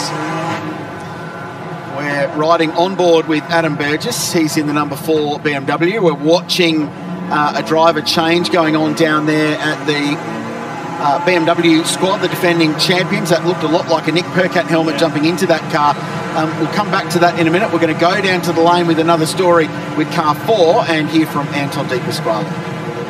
Yeah, thank you. And I noticed that time you didn't say if it was Chris Stubbs or Greg Rust. Richard Crowe, you can call me Greg Rust anytime. That is a badge I'll wear with pride. You're also talking about drivers with good hair. Wow. Anton De Pasquale is right here. Mate, talk us through the race so far. Obviously, it's been very, very challenging, multiple issues. Yeah, uh, started off well. Still was doing a good job, and then a few different electrical dramas. So uh, it took us a while to get through that, and then now we're all running running all right. But we're a fair few laps down, so we're just circulating, doing our thing, getting some mileage, and uh, working all out. Enjoying it though? Oh, just about to jump in the car, so I'll, I'll let you know. But yeah, every good out there. I mean, it, it's still an awesome experience to be here and uh, be part of the six hour. So uh, yeah, I'll definitely be back. Talking to your team boss before, being Dick Johnson, and we're trying to get him back in a car because Peter McLeod's here and he's as old as Dick, and he's back in a car. So what do you reckon? Dick's still got it, doesn't he? Yeah, I reckon he'll show a lot of us how how to do it. I've been in the road car with him. He's, he's got plenty of skills left. Don't worry, he's got plenty left to give. Good stuff, mate. Get in there and enjoy it. Yeah, cheers. And from that point, I'll just come over here. We're in the uh, Champ Suzuki Racing team, so they've got three cars entered. This is their schedule, right? Have a look at it. This is the layout for the weekend. They are busy, busy. I'll cover up Diana Hopp's uh, mobile phone number at the bottom. But have a look at the daily schedule on the left-hand side here as we work our way through each day. A big asterisk at the bottom, right next to the word podium. So they're all set and ready to go and get themselves on the podium. And the boys on the other side of the garage, they're all now having a bit of a laugh and a smile. But have a look at the whiteboard on the other side over here. It's all secret squirrels at the top end of town. Down here, the strategy is all there for everyone to see. They've broken it all up into the sections. So thumbs up. It's on display. We know what they're up to. We wish them all the very best of luck. They're having a great time. That's cool, isn't it? Thanks, Stubbsy. Nice work. It was a generic throw to you on purpose as well. Never be too short. Fine work. I love the, the Class E stories, love the pit stop strategy. Just take a screenshot of that and, and flick it up my way, would you? I'd, I'd like to unpick when we're going to see the uh, see the Suzuki's back in pit lane. Adam just having a bit of a go in Cunner before, Matt. Yeah, that thing was screaming for Blue Mercy there as he was starting the descent down the hill. Great on board shot as they come out of Ford Ranger elbow. One of the rare times around this circuit, you get around the lap traffic that you can actually take a bit of a breather if you like, stretch your hands, stretch your legs. I mean, your legs are stretched anyway. There you go. Adam Almost a wheel on the grass there coming around uh, Forrest Elbow. Adam just takes the left hand off the wheel and resets. So it's it's a short break and now flat stick through the kink here at the chase before you get up towards the left-hander. Sun will be staring straight at him in about an hour's time as we get towards the back end of this race and completes the lap. You can also see all, everything that's been thrown up on that windscreen too. So that's when you're talking about the sun coming down. That's going to uh, yeah, only make that more more tricky. under the bridge, and away you go again. We were talking before about the up-down nature of this track and the fact that rarely is the car on a horizontal plane. Now, you'd think that'd be the case along the front straight, but no, the, the front straight's on quite an incline as well. We've seen, especially we've seen a few cars uh, like uh, Grant Denyer and Tony Quinn's Mustang getting pushed up there this morning. It was a it was a bit of a workout with a big uh, heavy car like that, especially. Well, the most famous instance, uh, what, Bathurst 1973, Brock West, Des pushing the Torana up the hill and Brocky hauling him out the way to jump in. Gee, they hustle these cars too, and it's odd coming to a race at Bathurst and hearing tyre squeal as well on the R-Spec tyre. Let's just recap you on where the class leaders are as we work lap 73, 2 hours and 31 to go. So we know the outright leaders, we've talked a lot about A1 as well. Quinn and Denyer continue to lead the way in Class A2. The Commodore continues to be on top in Class B, and they're running 15th outright, which is very nice. Jake Camilleri and Scotty Nicholas still on top in Class C. That's an awesome performance from the Mazda. The Subaru BRZ leads the way in Class D, so going along very nicely. Our Subaru fans amongst us enjoy that, and Dave Worrell continues to be on top in the Mazda 3. So that's how the classes stand. Let's get back down to the lane with Rusty. Krause, I wanted to close off that story. Unfortunately, we saw that massive smoke screen for the 777 at the top of the mountain. Lockie Gibbons, what happened?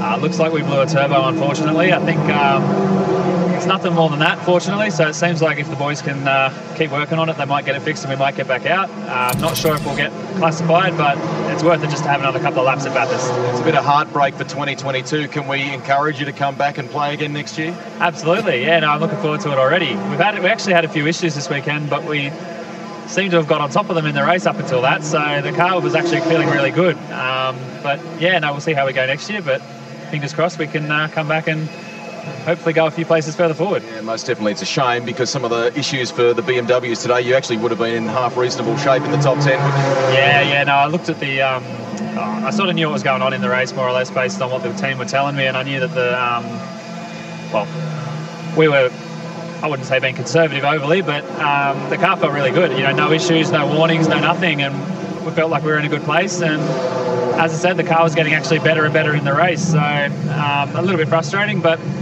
at the end of the day, that's Bathurst. You know, that's the six hour, and these things happen. And as you said, come back next year and hopefully go one better. Hope you get to do a couple of cool laps to finish a Sunday afternoon. Thank you. No worries. So here we go on board with Nick Percat, car number one. So Rob Rubis, Shane Smollen have done their job. The M4 BMW. This man won the great race, the Bathurst 1000, his first ever attempt. Been on the podium since then as well. He's had an amazing record around this circuit in all types of race cars. He's got his hands full up here through the cutting not just with the machinery that he's got, which is running beautifully, but the traffic around him. So Nick will be looking to get out of this little traffic jam and have a real crack at the mountain. Currently, they're in fifth position. I've got to correct myself, mate. It was Doug Chivers who pushed the Torana, not Des West. Bathurst historians will be shocked that I said that. I'm not particularly pleased with myself either. Oh, wow. Side up the inside there at McPhillamy Park. Oh, this will be a great ride. Now he's now he's free and he can get cracking. He thanked the traffic behind him as he went on his way. A little bit of drama up here at the top of the mountain, so this could be damage before we get to this stage. You rarely see a car limping its way through without doing some sort of damage, and there's all sorts of muck underneath this one. They hit the wall on the way in there. Car 90. Yeah, weather related to, to that to that um, pass by uh, by Nick Percat there. Didn't quite quite see, but I mean they they've been doing really well in, in that car, really up in that Class X against uh, against the M's, but uh, it's not looking so good now. It's got some drama. So Tony D'Alberto, Dwayne West in this one. Now this will explain it. Oh, okay. So she's gone wide. I don't know if he's collected anything there, Krause, except for a whole heap of junk underneath. yeah, got away with that one. Just have a look at. Oh, it's dropping debris. Is that fluid out the back of that car? Looks like. A lot of stones. It's a lot of the McPhillamy Park gravel track being deposited right on the racing line at the dipper, by the way, which everyone else will love. I noticed that Brad Carr's dived into pit lane. I wonder if he was half expecting a safety car. There is car number eight. So Tim Slade jumping in. You can pick the Cool Drive Racing suit straight away. That pops Tom Sargent back to the race lead. So this is their fifth compulsory pit stop of six. So they're just barreling all their stops out the way as early as they can in the race so they can have a little bit of freedom with what they do with their final pit stop. Just making sure they got the full tank in. 100 litre fuel tanks in these cars. And are they going to throw tyres at it or are they confident that they've got the rubber to go? They did do right hand side tyres early on. I think it's just a bit of a buff now. Manny, make sure the window is clean and send it on its way. Spit and polish and off you go. Isn't that a crazy graphic? That we see. So, two hours and 24 minutes to go in the Hi-Tec Oils Bathurst six hour. Hope you're enjoying it right here on Stan Sport. Round three of the Speed Series. Still four more rounds to come, including another trip back here later on in the year for the Bathurst International. But look at that at the top of the list. Sargent up 62 places since the start. That's not an error. 62 spots he's made up in this race. So, him and his co driver. The stats man, Krause. Is, is that some kind of record or what's the best that we've seen? Uh, yeah, for this race it is. Yeah, definitely. They've got to, for it to be a record, they need to finish that many positions up. I was chatting to uh, Beric Lynton earlier on because they had the dramas early on, dropped down to 50 something. I think now they're 40, 40 something. So we, we were we were mentioning that to, to um, you know it is possible to move up. Oh, yeah. I don't know if it's going to be uh, realistic to end up where they where they want to be, but uh, still not, all is not lost. There's still two hours and 23 minutes left. Yeah, you've got to complete the job to make it a record, but gee, they, they're in a good position to do it. Uh, let's go down to Rusty. At the Car Motorsport Garage, Krause, are you, are you feeling okay, Brad, after that stint? Yeah, it's taken it out of me a little bit. It was a pretty big stint. I think it was two hours and 40 or 50 or something like that. So got a few safety cars, which gave me a bit of a breather and a, and a drink. But um, it's just busy out there. Yeah, a lot of cars and just got to keep your eye on the ball, I think. Just across the top of the mountain, especially. Before the commentators came to us, you gave your left knee a little bit of a rub. Is that, that giving you some grief? Yeah, I think I've just been probably holding on a bit too, or pushing a bit hard on the um, on the the rest. I think going across the top there in a few moments, but um, nah, feeling pretty good. Can you shed a little bit of light on the play from here between you two guys to the end of the race? How you'll tackle it? Um, I'm not sure. I've basically jumped in and just done my stint, so I don't know where we are, if we're doing good, if we're doing bad, um, or what the strategy is from here. But I'll catch up with the guys and, and see where we're at and, and have a cold drink. Looks like it's trucking along pretty well for you. Just just quickly, I mean, uh, you, Tim, Carr, the whole combo has generally gone well today, hasn't it? Yeah, well, I mean, we put a lot of prep in. Last year we arrived here with a car that was sort of half built on the way here, and um, and this year we rocked up with a car that's had a full year of development, and um, and we've got an awesome team here. These guys have been with us for four years at Bathurst now, and honestly, the pit stops are super super slick, um, and that's what makes a difference. These guys, their prep um, on the car is just unbelievable. So they've ticked all the boxes, and the reliability's out there, the speed's out there. Uh, Tim in the car anyway. Um, so yeah, really happy. Done a good job too. Get some fluids on board. Enjoy the coverage. Thank you. Thank you, Rusty. That was a great stint from Brad Carr, who is experienced in production car racing terms, but doesn't come with the background and the CV of, well, Tim Slade, for example, or even a, a Tom Sargent who's played his way up through the junior category. So he got to be chuffed after nailing the middle stanza of the race like that with the consistency. But it was a mistake-free run, wasn't it? Picture perfect stuff, and he's given Tim Slade a really good car to bring home now. Yeah, I mean, you need to have the pace, clearly, but uh, to, as you say, stay out of trouble, not make mistakes, and, and pick. Uh, you know, that sometimes it's it's holding back a little bit in some places, and just being able to, to be comfortable enough to be able to consistently make those lap times and, and stay out of trouble, and it's all serving them well so far. 49 lap stint. That, that, so that's uh, a really, really big effort. Triple stint for Brad Carr. And he's got Tim Slade right in the equation. So still a, a stop ahead of the Tom Sargent car who we're following now. Third is still the Sheargold Ram with GWR A45. So they've completed two of their four compulsory pit stops. Remember, the A1 and A2 cars have only got to tick the box four times in pit lane compared to the six for the Class X cars. So they've got a little bit more freedom with how they deal with their pit lane situation. Aaron Russell, four stops in, their fourth.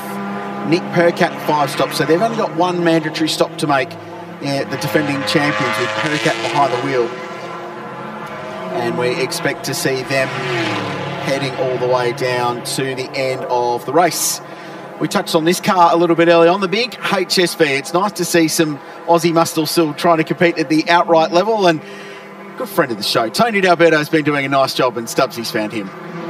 Thank you. Down the lane, they're just cleaning up a little bit of McPhillamy Park gravel because he did go off and have a bit of a moment across the top there, Dwayne West in the car at the moment. Uh, what was the cause of that problem? Uh, I'm not exactly sure. I mean, the front right we had gone down and uh, we lost a tyre, which we had a problem with in my stint as well. So we're suffering a little bit in that right front. It's a big, heavy car, the HSV. So the poor tyres copping absolute hiding. Uh, but yeah, let go right at the top of the mountain there for Dwayne. And uh, luckily, it happened at McPhillamy and we didn't hit the wall caught up with you this morning on the way into the track as we are getting our caffeine hit for a long day ahead. And uh, you were concerned about the extra weight. What about 200 kilos extra in your machine compared to a Beamer? But the gearbox was your, your concern. How's that holding on? Yeah, the gearbox is good as gold at the moment. I need to touch wood. You know, um, yeah, mechanically the car's really strong. So just the tyres have uh, been a bit of an issue for us. But yeah, an extra 200 kilos on the Beamers that we're up against in Class X is difficult. Um, but we're just trying to do our own thing, circulate, finish the race, and everyone will be happy. And you'll bring us home with a long stint at the end? Yeah, I'm going to bring it home right at the end there. So, hey, before you go, though, I need to give a little shout out to my major sponsor, Apache Media. Thanks. Well done, Apache Media. Apache Media, yeah. Thanks, Jano. Jano, of course, who works with us at uh, Stan Sports. So he's a good man, he's a clever business operator. This man's been around a while, hasn't he? nice work. That's that's forward thinking right there. Now, Tim Slade has patrolled pit lane while all that's been going on. So what's what's happened there? Do we think in car eight? He just did a. It was a drive, basically a drive through. So the Russells off the top at McPhillamy. Gee, we've seen and following off uh, one of the Commodores Class B car as well. So Aaron Russell behind the wheel. The number of cars we've seen just drop off at McPhillamy and not do anything but traverse the gravel trap and rejoin. It's so rare to do that up there. At that point, yeah, just just just got one eye closed. You're trying to keep everything straight, keep the wheel straight, and uh, hope you end up out back on the, yes. the tarmac on the other side. Just but wonder uh, if there's any oil down there. It's sending him spearing off. So just confirming, Matt, it was a drive-through penalty. It was a pit stop breach. I'm pinning down exactly what the rule is for all the multitude of regulations, but it was a pit stop breach for car eight. It was a drive-through penalty. So that's blown 30 seconds, 34 seconds, the transit time from pit entry to pit exit. Was that the Sherrin's car that we see stopped in the, the pit lane there? And the the- bonnet up. Had yeah. a few dramas today already. The slippery surface flag shown on the run down towards the dipper as well, Supercheap Auto Dipper. So there's been a fair few uh, bit of gravel that's been uh, escorted down down there over the past few cars. So 15. Just to put a. I think he overshot his mark, was what he was saying there. Uh, went a little bit too far, and the car controller had a bit of work to do. Just to touch on, just to finalise that point, the penalty for car eight, Brad Carr and Tim Slade, was uh, refueling must be completed before any servicing is conducted. So you've just got to do the reset, refueling, and then you can change tyres, you can wipe the car down. They got that wrong clearly, and I think Greg Rust can shed some more light on that for us. It's a bit of a frustrated Brad Carr and the, the emails back and, and forward with race control. They said they've done the right thing, taken the penalty. They don't feel like they're in the wrong. And the, the allegation, Richard, is about people returning back over the red line before the car leaves or before the completion. It has to do with, with people movements in and out of the hot lane. Yeah, thanks, Rusty. It, it's we touched on it at the start of the race. It's those one percenters that can make or break this motor race, and the pit lane stuff is it. And Well, you were wondering in that stop whether they were going to change any tyres there, we, we saw the fuel going in, so we knew that that was happening, and then we just noticed that they were doing a bit of a spit and polish, a bit of a clean on the windscreen, so that's enough for them to fall foul of the rules, and that's a costly blow for car eight of Brad Carr and now Tim Slade. So the yellow flags are out. We'll have a safety car heading out, the, Hyundai safety car, and it will be because of oil out on the track. So as we assume, there's oil down on the track, and they can't keep seeing cars spear off. So that's a bit of a saviour for car eight after serving that penalty and having that gap, what, 30 odd seconds added to their time as they started the chase for car 147. They've still got a uh, a pit stop essentially up their sleeve or ahead of the game on that one, and this will be the reason why. So these things are slipping and sliding all over the place here. Oh, So this was the car that was off at McPhillamy Park, and the oil's down at turn nine. So turn nine, we don't often talk about corner numbers here at Bathurst, but just think of the top of the mountain, and that's really all you need to know. High speed, narrow. Oh man, Well, it makes sense. We saw the, the moments that, that we've been having. And it looked like that car was uh, number 15 in the pits, potentially with a bit of an oil leak. So it'd be interesting to see uh, what the story there is. So that is the scene at the top of Mount Panorama. We're talking about Metal Grate to McPhillamy Park where that oil's down. So it's fast, it's blind, it's narrow, and a safety issue. So they'll get some clean up onto that. Uh, what it's done, and I was expecting this. So Tom Sargent has come into pit lane. They were at the top of the mountain when the safety car was called. So this has worked really well for them. They've got a, a free pit stop, basically a game to complete their fifth of six pit stops. But it also works with Tim Slade because they'll get that track position back from having to serve that penalty. So it actually, it basically levels the playing field between the two BMWs at the front of the field. I'd expect to see Sheargold in as well. They due their third pit stop, and uh, you may as well serve that while a safety car is on the racetrack. It's actually quite well timed for a lot of people to get another mandatory pit stop out of the way.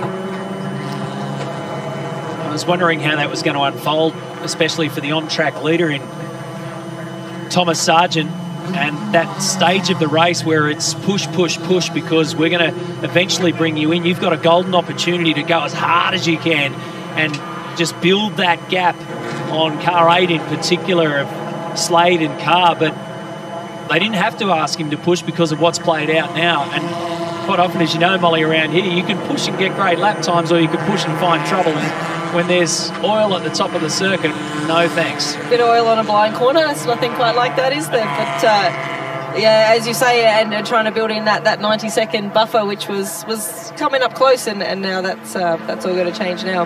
We see uh, Tim Lade just jumping in and, and Will Davison hopping out as well at that number 23. It was an awesome stint from uh, Will Davison, actually. I think he enjoyed himself. The lap times were great. Uh, car 8 just rolling through the lane as well, and we can hear more about this with Rusty. I think the inference here from the, the crew is that, that obviously Tim will stay at the wheel and they'll tick a box here in, in pit stop terms, Crailsy. So it wasn't all that long ago that they were in. Tim saying, do I want to talk to him while, while he's here? Are you kidding me? Can I talk to you? You all okay, Chief? Yeah, all good. Shame about the drive through, but uh, still a little way to go. He's let me even talk to him. there you go, guys. It's awesome. Cruisy, Fair cruisy Sunday afternoon. He eyeballed me. Said, "Come in, have a chat."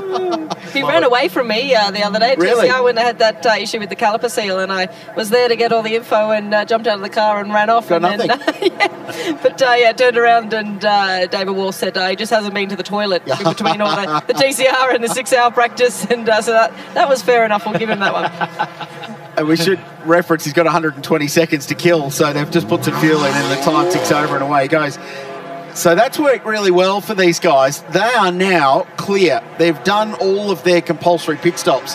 So any stop, and they'll have to stop again for fuel before the end of the race, but any stop they make, it can be as fast as they can make the pit stop work.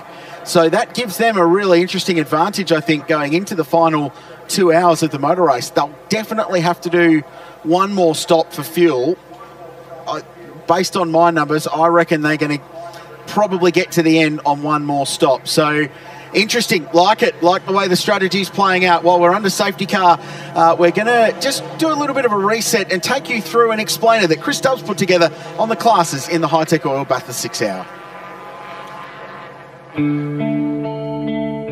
Well, this year we had a record breaking 84 entries for the 70 available grid spots for the six hour. We've got 15 different manufacturers with 33 different models, and they range from $150,000 BMWs to $20,000 Suzuki Swifts. Cars are battling for glory across eight different classes and they're defined by their performance level and also their price. At the bottom of the field is Class E, the compact cars, where the Suzuki Swifts will be up against the Mazda 3s. The next step up the ladder is the Class D production cars. That's the domain of the ever popular Toyota 86s, the Mini Cooper S, and the Honda Civic Type R. Class C is for the performance sports cars. Think Renault Meganes, think Volkswagen Golfs, and Mazda RX-8s. Class B is the high performance cars. This is the domain of the SS Commodores. Class A is extreme performance and is also divided into turbos and non-turbos. This is where the pros enter the game. A2 is home to the Mustangs, HSV Commodores, and for the first time, a Lexus RCF.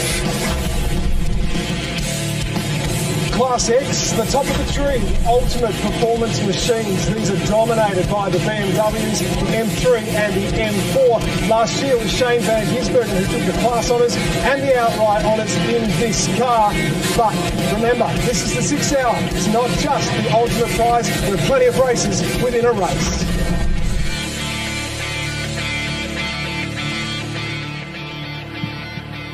A great explainer, Stubbsy. Thank you for that. So, still more than two hours to go in this race, and we are continuing under the lead of the safety car as the top of the track and the oil on the circuit gets cleaned up. Don't forget, Tyson Fury fights for the heavyweight championship of the world next Sunday in front of a sold out Wembley Stadium.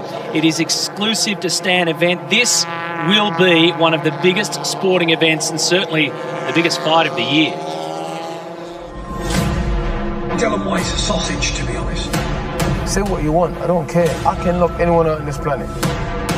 Nigga working, I'm out of here. Murder the tune, it's a body here. Reviving the beat and it's right back to sleeping. I use this technique that then got me here. Tyson Fury against Dillian Whyte is an all-British heavyweight championship fight. Gotta give me what's owed, taking control. No, this is not a game, no. Nigga working, I'm out of here. Murder the tune, it's a body here. I give it all that I got. Don't miss that on Stan Sports. So much coming up on Stan uh, in the next couple of months, and we touched on at the start of the race. The Indianapolis 500 isn't that far away. The IndyCar Series, Scotty McLaughlin and Will Power amongst the locals going into battle on the speedway. We're approaching Two hours to go in the Hi-Tec Oils Bathurst six hour, and this is how it's played out in our most recent period. Lots of green flag running, uh, green flag running, which has been great, but interrupted by some safety cars, which really sets up an interesting strategic battle to the flag between some of our key contenders that remain in the motor race, Matty. This is shaping up nicely as a battle of the BMWs, which is not a shock if you're familiar with six hour history, but it's been a really compelling fight between this car and the 147. There was the little bird that we saw there as well. I mean, the, the fact of the matter is, as we take a look at these highlights, and this is probably the first sign that we started to get that things were going awry up there at McPhillamy. Uh, people just spearing off with, with no, really no reason why. That's the Russell entry, the Go Karts Go entry. So the fact of the matter is at Bathurst, doesn't matter if it's a 1,000, it doesn't matter if it's a 6 hour, 12 hour, it doesn't matter what race, you need pace. You're never going to win this race unless you've got really good race pace.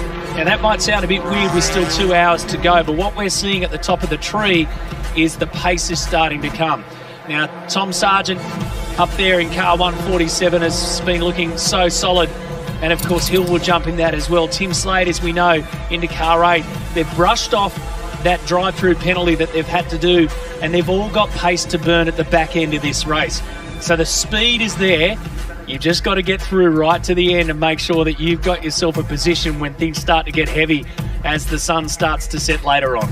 I'm buying what you're selling, Matt White. I like it. I like it. This is where your favourite driver is running. Uh, pick them out. Don't forget to jump on the socials. Hashtag Speed Series AU and Stan Sport AU. We'd love to get your feedback and tell us who your favourite driver is. And we'll run you through the class leaders as well because the class battle's so important. Uh, hasn't been much change at the top. Uh, Camilleri Nicholas still on top. Uh, the Subi still going along nicely in Class D, and the Mazda 3 SP still SP25 still going on in Class E. This is the town of Bathurst. It's a beautiful place. Uh, we need to say thank you to Molly Taylor. We're releasing her from commentary duties as we see the sights of Bathurst. Molly, thank you for joining us up here. We've loved it. Uh, back down to pit lane. I suspect you might be busy for the last hour or so. of this. I, I think you're right. Thanks for having me up here. Do you want me to leave you a few more Easter eggs? before Please, I yeah, dash thank off? you. I really appreciate no you bringing those up. It's Easter. It's all about sharing. Matty didn't bring any with him when he came in, Yeah, so hang on a you are second, way ahead. yeah. Hang on a second. I, I came Here we up. go. I came Some for, armed even with one some of- for you, Maddie. I There you came go. armed with one of these fans up here. It was 48 degrees when I came up into the commentary box. So I got the Delta Goodrem fan. So Wonderful. our hair's flowing beautifully behind us.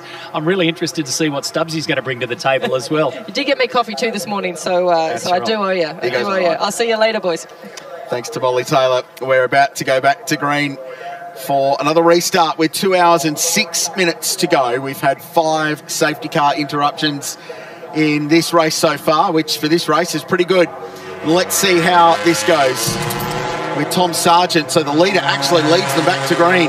And I reckon it'll be head down now to build a little bit of a margin. Still a little bit surprised they didn't take their stop, but what they're going to do, I think, in 147 is push this as long as they can into the race and try, if they can, to make their final compulsory pit stop their final stop of the race, full stop. And if they can do that, tick off pit stop number six, and then try and run to the end with Cameron Hill behind the wheel, that will give them a little bit of an advantage over car eight. Car eight with Tim Slade behind the wheel, they've ticked their boxes for pit stop strategy, but they're not going to get to the end on fuel. They're going to have to stop again.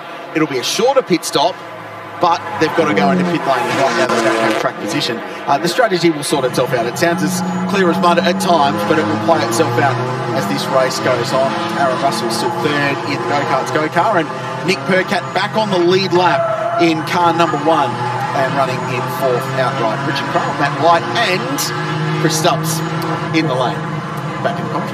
Richard Craill, I come bearing good news as well. We've just had the official crowd figure announced. 18,422 fans have packed into Mount Panorama. Why not with racing like this and with weather like this? And that's a significant increase on last year as well. So we see the field grids growing from the size of the grid growing from year to year since we kicked off in 2016 and the fans are showing their support for the event as well. So fantastic news and congratulations to everyone involved in putting on this year's Hi-Tec Oils Bathurst 6 Hour. And of course, we hope you've enjoyed it wherever you're watching live, ad free, and exclusive on Stan Sport. We love building this motorsport portfolio at Stan Sport right into it. Round four of the Speed Series coming your way at the back end of May from Sydney Motorsport Park with a night race on the Saturday. But we've still got a good couple of hours here at Mount Panorama. And Tom Sargent has gone, well, I'm going to cut loose because now's the time. I've got the start, I've got the, the front of the field, I've got the circuit all to myself off the back of this restart. No need to worry about cold tyres after those, what, maybe five, six, maybe more laps under safety car. I mean, the temperature hasn't really dropped yet, but we're getting towards the four o'clock uh, hour locally here at Bathurst, and that's when things start to change rapidly. Rusty? Just down at the Lynton garage. You're going to get a shot here uh, in a moment of a, an elderly gentleman in his 80s who's a proper legend of Australian motorsport. This is Ralph Ralph Bellamy. He worked on the Lotus Type 78 with Colin Chapman, has worked with some of the all-time greats in F1. And when it comes to aerodynamic advancements in Formula One, that man right there was very much at the forefront of development of it. So he is still, even now at 84, crunching numbers, working on strategy, and he still designs by hand to this day. To my right, in this same uh, garage, is Drew Russell, and you guys have had a terrific day, haven't you, so far? Yeah, we uh, we blew an intercooler hose a bit earlier, which cost us about a lap, but we're coming back all right and see what happens to the end. That's why that's what I'm reacting to because you went out and you thanked all the crew during that last pit stop. Give people watching at home now that you're third in the queue here. What's the play for you and your brother for the the remainder of this? Looks like Dad's going to relax for the rest of it. Yeah, I think he's done for the day. I mean, no pressure on either of us. It's probably uh, exceeding our expectations at the moment, so we'll just do the best we can and see where we end up. i Leave you to enjoy it. And I've also spoken to Beric Lynton over in the background here. Just a reminder of that that issue in the early part of the day for that team, who are one of the favourites for today. A high pressure fuel pump fail in that car. They have never experienced any problem like that with that car before. Rusty, we've got drama at the Worth cutting, and it's the Alfords Ford Mustang, and they've had a crash into the wall, pointing the wrong direction on the run up the hill, and it'll almost certainly deliver a safety car. The racetrack was energised, lots of purple sectors being set, and this is what happened. Oh, it was wheel to wheel. There was contact from the BMW side by side through the kink, and a heavy impact. Drivers right on the run up the hill. The shadow's getting longer on the circuit. So you wonder now if it is really starting to cool down. Well, here's some good signs. Oh, that's Get it moving again. That is Uh-oh. incredible.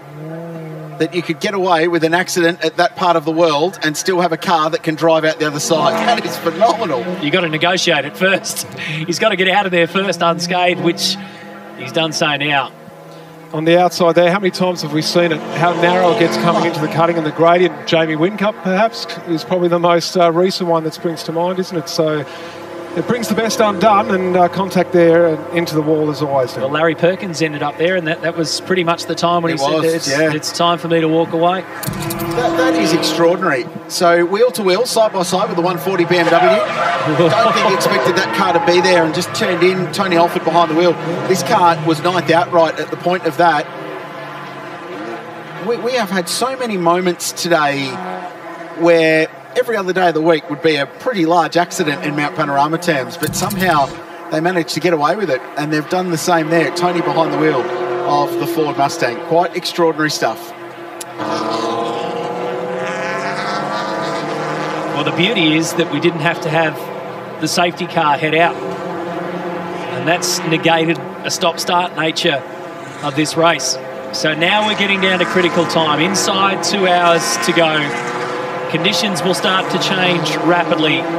There's pace to burn at the front, and just by the looks of that, there is traffic troubles no matter which way you look, left, right, or in between. Up Mountain Straight, you can go for the drag along if you like, but it all comes to a head very, very quickly when you get to Griffins. I could have sworn that was going to be a safety car, and I think the Tom Sargent team would have loved it because they're probably not far away from needing a stop into pit lane on fuel, let alone to tick the box for their sev- uh, sixth and final mandatory pit stop anyway.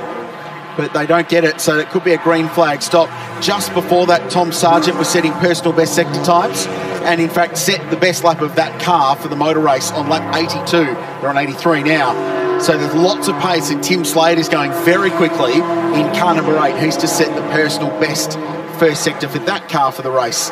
So there's some energy on the racetrack, Stubbs here at the moment. They're pushing hard at the battle for the race lead. Well, it's such great performance by Tom Sargent. We've touched on it so many times across the weekend. And talking to him after he set what was pole position, this could get a little tetchy as well. The RCF, the Lexus on uh, the outside there, but uh, they've worked it out between the two of them. But anytime you see two going side by side, Matty White very quick to tap behind the leg there for that one because it usually ends in tears. And again, it continues down the hill as well. Come on, guys, we've still got two hours of racing to go, but it's sheep stations. But just talking about Tom Sargent, and we're lucky we've got that car here today. They were very close to pulling the pin and giving someone else an opportunity to race this weekend. He said they've been burning the midnight oil trying to make sure that they could do it. A couple of months out, they thought, no, nah, we're not going to make it. 84 people want to have a start, so let's step back. But they thought, we'll give it another few days and see how we go. And what a superb performance to put that together. And smart, picking an M2. Yeah. So they've got the carbon roof, they've got a lighter variation of a BMW compared to the M3. And in a straight line, at a place like this, that is proven critical, isn't it? Properly quick. It's got a similar drive line to the M3 and the M4, the three litre twin turbo straight six BMW engine that's been the car to have here over the last couple of years. So Slade's just set personal best lap for car number eight, 227.5. Tom Sargent just set the fastest final sector of the entire motor race. There's some real energy about the front of the field at the moment as they race towards what will be the final few pit stops. And they're going to drive car 49 into pit lane. If anything, it'll be for a change of the Reg Grundys uh, for Tony Alford after that moment at the kink. Pretty good engineer, though, right? That can uh, turn this Mustang around and get it fixed up and back on track, right? True. True. Here we are on board. Prestige connects. And Nick Percat behind the wheel. Little flick of the headlights. I'm coming through. Up Mountain Straight. Over the rise for the first time. Taking that inside line. Just goes steaming past the traffic there. Now into the right-hander. Sun starting to peak a little bit lower. Up towards the cutting. Flashing the lights on the uh, the indicator stalk there just to let the car in front know that a much faster car is coming through. I spoke to Nick last night. They were a little bit concerned about the straight line speed issue they had with this car. They were 8 to 10 k's an hour down on Conrod Straight compared to their teammate cars. And they're all identical out of the, the Beric Lynton stable. But they thought that they'd found that before the start of the race, perhaps a mapping issue. And Nick wasn't so worried about being in the fight with the cars around him. He was worried about lapping cars because often some of the class cars are just as fast down Conrod Straight as the BMWs, and he was a bit worried about fighting with one arm tied behind his back in the race today. But so far, so good. Subbed in, of course, for Shane Van Gisbergen. Couldn't take part in this event. SVG, we know you're watching. Hope you're enjoying it. Nick is out there to do the job. And as you well know, this guy loves this circuit. There are some drivers around the history of Mount Panorama who just get it. You can't work out, you can't put your finger on it, they just get it. And he's one of them. A Bathurst 1000 winner, of course. He's picking his way through this field, through the traffic, down Conrod Straight. Six gear, flat stick all the way. What a ride this is. Just a touch on 260 kilometres an hour before the kink mat, so no problem with straight line speed with this car today. They've got whatever their issue was fixed. I love when he spoke to us uh, on the grid prior to this, and he said he got the phone call to say, "Do you want to step in?" And he thought, take a minute to think about this while we're in our debrief here at Walkinshaw Andretti United." And by the time he'd stepped out of the debrief, I think it was Shane had already released to the media that we've got Nick Percat, so he had no option. But he's really enjoying it. He's always uh, always in a good mood. And they have unlocked more speed. They've unlocked more speed out of this thing in the last day. So overnight, essentially, they found a little bit of a setting that gained a heck of a lot of speed. So this car will feel enormously different today than what it did yesterday for Nick Percat. When you've got this kind of experience, for some drivers that can really be unsettling because everything changes. Your braking changes, everything changes all of a sudden when you've got yourself a jet, and that's what they've found in between qualifying and race. So clean air is what he's looking for. And anytime he gets it, he will put the foot down. He's got a lot of time left. He's got a nice straight car. And he has got his eyes on the prize today at the Hi-Tec Oils Bathurst 6 Hour. Two guys at the front still trading sector times. The BMW is energised at the pointy end. Sargent, the lead is 14 seconds between the two of them. Slade's just been nibbling away, but it'll ebb and flow as they get through traffic. Stubbsy, while we're watching this car, you've been in the lane for the first three hours of this race and it's been flat out, but I'm keen to know just what the vibe's like down there. I know it's such a broad thing to talk about, but there's so much energy in this paddock this weekend with these race teams. And even those that have had dramas and, and you've documented the story so brilliantly for us over the course of the race, there's still this positivity around this race, isn't there? Yeah, there is, and, and everyone loves it. We've talked about it across the weekend on our coverage here on Stan Sport as we head down down Conrod Straight with cars all over the place, the different classes. Nick Percat here as we hop on board trying to pick his way against. Uh-oh. Oh, here's a moment. 48 coming down the mountain in the super cheap auto dipper. That's the Lexus. That's the RCF car that we've just been talking about. Keith Bensley behind the wheel. They were 20th outright. This is a, a brand new car for this race. It was the, the It was the car, road car. It was the road car. Correct. I thought, oh, we had a couple of wines, and why don't we put this car, get it out of the garage and go and do the six hour? The, the problem with this is they might be able to recover themselves, Matt, but you really can't because it's completely blind. Yeah, he he looks as though he's good to go, doesn't he? He's got his foot on the brake there. He looks as though he's just waiting either visually or gets something over the radio to say, righto, have a crack at it. There's not that much room on the right-hand side of the circuit. You can see where the wall wraps around here. So this is a very narrow part of the circuit to try something like this. Uh-oh. see? He can't see a thing out towards the left-hand side of that Lexus. So essentially he's going to have to fly blind here or just hold station. I don't think this happens. It's so, so narrow. And it, it just, TV just doesn't do it justice how steep it is and how narrow it is and blind as you're barreling down the hill. And given the time since the last safety car, the field is now spread out. So you can Yeah. see the marshals, looks like they had their hands Here up trying to signal to him to get it around. Oh, brilliant. and he's done it. So great work by everyone involved up there on the top of the mountain. And, and no doubt from the team as well, probably with the overhead drone shot as well. Yeah. Being able to say, okay, look around, look around, look to the marshals and get yourself around. Nice job. So that's two times in the last half an hour where you would nine times out of ten, in fact 9.9 times out of 10, bet your house that there'd be a safety car. And this is how it happened. So it was lap traffic as well. And that's the Marcel BMW going down the inside. Got it. That's the same car that Tony Alford made contact with going up the kink. So speaking of, we can go down to Molly Taylor, who has found Tony Alford. I have indeed. Still in his Mustang. They've changed some wheels, but the, all the, the components look all right. We've just got some strings up for the wheel alignment, so I'll try and have a word with Tony and try not to, to get in trouble with mechanics. I don't want to touch uh, touch these strings and muck up the wheel alignment. Tony, have you got a, a second for a, a quick word? was a uh, pretty spectacular moment you had up there. Yeah, I wasn't uh, obviously wasn't outside to watch it, but um, yeah, it felt uh, it felt a bit jolly inside car. But uh, yeah, I'm not sure that there's too much damage done, but obviously a lot of time, and uh, yeah, that takes us out of contention. Been, What happened? look, I'm not really sure. Um, certainly got hit from the on the rear right, but uh, just there were three cars there. I think I don't know if it's a racing incident or what else. It's it's not for me to say at this stage. I'll I'll have a look at the video and then and then we can assess it from there. Well, good to see that the damage isn't too bad, and we'll see you back out there soon. Thank you very much.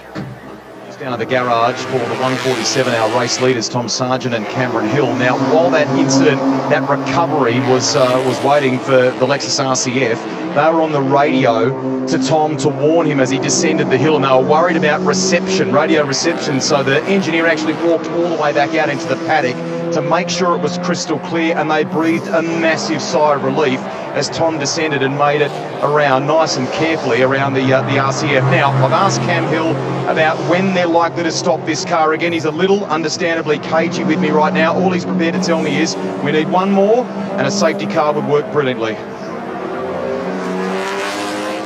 And this is Alexis limping back after that wild moment at the top. So the same car involved in the Tony Alford incident at the kink on the run up to the cutting, and then down at the Super Cheap Auto Dipper. And this has got the uh, Ellery BMW issue of some tracking that isn't quite accurate, and I'll dive that thing into the garage and get it in. We're going to say thank you to Matty White. Matty, we well, it's been a joy to call with you, mate. I've listened to your commentary from Mount Panorama for years. Uh, we love having you as host of our coverage here on Stan Sport. I'd love to get your thoughts going into the final hour and a half. How's this going to play out from your viewpoint, and who are you going to be talking to down in Victory Lane at the end of this one? We've still got what 60 cars out there. We've still got more than 50 cars. good chunk of them. Yeah, at least out there. So what I'm seeing over the last 10, 15 minutes, and what we're going to see more of in the next hour and three quarters is the conditions starting to play a part here. The shadows are getting longer. The track is going to change. It is going to get cooler. It's going to get harder. Traffic's going to start to play a massive part in this. This thing is a long, long way from over yet. So hold on, folks. We're in for a final couple of hours of craziness. Matt, thank you. We look forward to catching up with you at the end of the race for the debrief. Stick around after the race is finished and Matt and Molly and the team will have all the interviews and the post-race breakdown from today's Mount Panorama Classic. This is the race leader, Tom Sargent, 20 years of age. He's a Victorian Formula Ford champion, the reigning Australian Formula Ford champion. He'll line up with Cameron Hill Racing this year in the Porsche Sprint Challenge, the road to Carrera Cup. Uh, he's been working with the Cameron Hill team for a long time, and he has just executed at every single turn at Mount Panorama this weekend from a qualifying lap that ultimately won't be recorded in the history books because they were excluded from the session to a storming opening stint where I think he was up 55 spots before he put into pit lane and now a, a commanding period out in front. This has been a bit of a clinic. Well, you said he's ticked every box so far. Everything that he's had to do this weekend, he has done perfectly. Very measured young guy. Like Cameron Hill, there's a lot of similarities between them in the way they go about their racing. And it'll be interesting to see as the sun sets, as Matt just touched on, and the conditions and the experience comes to the fore behind him. Jim Slade, Aaron Russell, Nick Percat, Dylan O'Keeffe, all guys who've raced in the Bathurst 1000. They're going to be all over the back of him. He's got a very quick car, but experience could play a huge role in this as we come to the latter stages of this race. And it's time for a, a big welcome back to Matt Nolte into the box, who's had a break. He's looking refreshed and ready to call us home. Uh, gee, I think it's a, it's a downgrade having me back after Matty White's been in here for the last two hours. Great to hear his insights into this Hi-Tec Oils Bathurst six hour, but he was 100% right, wasn't he, guys? We're heading to that crazy part of the race now. Everyone's starting to feel the pinch of a very big week here at the mountain and having a quick walk through the pitch just there. You can see some of the mechanics' eyes just starting to go, you know what, another an hour and 50 minutes. But this is where you've got to dig even deeper to get your car home in this race. And we're seeing a lot of hard luck stories out there today, aren't we? You're spot on, and Crailsy was just asking me before about what the vibe was like having just come up from the lane, and it was almost like that calm before the storm. We saw a, a few of the uh, crews having a bit of a kipper, catching a bit of a nap, because you know that you're needed to be right on the mark when the paycheck comes out. And that was almost the feel. You've got the barbecues out the back starting to fire up. People are thinking about, uh, well, unfortunately, some people are packing up and already on the road back home for those that aren't with us. But the good news is, we're on track for, I think, a record number of finishes. Correct me if I'm wrong, Richard Oh, Graham, but You're calling I- that I- early, Stubbsy. Come on, it's a Matt Oh, that is. I reckon is- the record is 50. That is commentator's curse At the early in the moment, race. we've got a few up our sleeves, so Wow. we'll see. We're, we're still a long way to go. The clock is now counting down, not up. And uh, Written, authorised, and presented Christopher Stubbs for the Christopher Stubbs party. I might be making a beeline straight out. Made on Could be some- 359 as well. There could be some teams chasing me at the end of this. That is a bold call to make at this place. Uh, let's get an update on the Lexus. We just saw them with uh, hammers flailing away in the garages of Molly Taylor's down there. That's right. I actually found Steve Owen, so we come around here. We'll uh, grab a quick, quick word with Steve on on the headsets. What's the word?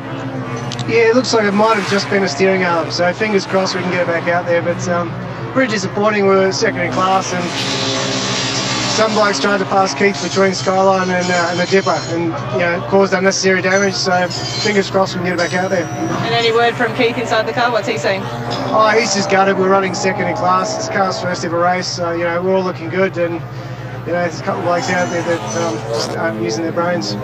We were talking about before, being Scott's road car turned race car, so I guess it's too late to turn back now. Uh, there's always time to screw the plates back on and drive it back to back to Gold Coast. But yeah, what a great story to turn his, his road car into a race car. So it was, um, yeah, it's been fun for everyone building the car, and we, we're just such a uh, disappointment. We nearly ended up on the podium. And the guys are working pretty hard to get that back out there. You're going to finish the last stint and bring it home? Yeah, I'll, I'll probably finish at this stage. Um, we'll just see if it's if the damage is terminal or not. So fingers crossed it's not. Thanks, Steve. And if we just turn the camera around a little bit as well, we can just see uh, it's slice, taking slices out of this rim too. So it was a, uh, a pretty decent hit, but uh, you know, pretty fortunate to only have the, the you know the minor re-damage to the to the re-steering. Thanks, Molly. Down there in pit lane, Steve Owen telling it how it is, as only Steve Owen knows how to.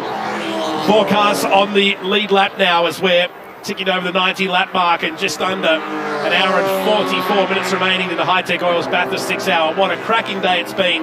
There's absolutely no breeze out there now. This last half an hour of the race from a visual is just going to be stunning. And we've still got a race on our hands here, haven't we, with 13 seconds between Sargent and Slade. Can't say enough about the Sargent combination when they drove from 61st on the grid. 61st, yeah, that's six and one at Mount Panorama to get into the top 10 within the first 40 minutes of the race. And they have had power to burn here today. Getting past those cars early on, that's a tough gig because everyone's nervous. There's cold tyres. You've got a range of not just performance of vehicles, but a range of experience. You've got people that would be so anxious cutting their first laps. Obviously, you're going to put your most experienced person probably in that situation for those teams that have got the newbies. But to get past them, that shows experience beyond his years in the full grid at Mount Panorama where it can get very narrow. That was an outstanding ride. And the common thing you always hear too, Stubbsy, when you walk into Bathurst, how many times have you heard someone say, it's a lot bigger, it's a lot more daunting than I expected. And nobody comes here going, oh, yeah, it's just another racetrack. Yeah. They all take this place seriously. You've got to have respect for it. You've got to understand its history. You've got to know how to drive to the conditions around here. Standing in the coffee queue yesterday, and I didn't turn around, but there were a couple of gentlemen behind me who were, were here, and, and, yeah, one of them was his first time racing in the six hour, and, and just the discussion that they were having, and uh, oh, I'll put my hand up, I was happily eavesdropping because it was fascinating. They were discussing the route that they took to get here in terms of not only the car and the preparation, but actually which way they drove to get here. And oh, you went that way. Oh, that's a great little town. And they were introducing themselves to each other and nattering away. And they're the stories that we love behind the scenes. And, and that's exactly the point. Matt, is the way that they were describing the first experience and cutting their first laps. It's the first timer here, eyes as big as dinner plates, but Yeah. loving every moment of it. Boys, can I tell you a story about Schumacher and Please. Perez? Please. Please. No, I'm not talking about the Grand Prix. Don't get excited. I'm talking about the Subaru that's on screen now. The Kelso Electrico entry, uh, electrical entry. Uh, Brad Schumacher, no relation, driving, and Sergio Perez. And not him. Not him. uh, behind the wheel, correct. It's Checo, and he is actually driving at the moment. These guys, 12th outright. Quiet achievers. They're only a couple of laps off the lead of the motor race. Uh, Serge is behind the wheel at the moment. He's quite an experienced driver in the Porsche world and production sports cars with his good mate Marcel Zalua. They've teamed up for a, a long time. Brad Schumacher, a staple, lives closer to Mount Panorama than Grant Denyer does. So you know when you do that, you're in pretty good company. Uh, he is the Kelso Electrical on the side of the car, and Brad has been racing in the Fanatec GT World Challenge, powered by AWS, in his Audi R8. Had a really good run at Phillip Island last time out. Uh, this has been a really quite achieving little performance. The Subaru has lacked the outright speed of the Mitsubishi Lancer Evos in Class A1, and they're certainly down on top line speed. It's always been an issue with this car. In fact, there was one year they took the rear wing off because they felt like it was adding drag, but then they promptly got told to bring it on because it was outside the car's homologation and they sold it with a rear wing, so you've got to run it with a rear wing. But they've done a really nice job and they've got themselves up into the top 12. And in A1, they're not that far outside podium contention. They've got some pretty heavy hitters to try and beat if they want to get a trophy, but still, this has been a, a quite achieving performance from Perez and Schumacher. And Perez was a late call up in Yes. this uh, in this lineup too, wasn't he? Confirmation of that only coming in recent days. Add to that, they had some brake issues, late night working on, on Friday night too. So to be in this position, as you touched on, is, is really fantastic. And this is one of a number of teams with the spare car parked out the back in the paddock next Yeah. to the transporter because if something breaks in this, they'll just go and literally get like for like component. It's like a graveyard. All these cars out the back without number plates on them. It's uh, just cut and paste, isn't it? But that's what this is about, isn't it? Rusty? I've tracked down Brad for a uh, for a quick chat. You're at the back getting getting all suited up. Yeah, just uh, getting suited up again to uh, jump in, and then I'll uh, double stint it to the end, which is exciting. Can't wait to jump back in the car. It's a ball out there. Have you enjoyed it? Because it's been a good battle with uh, with you and, and the Evos. And can you can you sneer a you in class terms? Well, that's what we're looking for. Um, look, the Subaru obviously qualifies, um, you know, strongly. It's just the way, the nature of the beast. It, however, is very economical during the race, and we do run for a long time on fuel out there. So, yeah, I think we're sitting in 12th at the moment, which is right where we need to be. If we have a uh, convenient safety car jump in for us at the right time, I think we generally can go for an out. Uh, sorry, for a podium in uh, Class A1. Long trip home for you. I know this must be very hard. Your home race. Of course, yeah, yeah, just about 400 metres that way. So, yeah, it might, well, if we get a good result, there might be a uh, couple of shandies in the bar later. Who knows? See you for a lemonade. Thank you. Thanks, mate. Cheers. Right, that's our night sorted. Schumacher residence, I like it. Nice work, Greg Rust. What a buzz to live in Mount Panorama as well. Look over the uh, the hill, and there's the racetrack every day. Brad Daniels called this place home for a long time. More pit stop action continues here with one hour 38 minutes still to go in this race. We're building towards the last hour, happy hour if you will. The Sunset Showdown. We'll have a lot of names for it this afternoon. The Hi-Tec Oils Bathurst six hour. You're in car with Jude Bargwanna in the Burson Auto Parts Audi TT. They're third in class, Matt. They're going along really nicely, ninth outright. Dylan O'Keeffe still leads the way in A1 in the GWR Ram AMG A45. Like Hino in the 14, Evo in second. Bargwanna's third. And that is a battle for track position. There's not a massive amount of time between the two of them, about 25 seconds. So they're on the hunt. Jude behind the wheel, Ben to jump in this car for the run home. And they've only got the one compulsory pit stop to go. So they'll be looking for probably 15 minutes, if not a little bit longer, in this race before they make the stop and try and get to the end on a tank of fuel. We love the on-boards here, especially when we've got a stick shift. It always makes it a little more uh, entertaining for us to watch, to see exactly where he's plucking the gears as we head down Conrod Straight. The onboard's also showing us exactly what a production car is. You see the dash, it's the dash that you find in the car. And that's the whole point, isn't it, in terms of what you can and can't change. A steering wheel you can change, there's a few things you can do. Obviously, there's the safety componentry as well, fuel cells and things like that. But what you see is what you get largely. That's what's cool about it. This on the faster cars going through, picking off Bargwanna and one of the Suzuki Swifts on the right hand side. Because they were caught up in an incident, incident here today in front of the ridges. These guys have had a good day. They've just been solid, just been motoring around there and looking to give Burson Auto Parts a great reward. Stepping into the Bargwanna, Bargwanna, Bargwanna team. They're all down there today in the pits. It's great to have them here, part of the Hi-Tec Oils Bathurst six hour.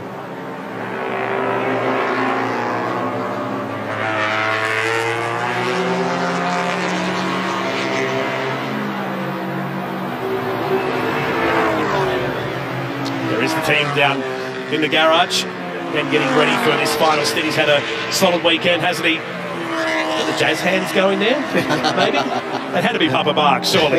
the Jason Jazz hands. Put the camera in there, and Jace comes to life. We might take a look soon at the class leaders as we head towards the business end of this race. Here today, as the shadows get longer, at this point, the track will become a real talking point soon. If you don't have a dark visor or a pair of sunnies on, you are really going to squint on the way up to the Worth cutting.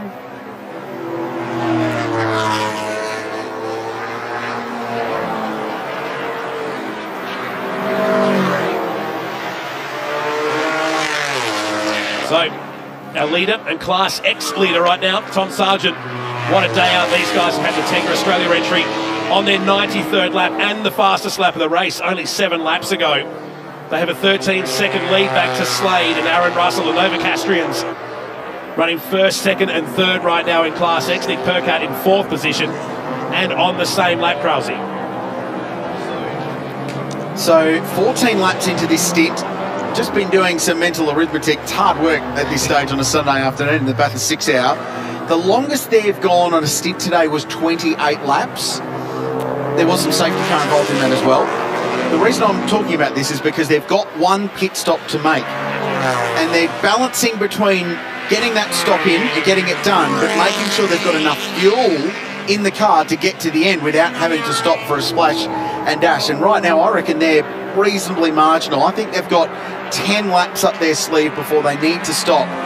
103 laps in, and then there's probably going to be 25 laps to go. I think they're marginal. I think they might be in there. This is the Class A1 leader, Dylan O'Keeffe, behind the wheel of the Mercedes AMG A45. Running back in fifth position as well. He's teamed up with Mike Sheargold and Ollie Shannon, the Mercedes A45 for GWR, one of many cars. And you think it's busy in the Bargwanna garage. Go down to Garth Walden Racing today. Cast of thousands down there today. They love their production car racing. Our no- enormous contribution Garth Walden Racing has has made, will continue to make to motorsport in Australia. It's such a professional organisation. Here's our A2 class leader, Tony Quinn, the local legends entry. Spoken at length about them this weekend. They were a long, long way behind the eight ball when they started this weekend. Pig, P-I-G, was how Grant Denyer described the car, and it's obviously uh, not squeaking at the moment because it's uh, it's doing pretty well, isn't it? Bringing home the bacon. I did my best not to laugh because I don't laugh that often, but seriously, that was awesome. it's, it's been a long day, hasn't it? Some of your finest work, my friend. Stubbsy, the quietest guy you'll ever meet, folks. Yeah. Comes out with the clanger of the day. Absolutely beautiful. They're six outright. This has been a really, really good performance. Grant Denyer's work in the opening uh, third of this race was outstanding and some of Yeah. the best I think that Grant's ever driven here at Mount Panorama. This relationship goes back a long way. They missed the start, a front row start in the Backers 12 hour in, uh, I think 2009 it was, in a VIP Pet Food sponsored Mitsubishi Lancer for technical reasons. It was a cabling issue. Uh, they had to start from pit lane, but uh, Grant and Tony have been driving together for some time and uh, they're a great partnership. And this Mach 1 version of the Ford Mustang has been a step up from the Mustangs we saw here 12 months ago. And they've been going along really well. So they're six outright and they lead the way in their class. They're doing it comfortably too. The next Class 2 car is down in 25th position and several laps down right now. Is our Class B leader in the Forbes Wilson Group entry of Matty Forbes Wilson from Mildura and Mark Ballard, who's behind the wheel right now. They were involved in an incident in the DBA chase yesterday during qualifying, another one early in the race today. But right now they're 11th outright, and the next B class car, of which there's only two in the field, is well down the order. So they're looking pretty safe here right now. We'll talk a lot about this with some battles starting to brew in between classes and inter-class battles, if you like. And they were the winners in B2 in 2021 at the Hi-Tec Oils Bathurst six hour. And this year we've combined. So we did separate them into the naturally aspirated uh, setup like we do in A1 and A2, but we've combined them uh, for the numbers this year. And here's our Class C leader at the moment, Scott Nichols, Grand Prix Mazda Caboolture. These guys have been outstanding. Uh, they're a couple of laps ahead on the second place car in class. They're running 15th outright. And it's been a faultless day for the Mazda 3 MPS. Jake Camilleri anchored the job early on. He and Scotty have been racing together a long time. Scotty was a, a saloon car racer. And now they cameo every now and then in production car races amongst their working commitments up there in Brisbane. So they've had a really, really good day in that fight for Class C. And speaking of classes, here's Class D, the Toyota 86 GTS. Lockie Bloxham drives car 119. They're currently on top in that battle. It's been a, a pretty feisty affair. There's been four different leaders in this class over the course of the race. They're currently in 18th position, but they've got Clark just behind them. There's not actually that much between the two of them in the battle for Class D. Finally, Dave Worrell in car number two leads the Class C at the moment, teamed up with Andrew McMaster in this little Mazda 3. And it's running down in 29th position with Cameron behind the wheel here now.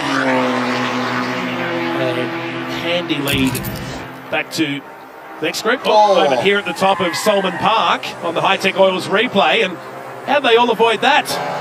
That's my question of the day, Matt wow. There's been so many moments that people have dodged the proverbial matrix bullet. Oh. And just turned in the, the little 255 Suzuki getting gobbled up there at Reid Park. And that's Oh, a big oh, moment. no. Nick Percat just avoids a very, very large accident. Oh, the onboard. Oh, Oh, that is millimetres either side. What a save by Nick Percat. That is experience coming to the fore, isn't it? Oh, and just natural ability, heads up driving, all of the above. Pure wow. instinct. Pure instinct. Jet Johnson was watching that, and he loved every minute of it. He's downstairs with Molly Taylor. Jet Johnson just finishing your sandwich. They're almost choking on your sandwich after seeing that. Yeah, that was a good bit of driving there, wasn't it? But um, yeah, it was a good sandwich, to tell you that. And re- you got a uh, good reflex, good young reflexes to do a bit of dodging like uh, Nick Percat. Yeah, I don't really want to test it, but I'm sure I could figure something out in that situation. Fair point. You guys just came in for a tyre change, and then only a lap or two later coming back in with a, an issue with the centre bearing. Yeah, so you know, Brock was on the radio saying there's a vibration just keeps getting worse. So brought the car in, did a tyre change just to eliminate that as a problem. Unfortunately, that wasn't our problem. So we believe it's a centre bearing that it's done. So he's going to keep driving it. He's going to have to be careful on it. And if the centre bearing goes, it goes. Tail shaft isn't going to go anywhere. So know, I think with I think we'll be alright. Just might get a bit uncomfortable in the car, but you can get to the finish, right? Yeah, that vibration's going to get pretty bad for him. But yeah, you know, I think he'll be able to figure out what to do. He's smart enough to sort something out. So as long as he can limp it home across the line, we'll all be happy. So you've done your driving for the day.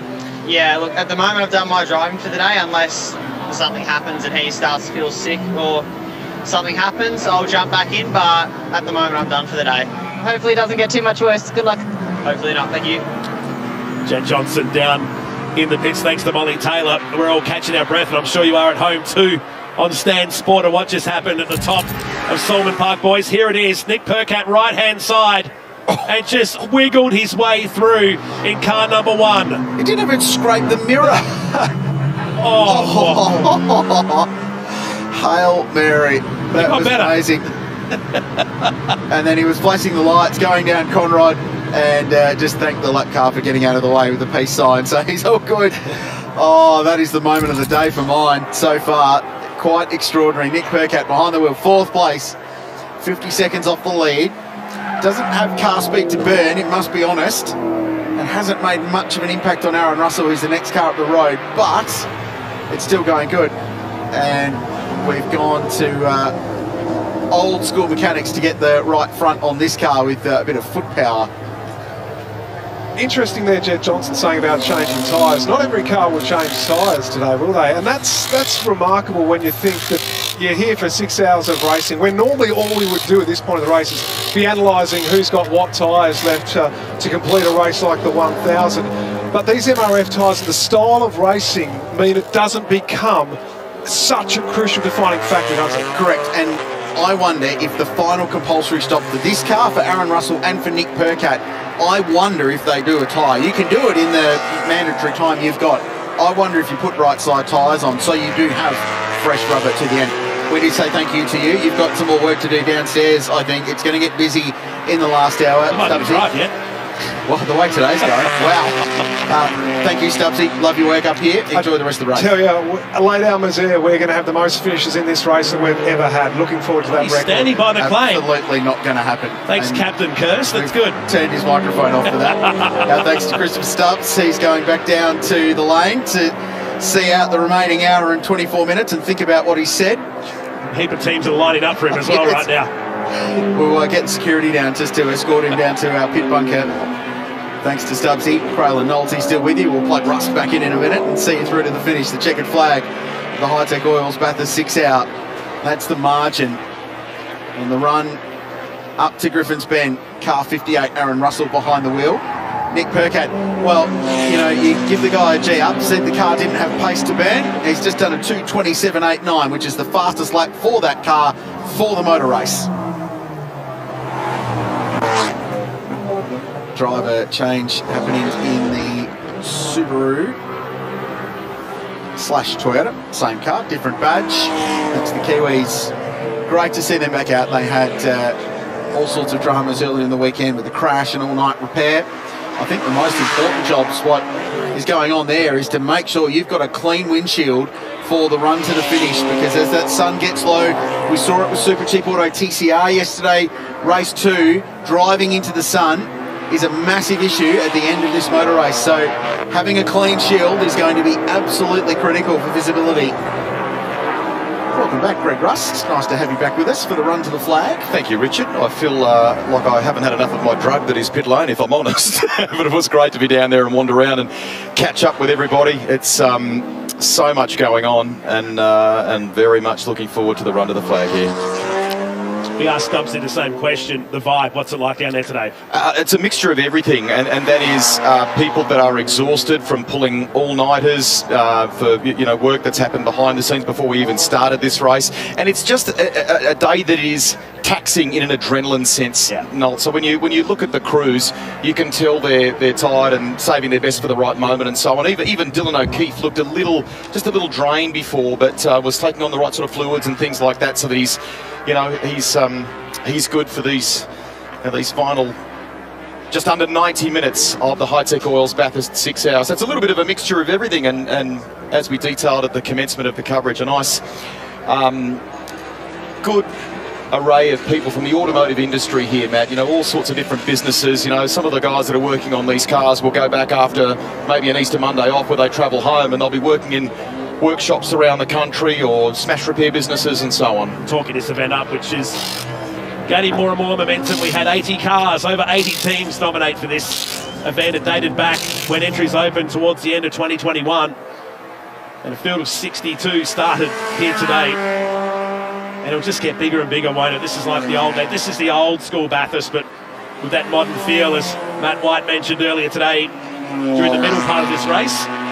This is the Suzuki Swift of Ian Cowley, Matt Thulis, and David Bailey will make their way across the mountain. There's more happening in the pits. We'll head down there too. Well, I just thought it was interesting having a look at these uh, pit stops. They're a little bit different to what we see in, in something like Supercars or Formula One without the, the air jacks and, and the centre wheel hubs. So you can see there's a lot more that goes into a, a, wheel change. You've got the traditional jack like you'd see in your garage. They've got the, the good old breaker bar there to uh, tighten those wheel nuts up doing it side by side, so obviously taking a little bit longer. And the other interesting things uh, with the with the refuel, you see there's that little of just unclipping that little earth wire there, so that that has to by regulations be on the car when you're refueling. So they were just refueling before, that's why that was there. And also, if you look at the back behind the rear wheel, it's just been about to be pulled out. Actually, you'll see it in action. The uh, very, uh, very high-tech chock system, uh, as the regulations we spoke about, about all the crew having to be behind the red line before the car can go. So you see that, that little pulley system. So all these cars coming in hot brakes, the last thing you want to do is be sitting on the brakes while uh, you're getting all the work done and refueling.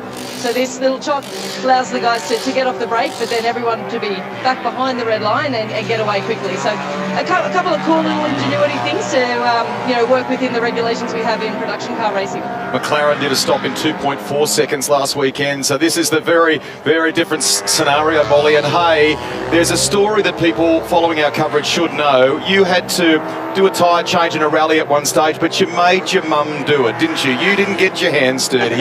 You made no. your mum, who was co-driving, do it. Hello to Coral Taylor, who will no doubt be watching. Look, to, to, clarify, we did it as a team. It's just I already had my driving gloves on, and she didn't have time to get her gloves on because I didn't want to lose time, so her fingers uh, suffered, and um, I will never live that down. I know you won't. Thanks for reminding oh, me. Sorry, sorry. It's a story that I love. Thank you.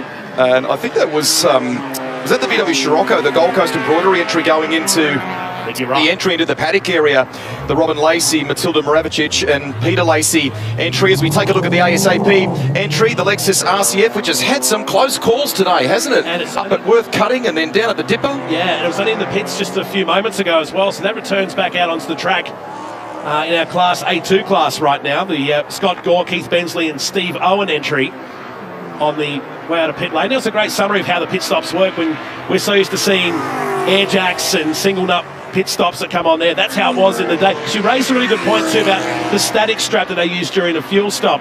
It's a cable that back in the day we'd have to use around your ankle, which would tie something to earth out just in case you'd get a fuel spill. And particularly with the hot engines and hot brakes would start a fire, that would neutralise any drama. I just love the fact that it's a throwback to the, the old days and the fact that it in, involves the crew in a different way. We take a look at the 147. Again, the Tom Sargent Cameron Hill entry has the fastest lap of the race, started from rear of grid, leads by 10.8 seconds with just over an hour and a quarter remaining in the 2022 edition of the six hour.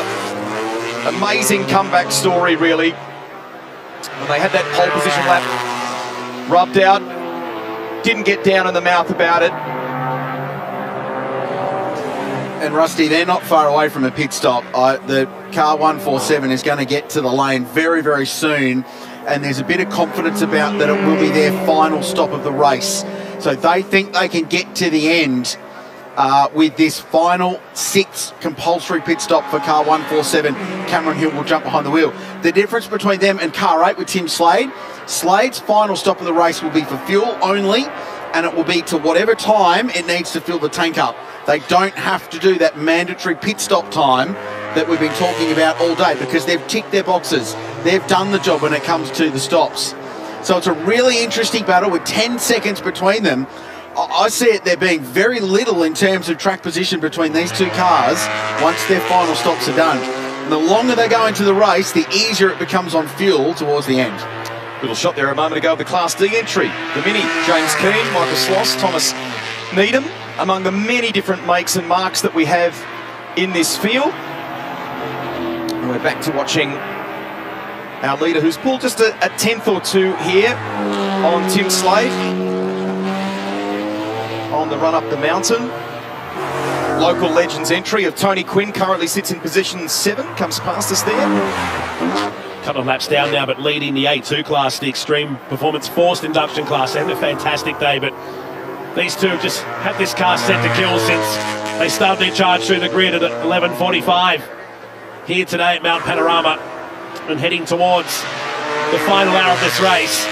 They are looking really in control with 10.5 seconds back to Slade, another 19 seconds back to Russell and over.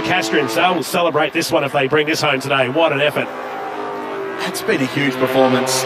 Wayne's drive early in the race was great. You heard about the various maladies he's carrying and the injuries, but uh, you know, what was it a torn ACL? There's no way he was going to miss this race. You just strap him up, away you go. He was going to do this weekend with his boys behind the wheel of that BMW, and they're comfortably in third position. So the way I see it at the moment is it's Sargent v Slade, and it'll be Cameron Hill in 147 to bring it home. Then there's going to be a fight between Nick Percat and I'd say to be Drew Russell perhaps who brings home Drew was in the pit lane there before while hmm. Aaron was at the wheel so looking nice and, and fresh. And they were very grateful for the crew who had been excellent on that car today. The execution of the stop I saw for Aaron Russell in that last hour or so very very well done.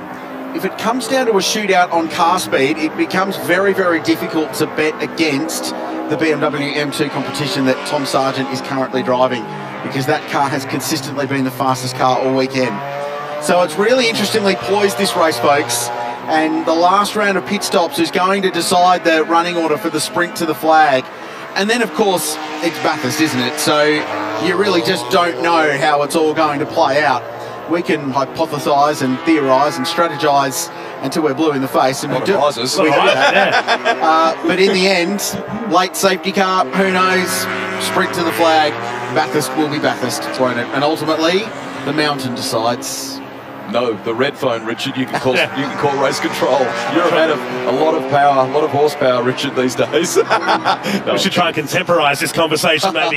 Yes. Jeez, Oh. it's getting worse. It's been a long weekend, folks. Hope you enjoyed our coverage over the last two days on Stan Sport. Of course, the action continues when we head to Sydney for the next round of the Speed Series. At the end of May, we'll have some racing under lights there at Sydney Motorsport Park, and of course, later in the year, we head to places like Queensland Raceway and Sandown and Victoria. Feels like an eternity since we've been to Sandown, and it has been three years, in fact, since the series made its way down there. We'll be back here in November for the Bathurst International. That's the Audi in the pit lane, is it? The Burson Auto Parts entry. Just noticing it slide down the order just a couple of spots while it takes some service. The TT back to the Russell entry. Here it is. 71, currently 10th outright. Jude Bargwanna at the wheel. So fourth and final stop for this car, Rusty. They've had a really, really good day. This is their last compulsory pit stop they need to complete, and they should go that hour and 15 to the flag. Or have they just done a drive-through? It uh, looked like stopped? a drive-through. We'll clarify that with race control for you. It didn't, so they're up the, the higher end of the pit lane up toward the exit, and I don't think we saw him stop. So 34 seconds on the screen here. Yeah, he starts to drive through. That's exactly the transit time. Interesting. So they're third in Class A1, but they're still under a little bit of pressure from the Schumacher Perez Subaru. There's Cameron Hill. He plays many roles. Team boss. Uh, he's mechanic. He's engineered. He's plying his own way as a professional driver as well. He's the reigning Porsche Carrera Cup Australia champion. He won that so brilliantly last year and now racing in Super 2 with Triple Eight Race Engineering. So he's with the best team, but so proud of his little family race team that he and his dad Colin, his mum Helen, they've built. It's a really, really competitive operation, and this is almost a home race. They're a Canberra outfit, so four hours up the road. And what a debut this has been for this car. Tom Sargent, we've talked about this young man's performance all weekend. He's marked himself out for star potential. A Formula Ford graduate coming through the ranks of race a Porsche this year. But wow, what a way to start your 2022 campaign. A huge performance at the Bathurst six hour. And it's been something like, I think, 100 days of solid work by that team on this car for this moment. And, you know, we've covered the the shock uh, of losing that pole position and to, to come back from that.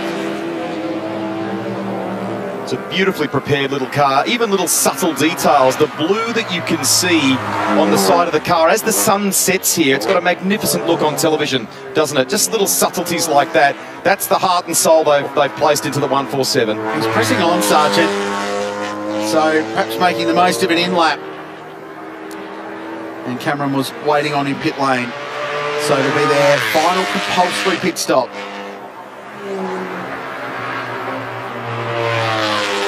Hesitation on the full there coming over Reid Park. wonder if it's nearly out of gas, maybe. Wonder if it's a. Uh, It's not running full pace like it was before, so might just be taking his time on the way down. Get Molly and Stubbsy onto that, just to see if that's a. Uh, just nurse it. This is the lap you need to push. They, they, they need to build track position. Aaron What do you Russell, yeah, Aaron Russell's got some serious pace aboard his car at the moment, so I don't think they're far away from the final stop. The car currently running in third place. Gap's 12.2 seconds. Did, did it sound odd through Ranger elbow there, or was that just me? They're giving up two seconds in the middle sector with no traffic. Follow it down, Conrod. I don't think they're far away from the stop. Wonder if they've got the thing in the surge tank perhaps for fuel. Well, the Sounds gap's gone- okay now. The gap went out two seconds. In fact, it's gone out another one and a half seconds out there to Slade on this lap alone. So he's heading down towards the DBA chase now as the pit lane starts to get busy. Once again, our final round of pit stops to come in the Hi-Tec Oils back to six hour. Is he going to go in? He's going for another lap. Still flashing the lights, getting past the Class B Commodore. Aaron Russell's on a really good lap. Aaron's taken four seconds out of Tim Slade this lap. I think Slade's had some traffic. Lap time from Sargent to 30.4. It's not slow. It's not the fastest of the, the cars done today. Look Percat pushing on as well. Looked good as it came past us in the commentary box too. So just whatever the moment was over the top that caught our attention. Middle sector for Percat. Best we've seen so far. We go back to the Russell entry, the 58 through the final corner.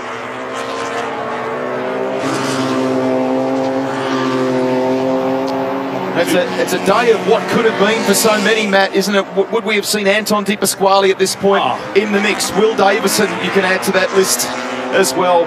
You, you could have set up a form guide and go, that's how it'll be the majority of this race. And within 30 minutes, the whole game changed.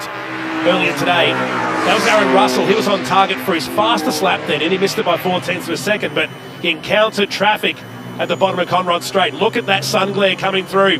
Backs up Crailsy's point. This is Nick Percat's number one car.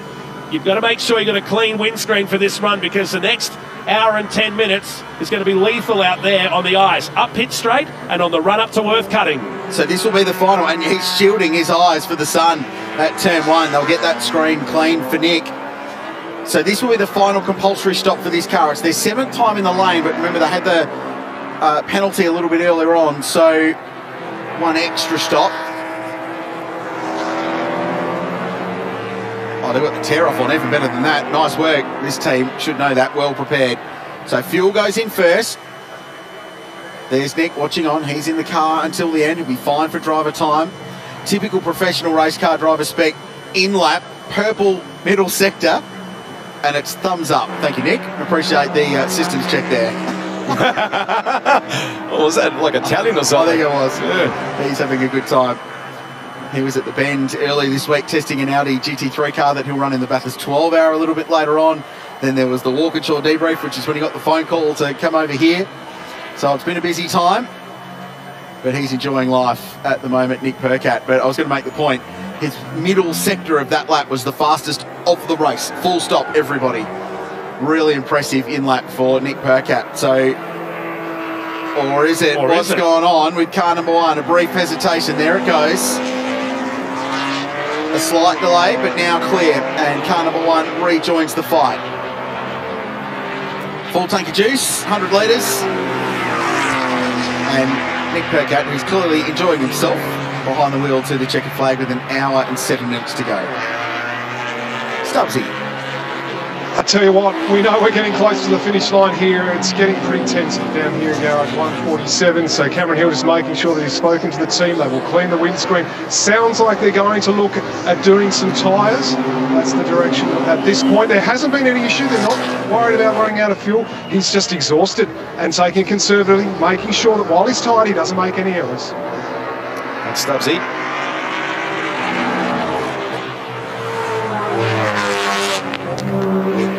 Gap is 15.7 seconds now. Sargent to Slade. Traffic here for the race leaders. It's just constant, isn't it? Hmm. That's where the Suzuki Swift got into its moment earlier in the race. About 30 minutes ago as Sargent takes us across the top of the mountain. So Russell's about 12 seconds away from Slade on this lap alone. 229.8 the last lap for Russell, 229.1 for Slade. So he's responding. Percat's come back out in fifth position. With two minutes and 17 seconds between Sargent and he. Of course, he's ticked off that last pit stop. This is inside the team that run Cameron Hill and Tom Sargent. There's Cam, suited up, ready to go. So are we seeing a little bit of movement here and maybe time for a pit stop? The nerves for family and friends down there right now. Mate, we've still got an hour to go. I know. It's A bit early to be uh, that nervous, I would have thought. So much passion goes into it. Nolts, you just raised the question about the pit stop times. They're- They're just inside it. They're all nailing the, the 90 seconds stop to stop. So they're doing a really nice job, these teams, throughout the day. And, and all the penalties have come from safety car issues, to be really honest. No, no the pit lane stuff's been pretty well done. There's only been that one drive-through penalty for Tim Slade for um, incorrect procedure with the refueling. And we think that was down to them cleaning the headlights and the window of that car uh, while they were refueling, which of course is a no-no. Ultimately, it hasn't cost them that much. They're still very much in the mix. Now, without doing a Chris Stubbs. Oh, no, don't. Are you shocked that we didn't have more safety cars? We've still an hour to go. I know. I There's expected still a lot sixth more. of the race left. And into the lane. Right. This is the point of interest in the motor race because this will be the final stop for car number eight. And they've ticked all their compulsory stop boxes. So this will be as quick as they can get a full tank of fuel in. And they will go. And Aaron Russell's just set his car's fastest lap of the race, 227.2, and moves to second. They've still got to complete their final pit stop. Slow getting the fuel rig in Yeah. there.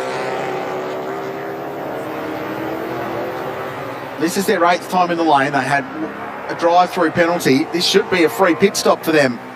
So they should have been a little bit faster than that, as far as I can see. We'll double check that with you with race control, but they ticked their compulsory pit stop boxes earlier in the race. They're having trouble with this, with the coupling, aren't they, or something?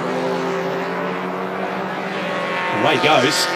So they're, they're not waiting the full amount of time. So we're correct in the free pit stop thing, which it is. But it just wasn't a particularly speedy one. They've been beaten out of the lane by the Schumacher Perez Subaru.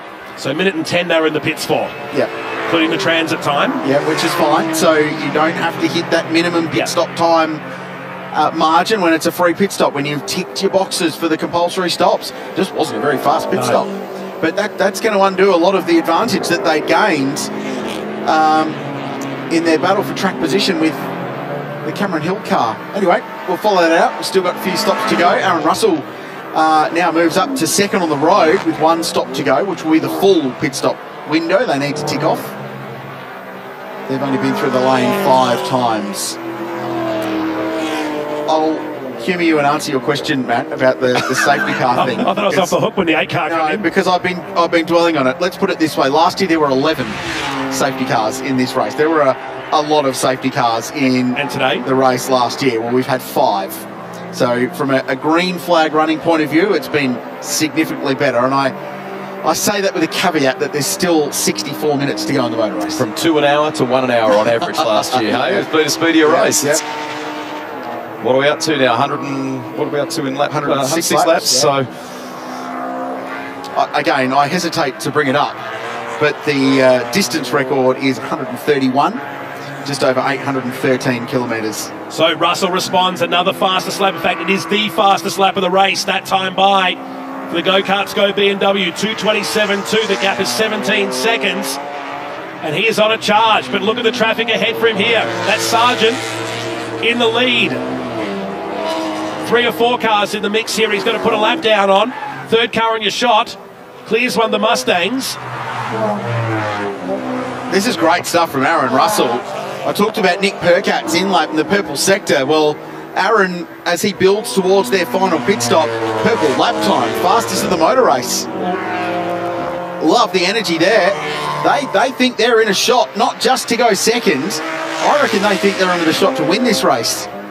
They're a little bit behind on track position. They might need a little bit of assistance, but they are well and truly in contention for this motor race. What an incredible story. A trio from Newcastle. Dad's been around motorsport for a long time and not just in circuit racing, as you know, Knowles. Both, both the boys have have had their go in career terms at, at uh, trying to be full-time and, and professional racers. And we can think back not to not all that long ago when Aaron was at Lucas Dumbrell Motorsport, for example. So, you know, great to welcome them back to the mountain. There's no more uh, pride than, than Wayne when we saw him take to the wheel of the circuit on Friday. So great effort this, and here's an example, Rusty, of how good this stint has been from Aaron Russell. So, like for like against Thomas Sargent and Tim Slade, they all stopped on lap 79, was their last pit stop. Obviously, we've just seen a few now. For that stint, Thomas Sargent averaged 2 minutes 34, Tim Slade averaged 2 minutes 34. This is all green flag running.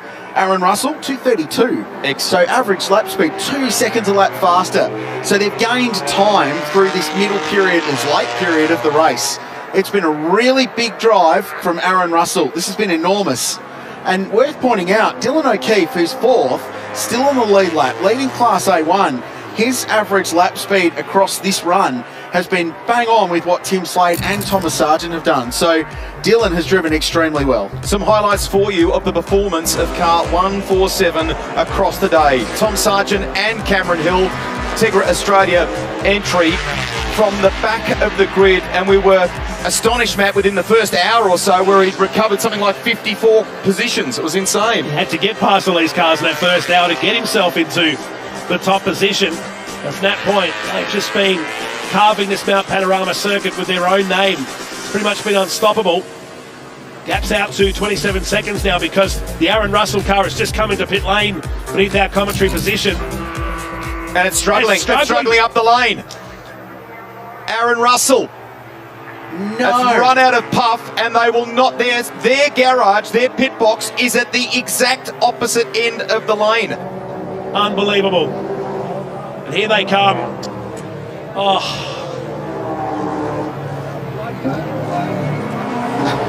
Still trying to wave at the camera. one of our fantastic volunteer officials has dived in to help push. They don't need to do that, but what a, a great sporting gesture. The local legends car in, so that'll be their final pit stop of the day. This place is unbelievable. Uh, a It brutal, really is. brutal. Aaron's has driven one of the best stints of his career. Looks like the Cabbage entry in as well, boys. And I think they're changing the right front on that car, are they? So, yeah, right-hand tyres are the go. I think I'm, I'm getting word from the lane, some spies down there working on some strategy, and I reckon they're going to put some tyres on Thomas Sargent, Cameron Hill's car as well. I think they're looking for right-hand tyres at their pit stop, and they've got the time to do it as well. Interestingly, they didn't put tyres on car number eight, so there'll be a, a rubber advantage with two fresh MRFs, potentially, if they go down that route for car 147. huge weekend for Dylan O'Keeffe between TCR duties where he had some third place finishes and now this where he finds himself fourth on the road, well ahead in Class A1. They've done a ripping job in that car here today. He's potentially going to be third outright here in a minute. They still haven't got the Russell car to the Yeah, garage right now. Now the leader is coming in, so Tom Sargent into the lane here at the end of lap 107, right on the braking marker. So the Tegra Australia BMW comes in. His pit box is not too far down the lane. And in he comes. Cameron Hill. At least we got to see his gloves working in the last hour. He's got the brightest pair of gloves in pit lane for the final stint. Great, This great sport. Yeah, Bruce, yeah. Saw a couple of teams further down the lane push him off originally to get him back down to the pits. You've got to feel for it. One side is in the box seat. These guys were doing the chasing. It's just heartbreaking to watch that shot on the right hand side. How's the presence of mind of the youngster Tom Sargent pulls up beautifully in the box. No, uh, no nervousness around it, Matt. He's, he's he's got out nice, cool, calm, and collected. This is a good stop so far. His, here, this is to Richard's point. Tyres for car 147. Slade on Conrod. He's just gone through the second intermediate and it's been the fastest for that car for the race. And there is the Car Mods Australia BMW into the final corner. So this will be a lead change with the race cleansed and a run to the flag. But there'll be a tyre advantage. They've got the time to burn. It's a compulsory stop. They can do this. They have to do it really because they've got to have something to fight because they're going to be behind on track position. So Tim Slade officially goes to the lead. Go, go, goes the word. Everyone needs to be over the line before they can get the car out of the line.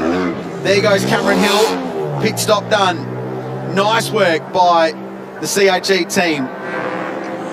But they're going to give up about 30 seconds in track position. But with that caveat, fresher tyres. And probably a faster car from what we've seen over the course of the race. Here's Percat. And he's got O'Keeffe two seconds behind him right now as well. Dylan O'Keeffe is driving out of his skin at the moment. This is a huge stint in the Merc. So there's the rejoin. So for third on the road. And Percat just does the fastest lap of the race for that car. 227.47. And the margin is 51 seconds to Tim Slade. So it's about 20 seconds more than I thought it would be. So track position has paid off for car number eight, Molly Taylor. Just to add a little bit more uh, drama into it, that car number eight of Brad Carr and Tim Slade took a little bit extra time with, the refuel, and that's because an airlock that they're having in the fuel system. So taking a bit longer to fuel, but also not able to completely fill the tank due to that airlock. So that's going to get a bit interesting a bit later on. Current calculations by the guys there reckon that uh, at, at their predicted rate, they're going to end the race with minus 900 uh, mils. So. So uh, yeah, let's let's watch that space. Well, that's that pick up, big Molly news. Taylor. Well Well, done, Molly Taylor. Oh, so right, so Tim Slade now has got 51 seconds of a race lead. So he's now going to go in fuel conservation mode, surely, lift and coast into the corners. And maybe a safety car will help if car 15 doesn't get out of the way on the run up to Griffin's Bend. But this will close the race right up. If we go yellow. Race control's been really good today in letting cars try and sort their own issues out. There's a fuel drama in car number eight. They don't believe they can make it to the finish on what they've got now. A safety car will help them. Cameron Hill, good to go to the end. Fresh right-hand side tyres on car 147.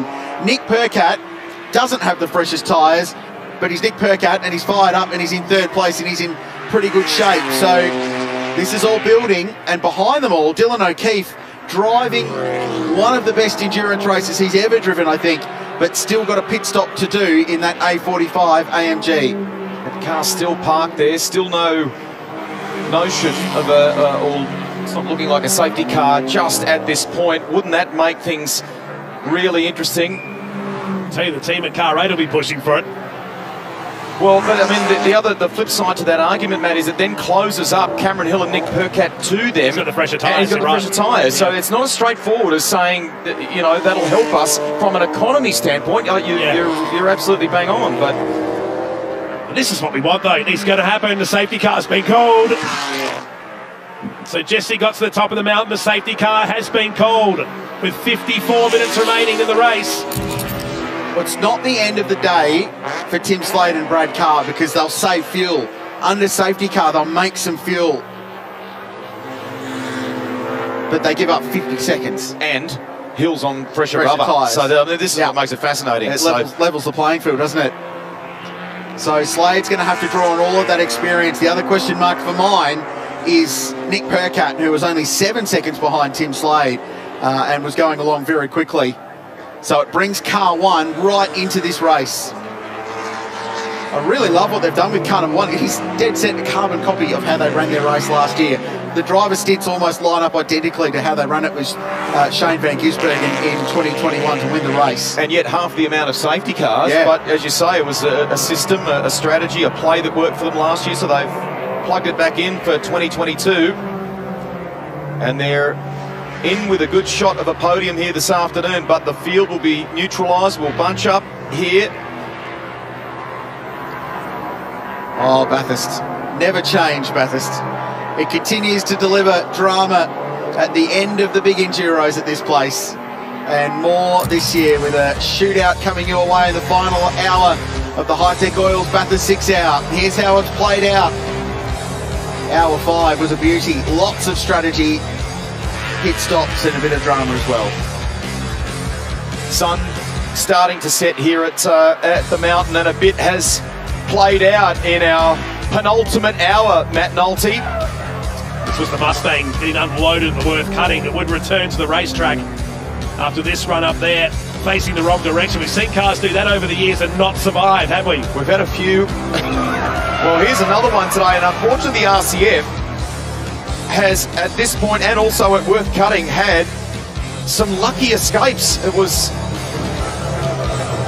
Look at this here. The baby car entry hits the Scirocco, round it goes. Percat coming through the background of this shot. Here he Oh.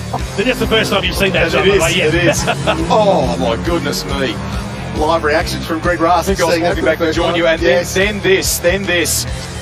Entered the lane for scheduled service, stops at pit entry. Their pit box is right at the other end here at Mount Panorama. It's been an exhausting day for the crews. That's inside, is that the go-kart Yeah. go crew, I think. So they pushed that car all the way up pit lane. We're under safety car again going into the final 51 minutes. Here's the state of play. Carr and Slade, top of the pops, but Sargent and Hill with Cameron at the wheel on fresher tyres. It's going to close that field right up. We've got a couple of other standout performers in Dylan O'Keeffe. Fourth outright, leading Class A1. And if anything happens to those guys, he could, he's in pit lane at the moment, he could challenge for a podium, an outright podium. Forget the times that you saw at the top there. That's going to be back to zero.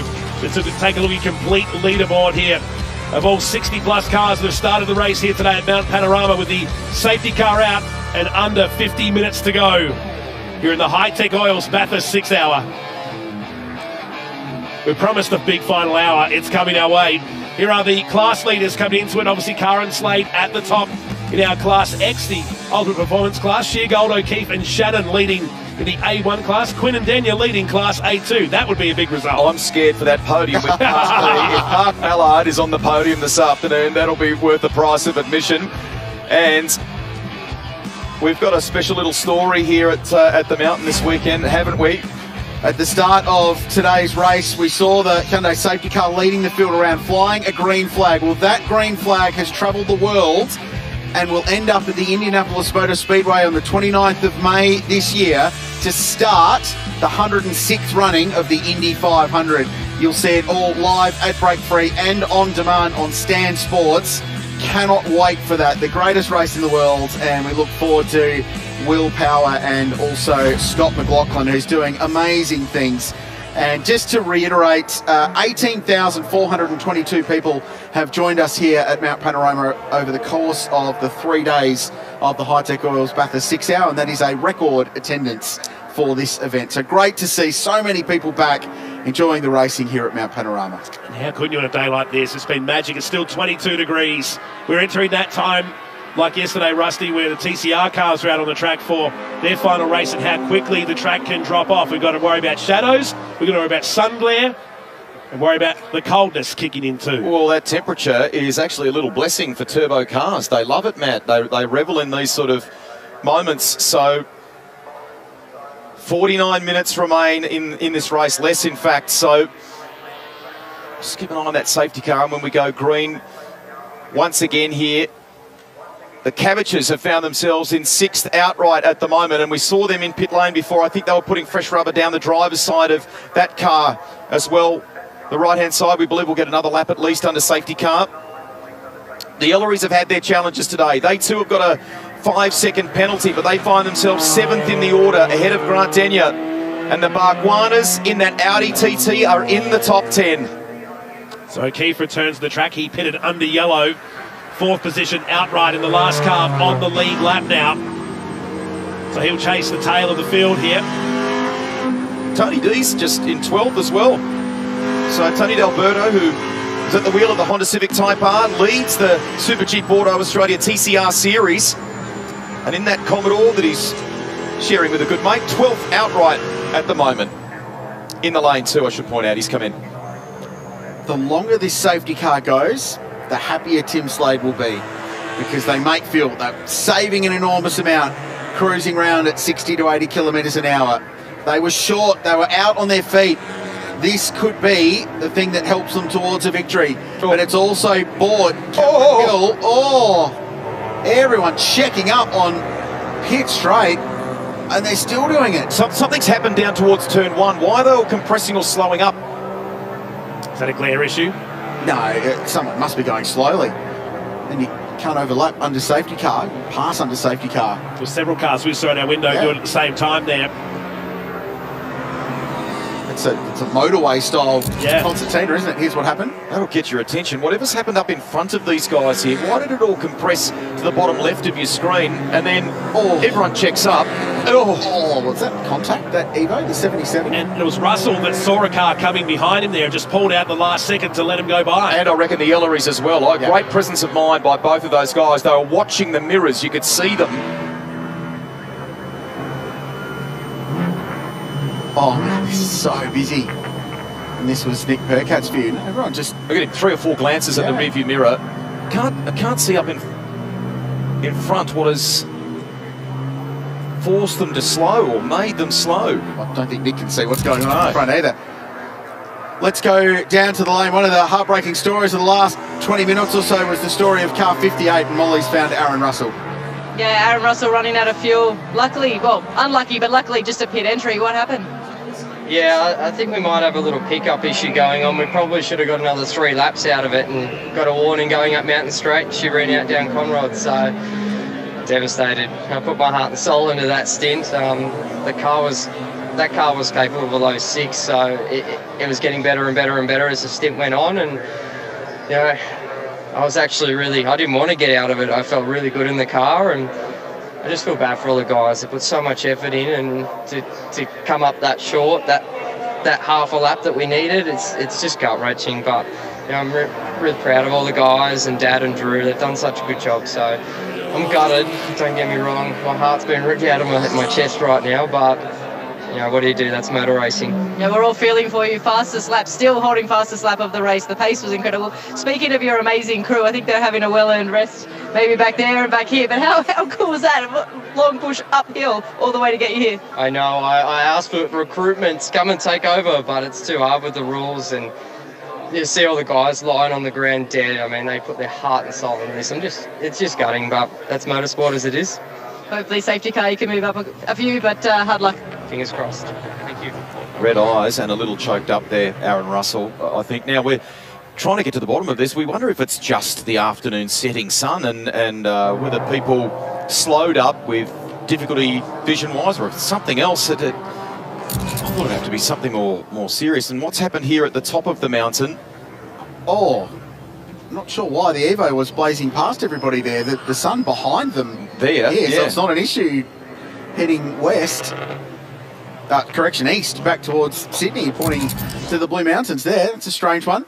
Regardless, uh, we're going green this time by. It's just another thing drivers have to deal with at Mount Panorama.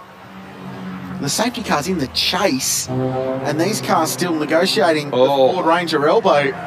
And the Holloway Toyota Celica has got a lot of smoke coming out the front of that car. Hopefully, they can get that down the hill to pit lane. Safety car sprinted away. Tim Slade has got track position. He's got time up his sleeve. Has he got enough fuel? Have they saved enough under this safety car to get them to the end in 42 minutes of racing? He's got the advantage and he picks it early. He goes early. And he's got lap cars between him, couple peeling off into pit lane. Green flag, we're back underway at the mountain for a sprint to the finish. Slade clear in front. We wait for the next car to cross the line. It's nine seconds. Cameron Hill trailed by Nick Percat. Nothing between those two. So the battle on for second and third. And the lap cars did a massive solid for Tim Slade there. Bought him a lot of time. Because even if you're a lapped car, you cannot be passed until you get to the control line. So Slade read that playbook perfectly and accelerated away early.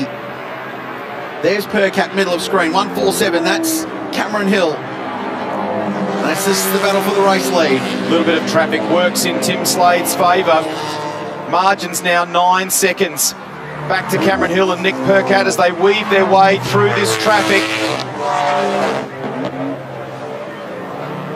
I'm hearing from pit lane as well that the 147 car had more time up their sleeve in terms of fuel. So there was never a fuel question mark over the Cameron Hill and Tom Sargent entry. They were going along very, very nicely. So they had heaps of flexibility when it came to that final pit stop. They're getting absolutely robbed by traffic here at the moment across the top. And Cameron just being really cautious in picking his way through. But of course, Percat's got to do the same in car number one. Nick's waited there, hasn't he, as they cross the top of Skyline. I think he might have cleared one of those cars, but trapped behind the Subaru at the moment. Super cheap auto dipper. Cameron can't quite clear the Evo just yet. Now he gets by. He's in a hurry, isn't he? Yeah. oh, oh, oh, oh. Pressing on much. Slade has just set he's on for his best lap of the motor race and potentially the fastest lap of the race. So they're either going hang the fuel, we're going to go as fast as we can. He had his hand out the window then. I don't know what the, bit of a yeah, bit of a message was. a gesture. And that's the flasher on the indicator store. So letting the Evo know, did a nice job to get out of the way there. 250k into the kink. Percat 1.8 seconds behind Cameron Hill. Slade out to 10.4 seconds. He's got clear racetrack out in front. He's been very good across the course of the lap. And it's the fastest lap of the race. Tim Slade is going for it. Pressing on in the race lead. Might get Molly to get onto that for us and whether they feel that safety car has given them enough. It should have given them enough to go to the flag. But will there be any compromise in that? Is there any, any you know, uh, conservation economy required for Tim Slade at the moment? It doesn't look like it. He is going for it with the quickest lap of the race. Two minute 27.17. The other variable is car 147's got better rubber. They put two new MRF tyres on the right hand side. Why the right hand side, you ask? Well, that's the loaded side of the car on all of the high speed stuff from the cutting all the way to the Ford Ranger elbow. That's where you want the grip. It's where you want a new tyre to work for you. So watch the sector times for you. This car should be really good across the top. There's the worth cutting. It's a visual ID of where we are. Tim Slade to Cameron Hill. And Nick Percat will loom in the distance behind them too. This is set up for a grandstand finish at Mount Panorama. 9.4 seconds, so the, the gap has not, in fact, it's just under nine seconds now. So Hill is charging fastest first sector we've seen. He's responding to Tim Slade here. Let's go to pit lane, Molly. But quickly, quickly grab Shane and Rob away from the screens, as you can imagine, on the edge of your seats.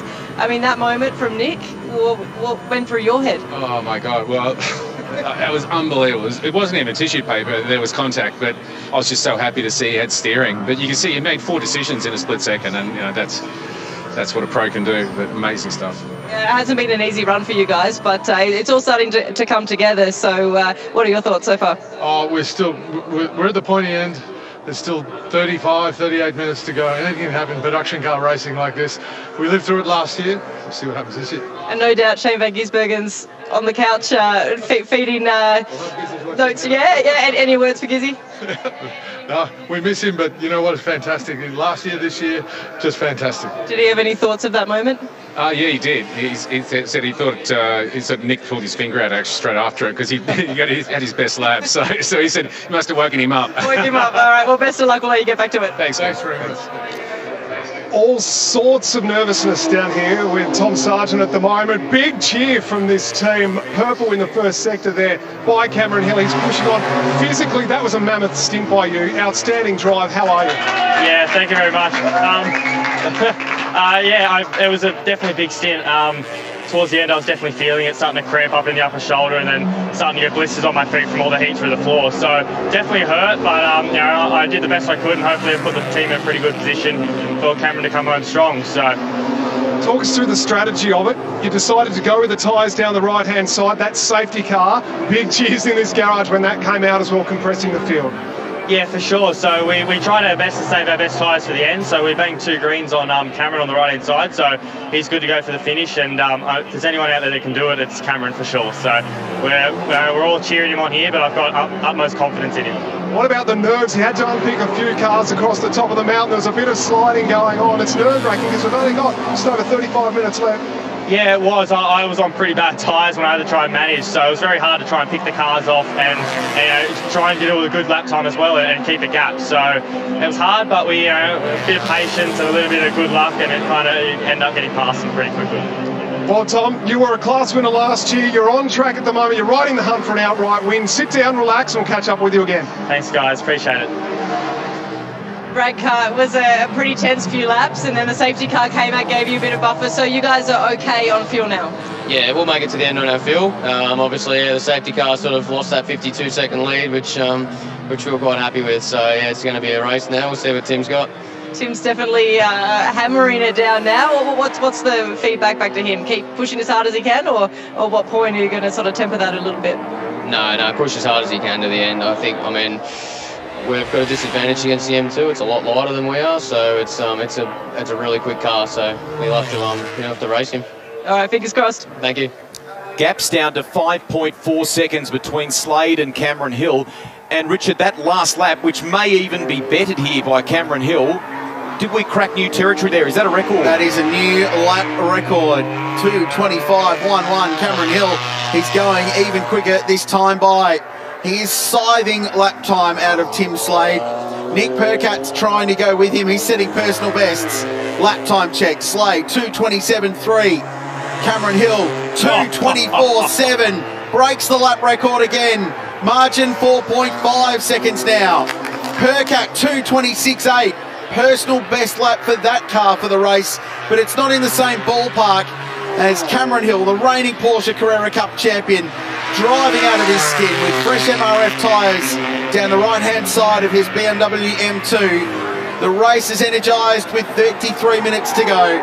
It's mum watching on in pit lane. Not happy about us putting the camera on us, sorry. We've Got to capture a bit of that emotion, the nerves. Just over half an hour remains in this one. Closing in on Tim Slade at a rate of knots. Was 4.2 seconds, looks even closer than that now as they exit Worth Cutting. Percat just set his fastest lap of the race, he's 11 seconds away from these guys ahead. So the gap visually closing. It's down to 3.8 seconds. Across the top of Mount Panorama we go. You should see the number eight Carmods BMW in the next shot when they come down the mountain. Slade's responded. Personal best first sector for the race. Percat too. They are driving the wheels off these things.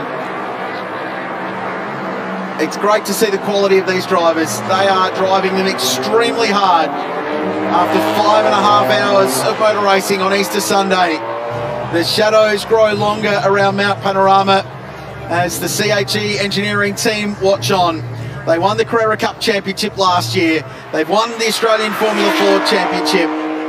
They've built a really good little racing organisation from their Canberra base. And the margin now 3.3 seconds. Slade, personal best middle sector. He's on to set another PB, 115 laps into the race. But I don't know if it's going to be enough to hold out car 147. Into the chase they come. Percat's had a, a good first sector, pretty reasonable across the top. Now it's 2.3 seconds. Cameron Hill to Tim Slade. He's coming. The view on the right of your screens inside both the respective pit bunkers. he stood at a 24.8 at the last lap. It's a tenth off the lap record, no good. Nick Percat sets another PB in car number one, but they just don't have the raw speed to go with this BMW M2 competition. Well, after years of domination from the M3 and the M4, another type of BMW looks like the mousetrap to have when it comes to production car racing at Mount Panorama. Out on the white line, he is driving hard into turn two. How's the composure of Tom Sargent in that interview before as well? Brilliant stuff. Production cars go in waves at Bathurst. It was the Mazda RX-7 in the early 1990s in the Bathurst 12 hour. When that returned in 07, it was the BMW 335, then the Evo Lancer. And those cars were still good in the early days of this race as Cameron Hill slides his car under the MRF bridge at Reid Park. But BMW have dominated since the return of this race in 2016 and in recent years the M3 and last year the M4 have been uncatchable. That was Aaron McGill and John Bowe, the birthday boys. JB yesterday, Aaron today. Happy birthday. They had to replace a starter on that car earlier, so that's why they dropped down the order. A shame for the Ranger team. But Cameron's there. He's within sight of Tim Slade. In a weird sort of irony, the safety cars probably saved them to get to the finish on fuel, but it cost them 50 seconds. And it cost them all the track position and Slade is still pushing extremely hard. Another PB middle sector. That car's never gone faster across the top than it did just then, but it's not enough to hold out Cameron Hill. He's within striking range now, and a pass feels all but inevitable within the final 30 minutes of what's been a compelling Hi-Tec Oils Bathurst six hour. How much pace does this M2 have? Under brakes, less than a second. The nerves. Brad Carr watching on. It's inevitable. That's what he's worried about. But Slade is throwing everything that he has in the skill set, in the toolbox at this. Down to the final corner. 30 minutes remain, just under in this race. It's a straight out shootout on Sunday afternoon. Great drive out the final corner. Slade will cover his line into Hell Corner. He'll breathe for another straight. 1.1 Ks of mountain straight in the run up the hill to Griffin's Bend. But there's a massive grip advantage in car 147. It's got two brand new tyres, and it's going to be the difference today. They'll get to some lap traffic. It could play a role. It could buy Slade a little bit of time. They've cleared both of them now on the way to Griffin's Bend. It was two seconds quicker, but forget the lap times. He's right on the bumper of the car mods. Number eight BMW, Brad Carr and Tim Slade as they climb towards Worth Cutting. More traffic ahead. Flashing the headlights. It's game on here with 30 minutes remaining. Behaviour of the Slade car into turn two suggests that there was nothing left in it. Absolutely at the maximum point of braking for that car. So desperately trying to fend off Cameron Hill here. Blue flags being waved to let the slower competitors, the lap competitors know that some fast cars are on approach. Oh, they come across the Mazda at the worst possible moment on the run into a 170 kilometre an hour corner at McPhillamy Park. Slade breathes on. There's no room to pass there. How's everybody's nerves, by the way? Not great. I'd rather be up here than be Tim Slade, though. But he's so experienced now. He's a seasoned pro. He's one of the best drivers around. He's good for this, but I don't think he's got the tools to do the job at the moment, purely on tyre condition. Look how hard he is pushing that car. It's sliding around through the entry, middle and exit of the corner. And Cameron right in the toe. The lap traffic does the right thing and stays driver left. It's got to be the chase, surely, for Cameron Hill. Slade's going to make him work for it, isn't he? So into the chase they come. Parks the car mid-track. It's not easy for Cameron to dive down the inside there, but he carries good speed through the chase. Maybe another look down into the final corner. Car length between them. Good drive out of that, that turn by Slade. And Hill can't quite do it there. Great driving from Tim Slade. He is on the ragged edge in car number eight. It shouldn't be going this quickly, but somehow he is holding off Cameron Hill. Is the move coming at turn one into the setting sun? He holds on for another turn. He will draw this out as long as he can. There's always a chance at Mount Panorama. Their lap times of the previous lap were separated by one thousandth of a second. Tom Sargent. We're sorry, we got you, mate. We got you. Busted. The nerves. And again, Tim Slade at turn two. We'll see if Hill can put a move on here at Worth Cutting. I was just doing a lap time check on Nick Percat, and he's just hit the same traffic that they have. go. Oh, at the cutting, at the cutting, no way. It doesn't happen there.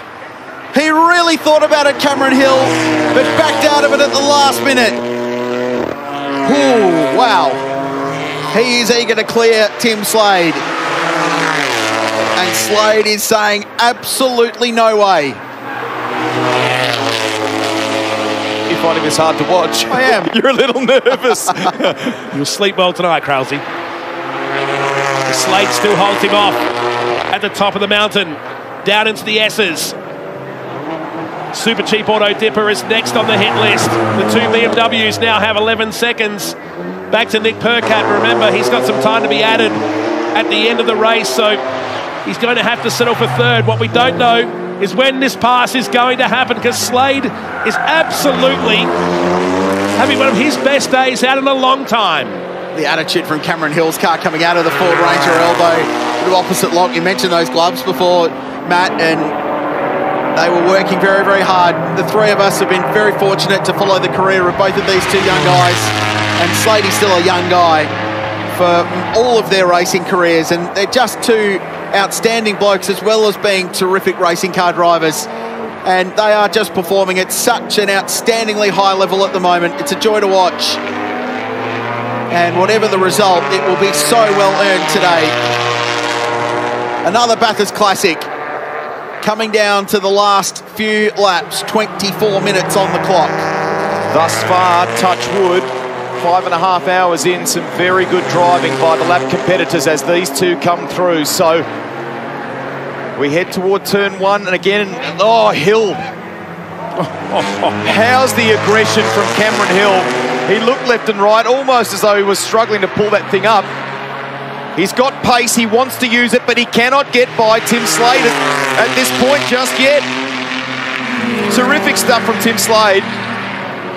Look at him. Weaving left and right. Cameron's got the blinkers on. He's flashing the lights.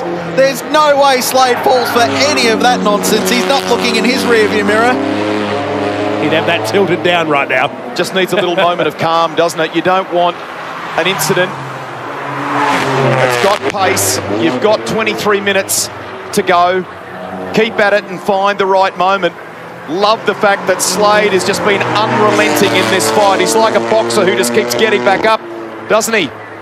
Will not quit. And that's all good for you watching live here on Stan. Final 23 minutes of this race. Lap competitor doesn't make things easy for them across the top of the mountain. Slade, he needs to keep it parked mid-track. BM, the, uh, the Mini rather is there. Well, now they're through. Oh, it's an offshoot of the BMW brand, the Mini. It is. Didn't do either of them any favours there. Down the hill they go. Slade survives another three and a half Ks. This is exceptional. Brilliant racing. It's promised and it's delivering. That's what we love about the six hour. Down to Ford Ranger elbow. Slade parks it, makes it almost impossible for him to line up a move, but tucks in behind the Car Mods number eight BMW. Down the straight we go. In the closing stages of this one, 22 and a half minutes to go. It's going to be a very long 22 and a half minutes. So prior to that safety car, they thought they would be in the red in terms of fuel for Tim Slade. Safety car worked in their favour. Hopefully at this pace, at this pace, they have enough in the tank for him to keep going at these sorts of numbers with this sort of pressure. More lap traffic and just a little bit of breathing room and Cameron Hill taking no prisoners on the run into Murray's corner. Every lap that Slade holds on, every lap is vital. Cameron Hill down the inside at turn one for the race lead. There it is. There it is from last to first. He's got the run, but they'll go side by side. Slade's back in front. There's so much fight in this guy. There's the Car Mods Australia team watching on. That was a go-kart move, Yeah, wasn't it? Just absolutely. absolutely. fired it up the inside. Awesome to watch. And Slade was having none of it. Responded with great drive out of turn one and regains the lead. So this is not over. So he had it for half a turn. The first bite at the lead in this final sector of the race. There's Percat.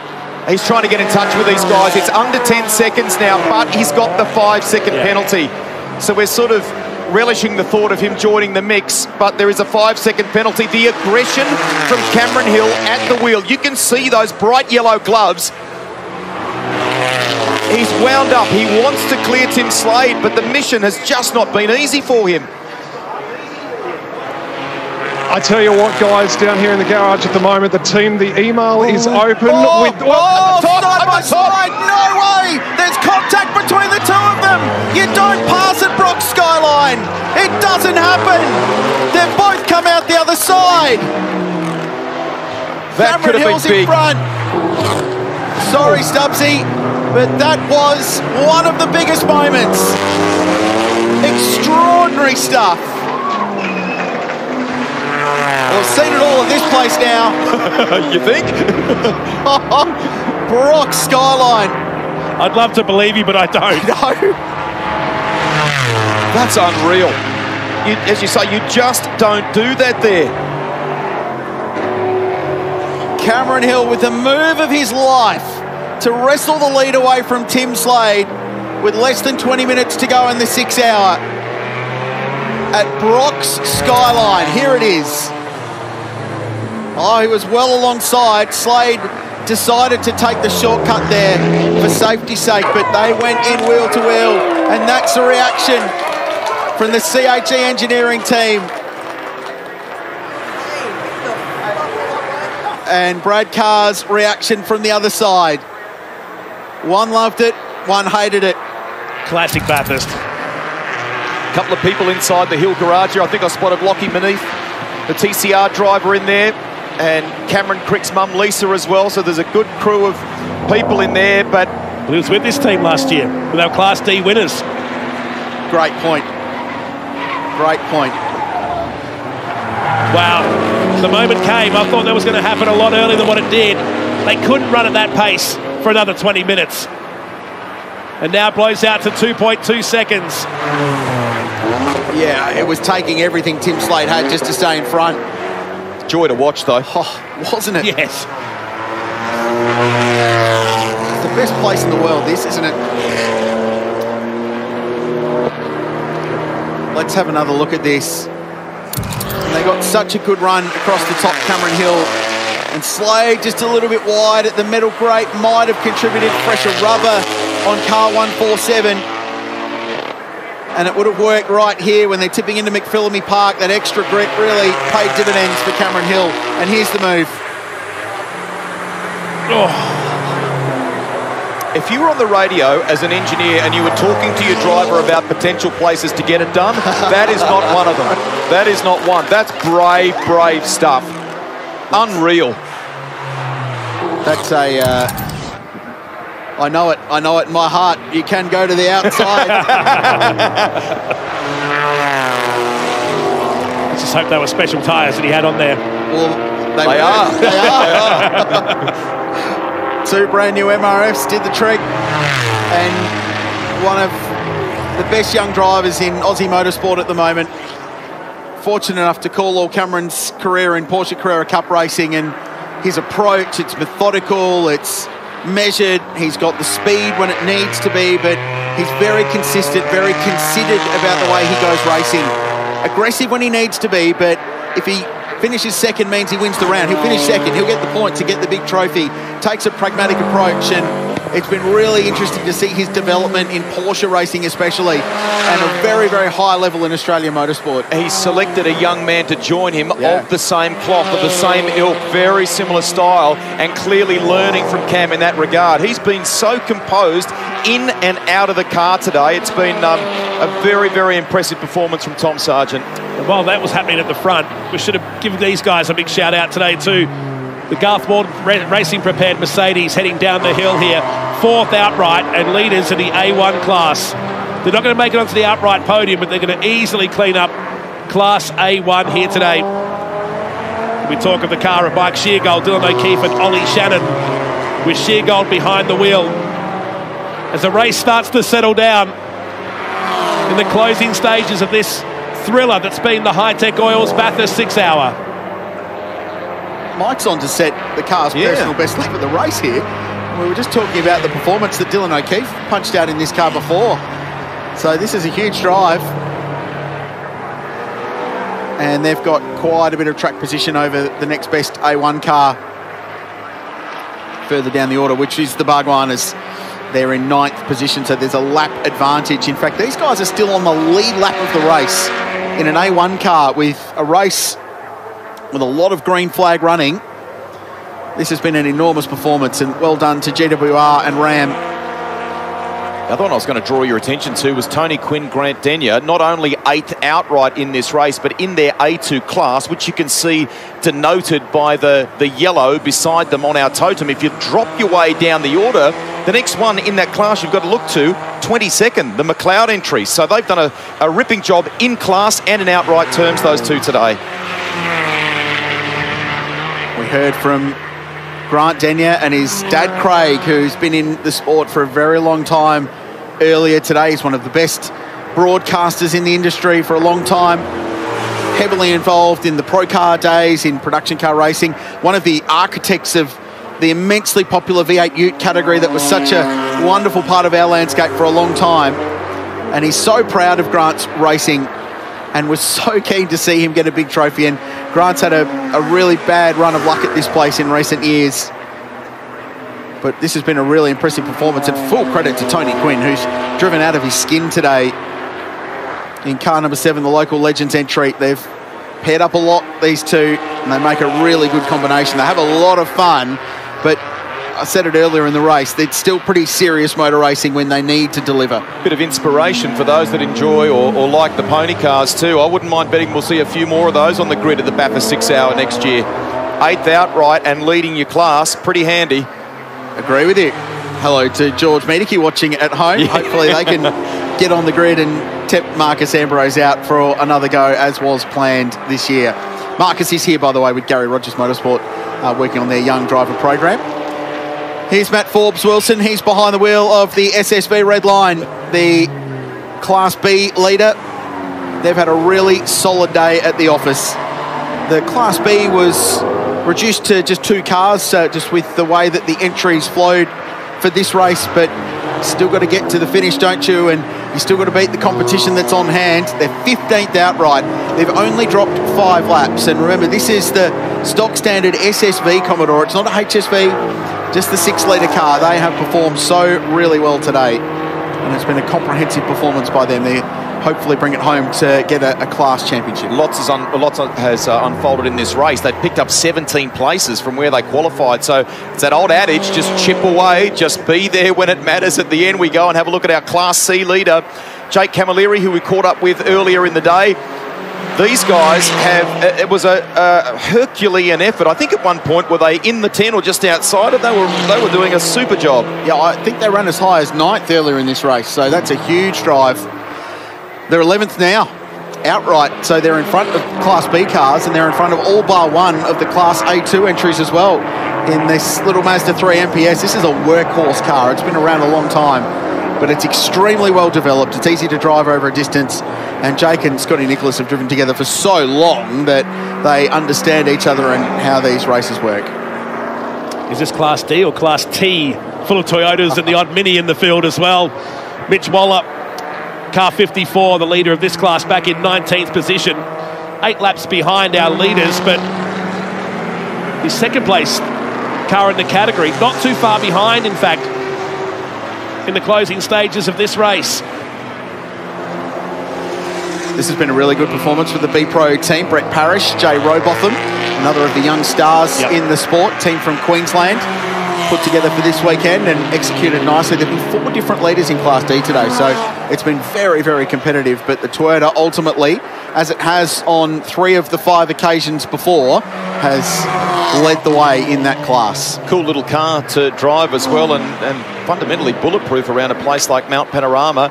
And we look at the compact class and the McMaster entry there. We detailed a little bit earlier in the day the incident, unfortunately, for the, the teammates, the Suzuki Swifts, one having a little bit of trouble getting out of uh, the chase and was promptly hit by his teammate, his stablemate, as we see 171 yeah, entry. Johnson. Yeah. Great presence of mind to back it out of the way, and it enables us to stay under green flag racing with uh, 11 minutes remaining. But I wonder what's happened there. the way up through Griffin's Bend as we go back to our outright leader, which served up a thrilling battle between he and Slade. Gets out to nearly seven seconds. And 224.7, the fastest lap and a new lap record here in the six hour. And they're just going to enjoy the next 12 or so minutes of this race with a gap at seven seconds, another 12 with that extra five for Percat. So he's safe here. Tim Slade in second position. Car headlights really taking effect now as the sun sets in the west. Proper dark out there, yeah. not it? With 10 minutes to go in this one. The sunset's officially happened anyway to the west. Now we get some really cool light to wrap up the day. We were delayed because of heavy fog. If you just joined our coverage in the last hour, that delayed the show by about 30 minutes. We had to squeeze in the warm-up plus the Turtle Wax Trans Am and Super Cheap Auto TCR Australia final races of the weekend. And oh. now a oh. car off, a car off here at the final turn. They're going to get out. On. It's the Subaru. It's the Schumacher Subaru. Now oh, wow. That's the second off he's had on the lap because he also damage. went off. It's got damage on the right front too, so it has actually made contact with the wall. No rear view mirror either, so let's have a look here. They have been battling braking issues with oh. this car. Oh, that's a massive braking issue. It's Brad. Look, look, look, look at this. Oh, wow. Oh. oh. Prior to that, he went off at the top of Skyline and come up on our screens as well. So that was the second part. Lucky, there's a big thick tyre wall down there. Back in the day, that was just a guardrail. Fourth in class and 13th outright, that team. So they've been pressing on. They've had a, a really solid day, yeah. Uh, nine minutes to go. You'd hang any brake issues, wouldn't you? And just circulate to get to the finish, surely. Guard is rubbing on that tyre, though, so that'll be another issue to contend with. Just limp at home, get it home.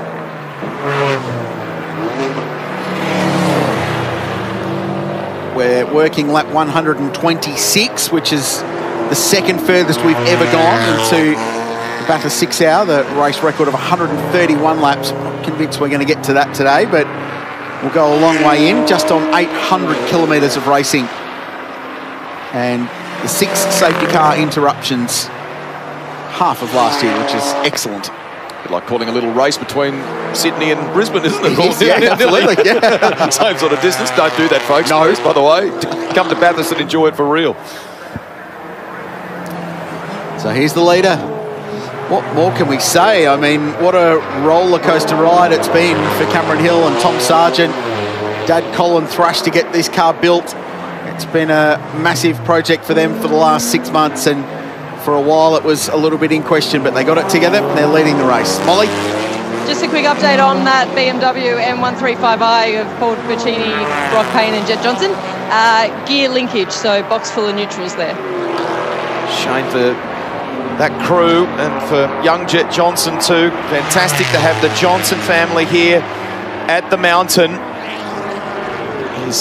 Car in Trans Am looks amazing, Jett Johnson. So hopefully it's the beginning of some great stories for that young man at a place that was synonymous with his his dad and his race, his uh, his grandfather, I should say, in his racing career, and even his own father, Stephen, when he came here. How good is Australian motorsport right now, though, with the next generation of names coming through?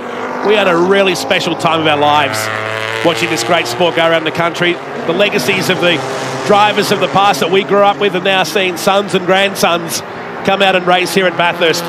The future is very bright. It's, it's an addiction in a nice way that's sort of handed down through the generations, isn't it? And, it, and it's wonderful to see families all together across race weekend here. I mean, you can look at, at for example, I don't know, uh, the Mazda RX-8, the Shaw family. Lisa's here, Rick's wife, Rick's racing. There's some Tom's driving, and there's lots of yarns like that right up and down this lane, let alone those working on the cars Yeah, too. Actually, exactly.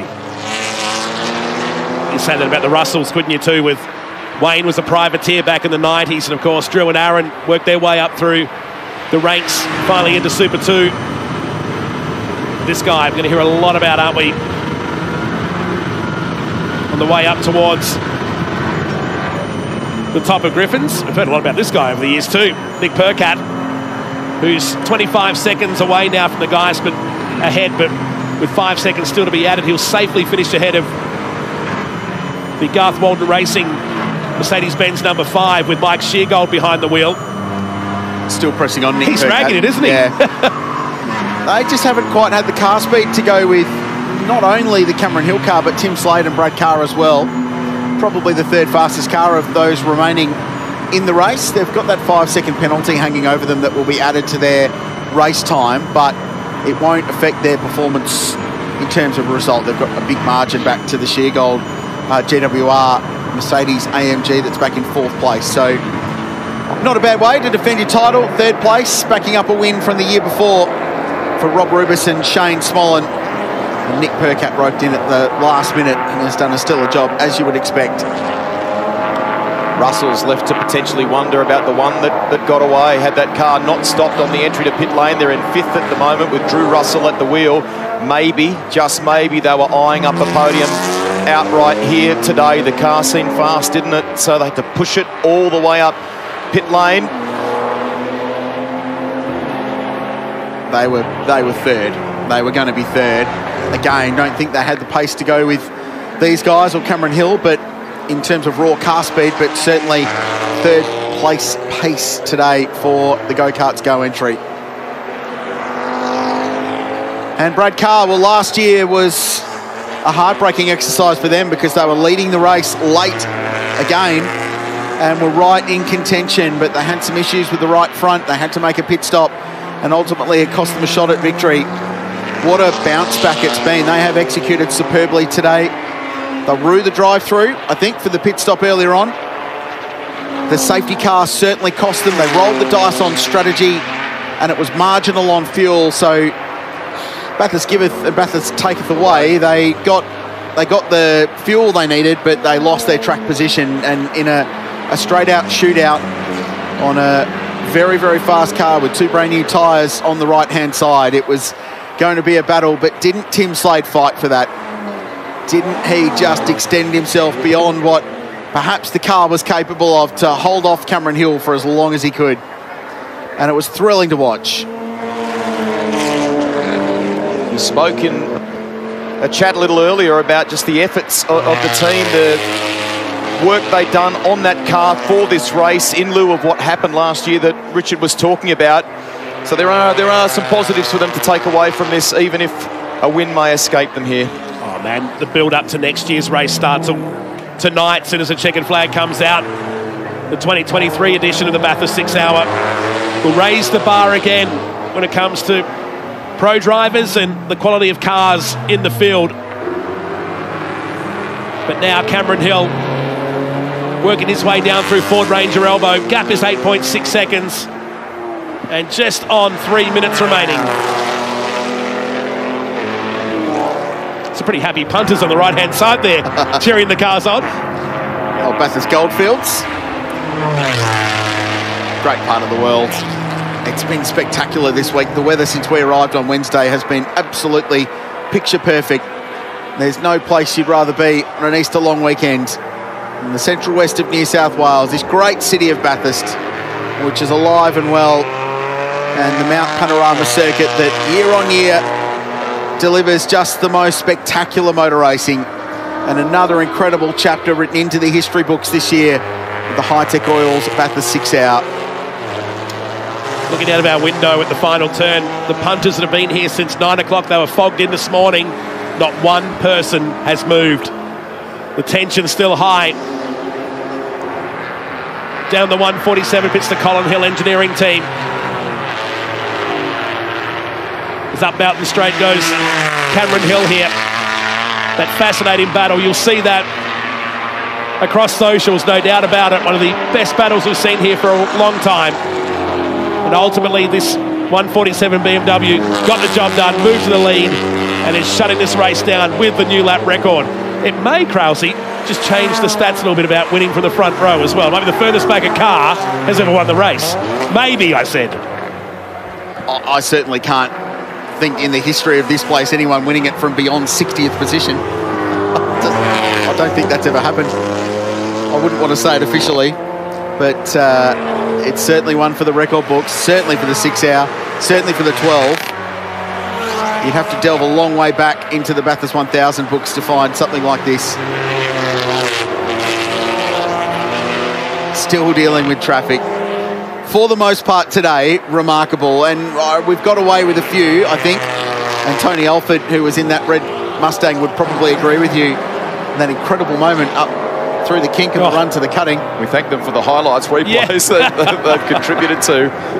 Oh, the, the saves and the lucky moments and the fact that we've only had half the amount of safety cars, I think shows just the quality of of some of the driving we've had today for the size of the field. If you wanted up and down this pit lane before the start of this race and asked people, most would have said, we're going to have a day littered with safety cars. So many cars, the potential for so many incidents, and that really didn't unfold, Matt. Some been some in difficult moments, some good driving. Look at these kids on the side of the track there waving.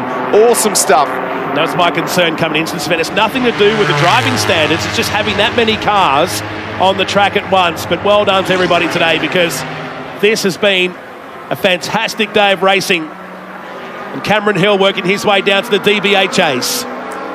One lap to go this time by for the Tegra Australia.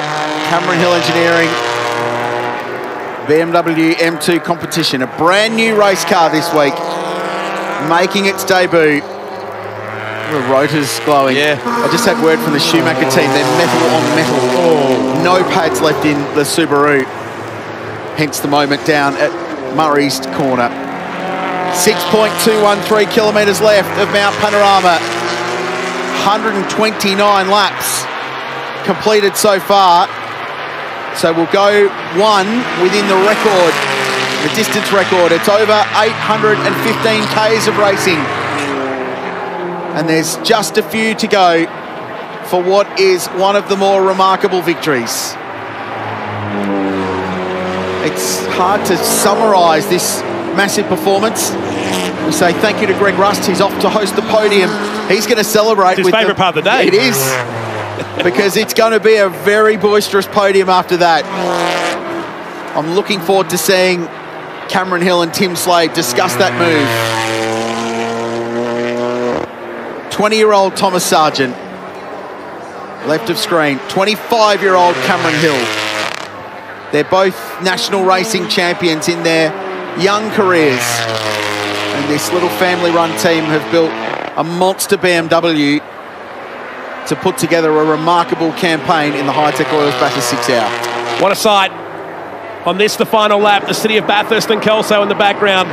The quarries behind the back of the mountain here from this beautiful Pertac drone cam that's brought us some amazing pictures over the last two days of the Hi-Tec Oils Bathurst six hour.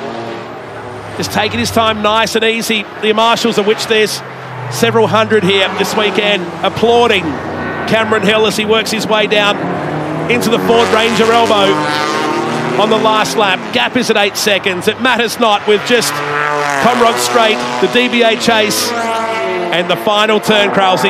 Big day, and these guys have done it from as far back as possible here. In fact, right around the corner here at Mount Panorama. Sargent makes his way to the wall along with the Colin Hill team. And here he comes down to the chase. This has been a mighty performance. Thomas Sargent and Cameron Hill.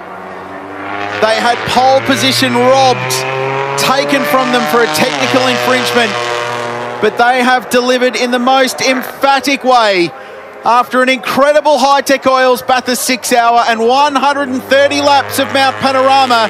Cameron Hill and Thomas Sargent go from 61st to first to claim the 2022 Easter Enduro Classic. What a performance. Tim Slade and Brad Carr across the line in second. They fought them the whole way. And Tim Slade, that is one of the better drives Yeah. he has ever produced. And Nick Percat across the line with Rob Rubis and Shane Smollen. They defend their win with third. Can you wait for the emotion along this entire pit wall with all the cars crossing the lines in their respective classes today, of which we had seven? Everybody out on the pit wall. It doesn't matter whether you finished in first place or you're several laps down, Molly. What an incredible day. The feeling must be amazing down there. Oh, it's it's goosebumps. It's it's absolutely incredible. Uh, you can see we know how hard these, these guys have worked. We'll try and grab a word with Tom. Congratulations! A couple of weeks ago, you didn't think this was this was even on the cars, and then you took pole position in qualifying. Then with the penalties starting from the back of the grid to first. No words. I've got no words. Look, there's not many words I can say right now on camera, but I'll do my best. So oh, it's just unbelievable. Like I said, we weren't even going to be here a few weeks ago, and even when we knew we were going to be here, we just wanted to just run around and get some miles to the car, let alone to qualify and pole and, and have all those issues. And then come from 63rd to first. That's unbelievable. It's just a credit to everyone that's involved there. The list of names of everyone who's made this possible is way too long. It's it's just crazy the amount of people that all come together to help us, and uh, we're forever in their debt, and we're so grateful. It's uh, we're awesome, awesome opportunity, and we're on top of the world. You've done a great job, as you say. You've had an incredible team working alongside you. In terms of, of your career highlights, where does this rank? Oh, this is pretty high for sure. Last year I come here, I had the Class D win, and we, we sat down, we're like, nah, we want to do outright. And to come here in your first year against all these, you know, well-represented teams, uh, that's just unbelievable, that's for sure. And a teammate and a mentor like Cameron Hill? Uh, yeah, a huge thanks to Cameron. He's he's unbelievable on and off the track. You know, as much as I was nervous there at the end, I had uh, I. I probably have the most faith in him out of anyone else up this lane. So he's an incredible driver, and um, yeah, I can't thank everyone enough. It's cool. Congratulations again. We'll let you go and get into some celebrations. Class D winner here last year. Didn't worry about Class C, Class B, Class A. They went straight to the penthouse in Class X. And they are this year's Hi-Tec Oils Bathurst six-hour winner. And let the car do the celebrations as they come into victory lane just beneath our commentary position here, where we'll crown our winners, our top three here today at Mount Panorama. What a drive from this guy, Krause. Incredible performance. He's the reigning Porsche Carrera Cup Australia champion. He showed why with a champion drive to claim one of the big Bathurst majors. And he celebrates with his team. The Tegra Australia outfit, they're a very close unit, family race team. There's his dad. Oh, that's a special ah. moment. Colin has worked so hard on this car. There's mum watching on. Oh, this is so good. And the Bathurst winner celebration. Stubbsy's down there. He's amongst the action. One of the great Bathurst drives, Stubbsy. Krause, you are spot on. We have seen some epic chapters in the history of Mount Panorama. Cameron Hill, that is right up there with them. Pole taken off. You're starting from the wrong end of the grid. Six hours later, you are the victor in the 2022 Hi-Tec Oils Bathurst six hour. How good is that? Doesn't feel real. It's a dream come true. Tommy, come here. Man, this team has just been incredible. Tom has just been pulling massive hours in the shop to get this car ready, like all of us. And here we are in winner's circle. Oh, mate, I can't believe it. I tell you what, Tim Slade made you earn that. Across the top there, he was as wide as possible. That was gripping to watch. Yeah, Tim, Tim made it as hard as he could for me. We had a tyre advantage, um, but I just had to be patient. You know, I, I could see where I was strong. Um, and yeah, Skyline, maybe that wasn't the first place I thought I was going to do the move, but uh, it was the place I did it. What about this guy beside you? His performance across the weekend, you haven't put a foot wrong, neither has he. Nah, Tom's drive uh, driven absolutely spectacularly. He that pole lap that obviously got taken off us. That was an insane lap, and um, you know, the car, yeah, the car wasn't any slower today. So um, no, thanks. Outstanding. It is Easter. Happy Easter to you. You've got the main chocolates, the one that count. Enjoy this moment, both of you. Cheers. Thank you. Well done, Chris Stubbs. What a fantastic result as we take a look at the highlights of this amazing six hour that started at 11.45 here today at Mount Panorama. The field of 63 set sail for turn number one. It didn't take long for the drama to start. Our pole sitting car coming to a stop here on pit straight. That flew by and early contenders out of the motor race. It was quite remarkable how the big dogs fell early. The McLeod Mustang was one of them in the fence. Aaron Cameron really didn't get to show his potential. This was the battle for the lead, and in just a few corners, Tom Sargent blazed his way to the front. Went from fourth to third.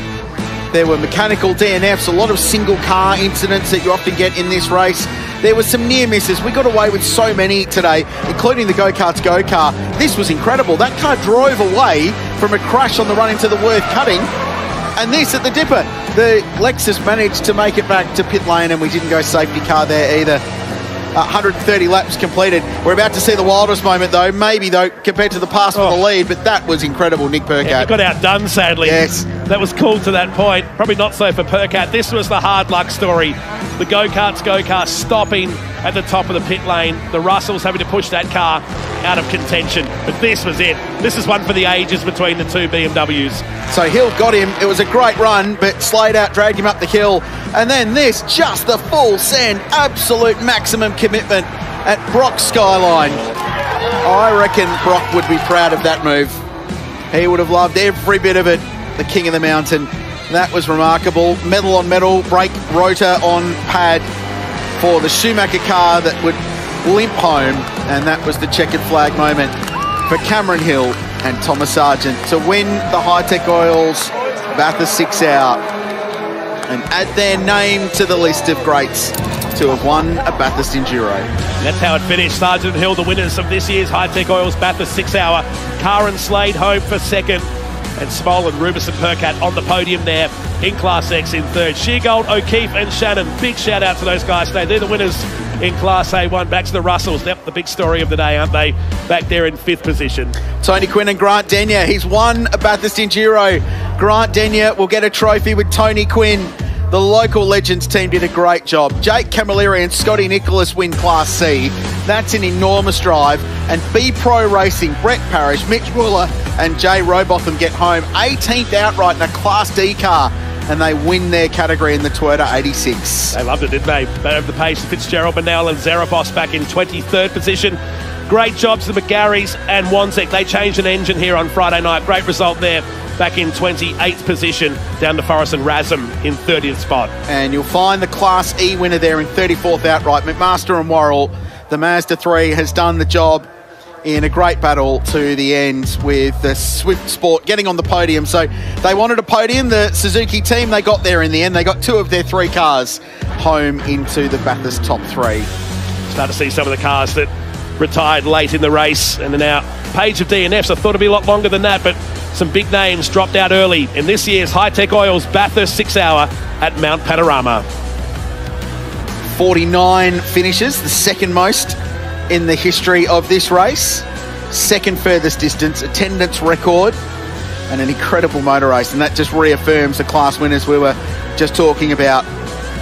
Sargent Hill, of course, won their category as well as winning the race outright. That it's a giant killing performance from the AMG team. Ram and GWR will be thrilled with that. Ollie Shannon, Dylan O'Keeffe, and Marty Sheargold.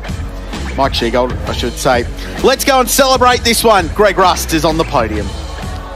Ladies and gentlemen, welcome to the trophy presentation for the 2022 Hi-Tec Oils Bathurst 6 Hour. We congratulate all teams that finished today's race and pay a very special thanks to our volunteers for their invaluable efforts this Easter at Mount Panorama. Now, please welcome the top three outright finishing teams to the podium. In third place today for Prestige Connects, Shane Smollen, Rob Rubis, and Nick Percat. We welcome to the podium for Car Mods Australia, Brad Carr and Tim Slade. Ladies and gentlemen, please be generous in your applause for winners of the Hi-Tec Oils Bathurst 6 Hour for 2022 for Tegra Australia. Give it up, Cameron Hill and Tom Sargent.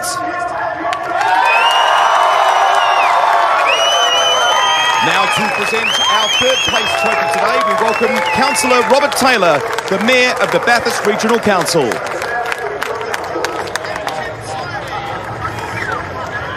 We thank Robert and the team from the council for their ongoing support here. Now to present the second place trophy, we welcome the CEO of MRF Tyres Australia, Mr. Vivek Ponusami.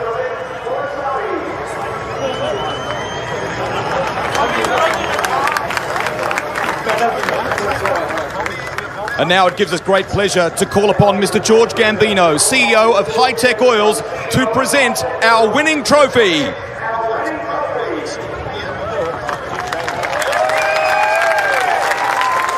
Drivers, congratulations. What an epic edition of the six hour. The podium is yours.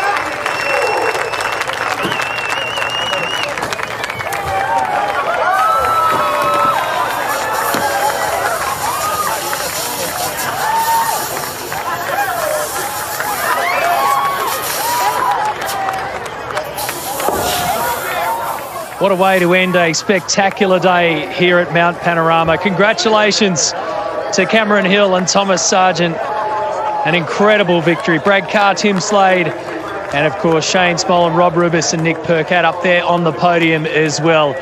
It's a very, very special celebration at the end of six hours of racing, 130 laps, more than 815 kilometres we have trekked throughout the course of this race. The Hi-Tec Oils Bathurst six hour has delivered again in the last 30 minutes. I mean, it was a crazy start. Obviously, we had a delayed start earlier this morning with the fog, but that last 30 minutes of that race was as exhilarating as you're going to get around here. Molly Taylor, Chris Stubbs with me. Oh, we were we were watching in the garages, and you could hear a pin drop. It was just everybody on the edge of their seats, and see when those moves were on, the, the garages were then erupting, and, and it was just an incredible moment to witness. The drama started from the moment we got to the track this morning with that pole taken away for the ride height infringement. And we said at the time, it's a long way, six hours, they've got time to work their way back. We had cars dropping left, right, and centre in that first half an hour like we've never seen before. And the favourites too. And as you said, a finish that went down to the last handful of laps. Record crowd, you couldn't ask for any more. It's not bad when you're 25 years old and 20 years old, respectively, and you say, you know what, we just won Bathurst outright. And you know what, we did it from 63rd on the grid. We've gone all the way through the field and we've celebrated a historic victory here at Mount Panorama. Uh, Panorama. It's been an exhilarating day, a fantastic day, and these celebrations will continue late into the night. They were here last year, they won Class D and said, that's not good enough for us. We're going the whole way and even the fact that they didn't know that they would make it here. The midnight oil has been burned by that team. That's a new car, the M2, they've turned around very quickly and made it super speedy. And hats off to them, Molly. And, and how was the battle also with Brad Carr, Tim Slade? Those Yeah. laps by Tim Slade were just incredible. They really put everything out there, and huge congratulations to them as well. So that's the end of the Hi-Tec Oils Bathurst six hour. It's certainly not the end of the Speed Series right here on Stan Sport. We will head off to Sydney Motorsport Park, May 28 and 29. We finished in the dark here this evening. We'll be finishing in the dark under lights on Saturday night at Sydney Motorsport Park. So round two also of Shannon's uh, Motorsport Australia Championship. That is the fourth round of the Speed Series, and we'll have full coverage for you right here on Stan Sports. So don't miss it. Congratulations to everybody involved across all of the categories. Our thanks, of course, to the Bathurst City Council, always putting on a great show. To the volunteers, to the crowds that have turned up, to everybody who's put all the effort in to make this Hi-Tec Oils Bathurst six hour what it's been today. We say thank you on behalf of the entire Stan Sport crew. I'm Matt White. Thanks for your company. We'll see you next time for round four of the Speed Series in Sydney.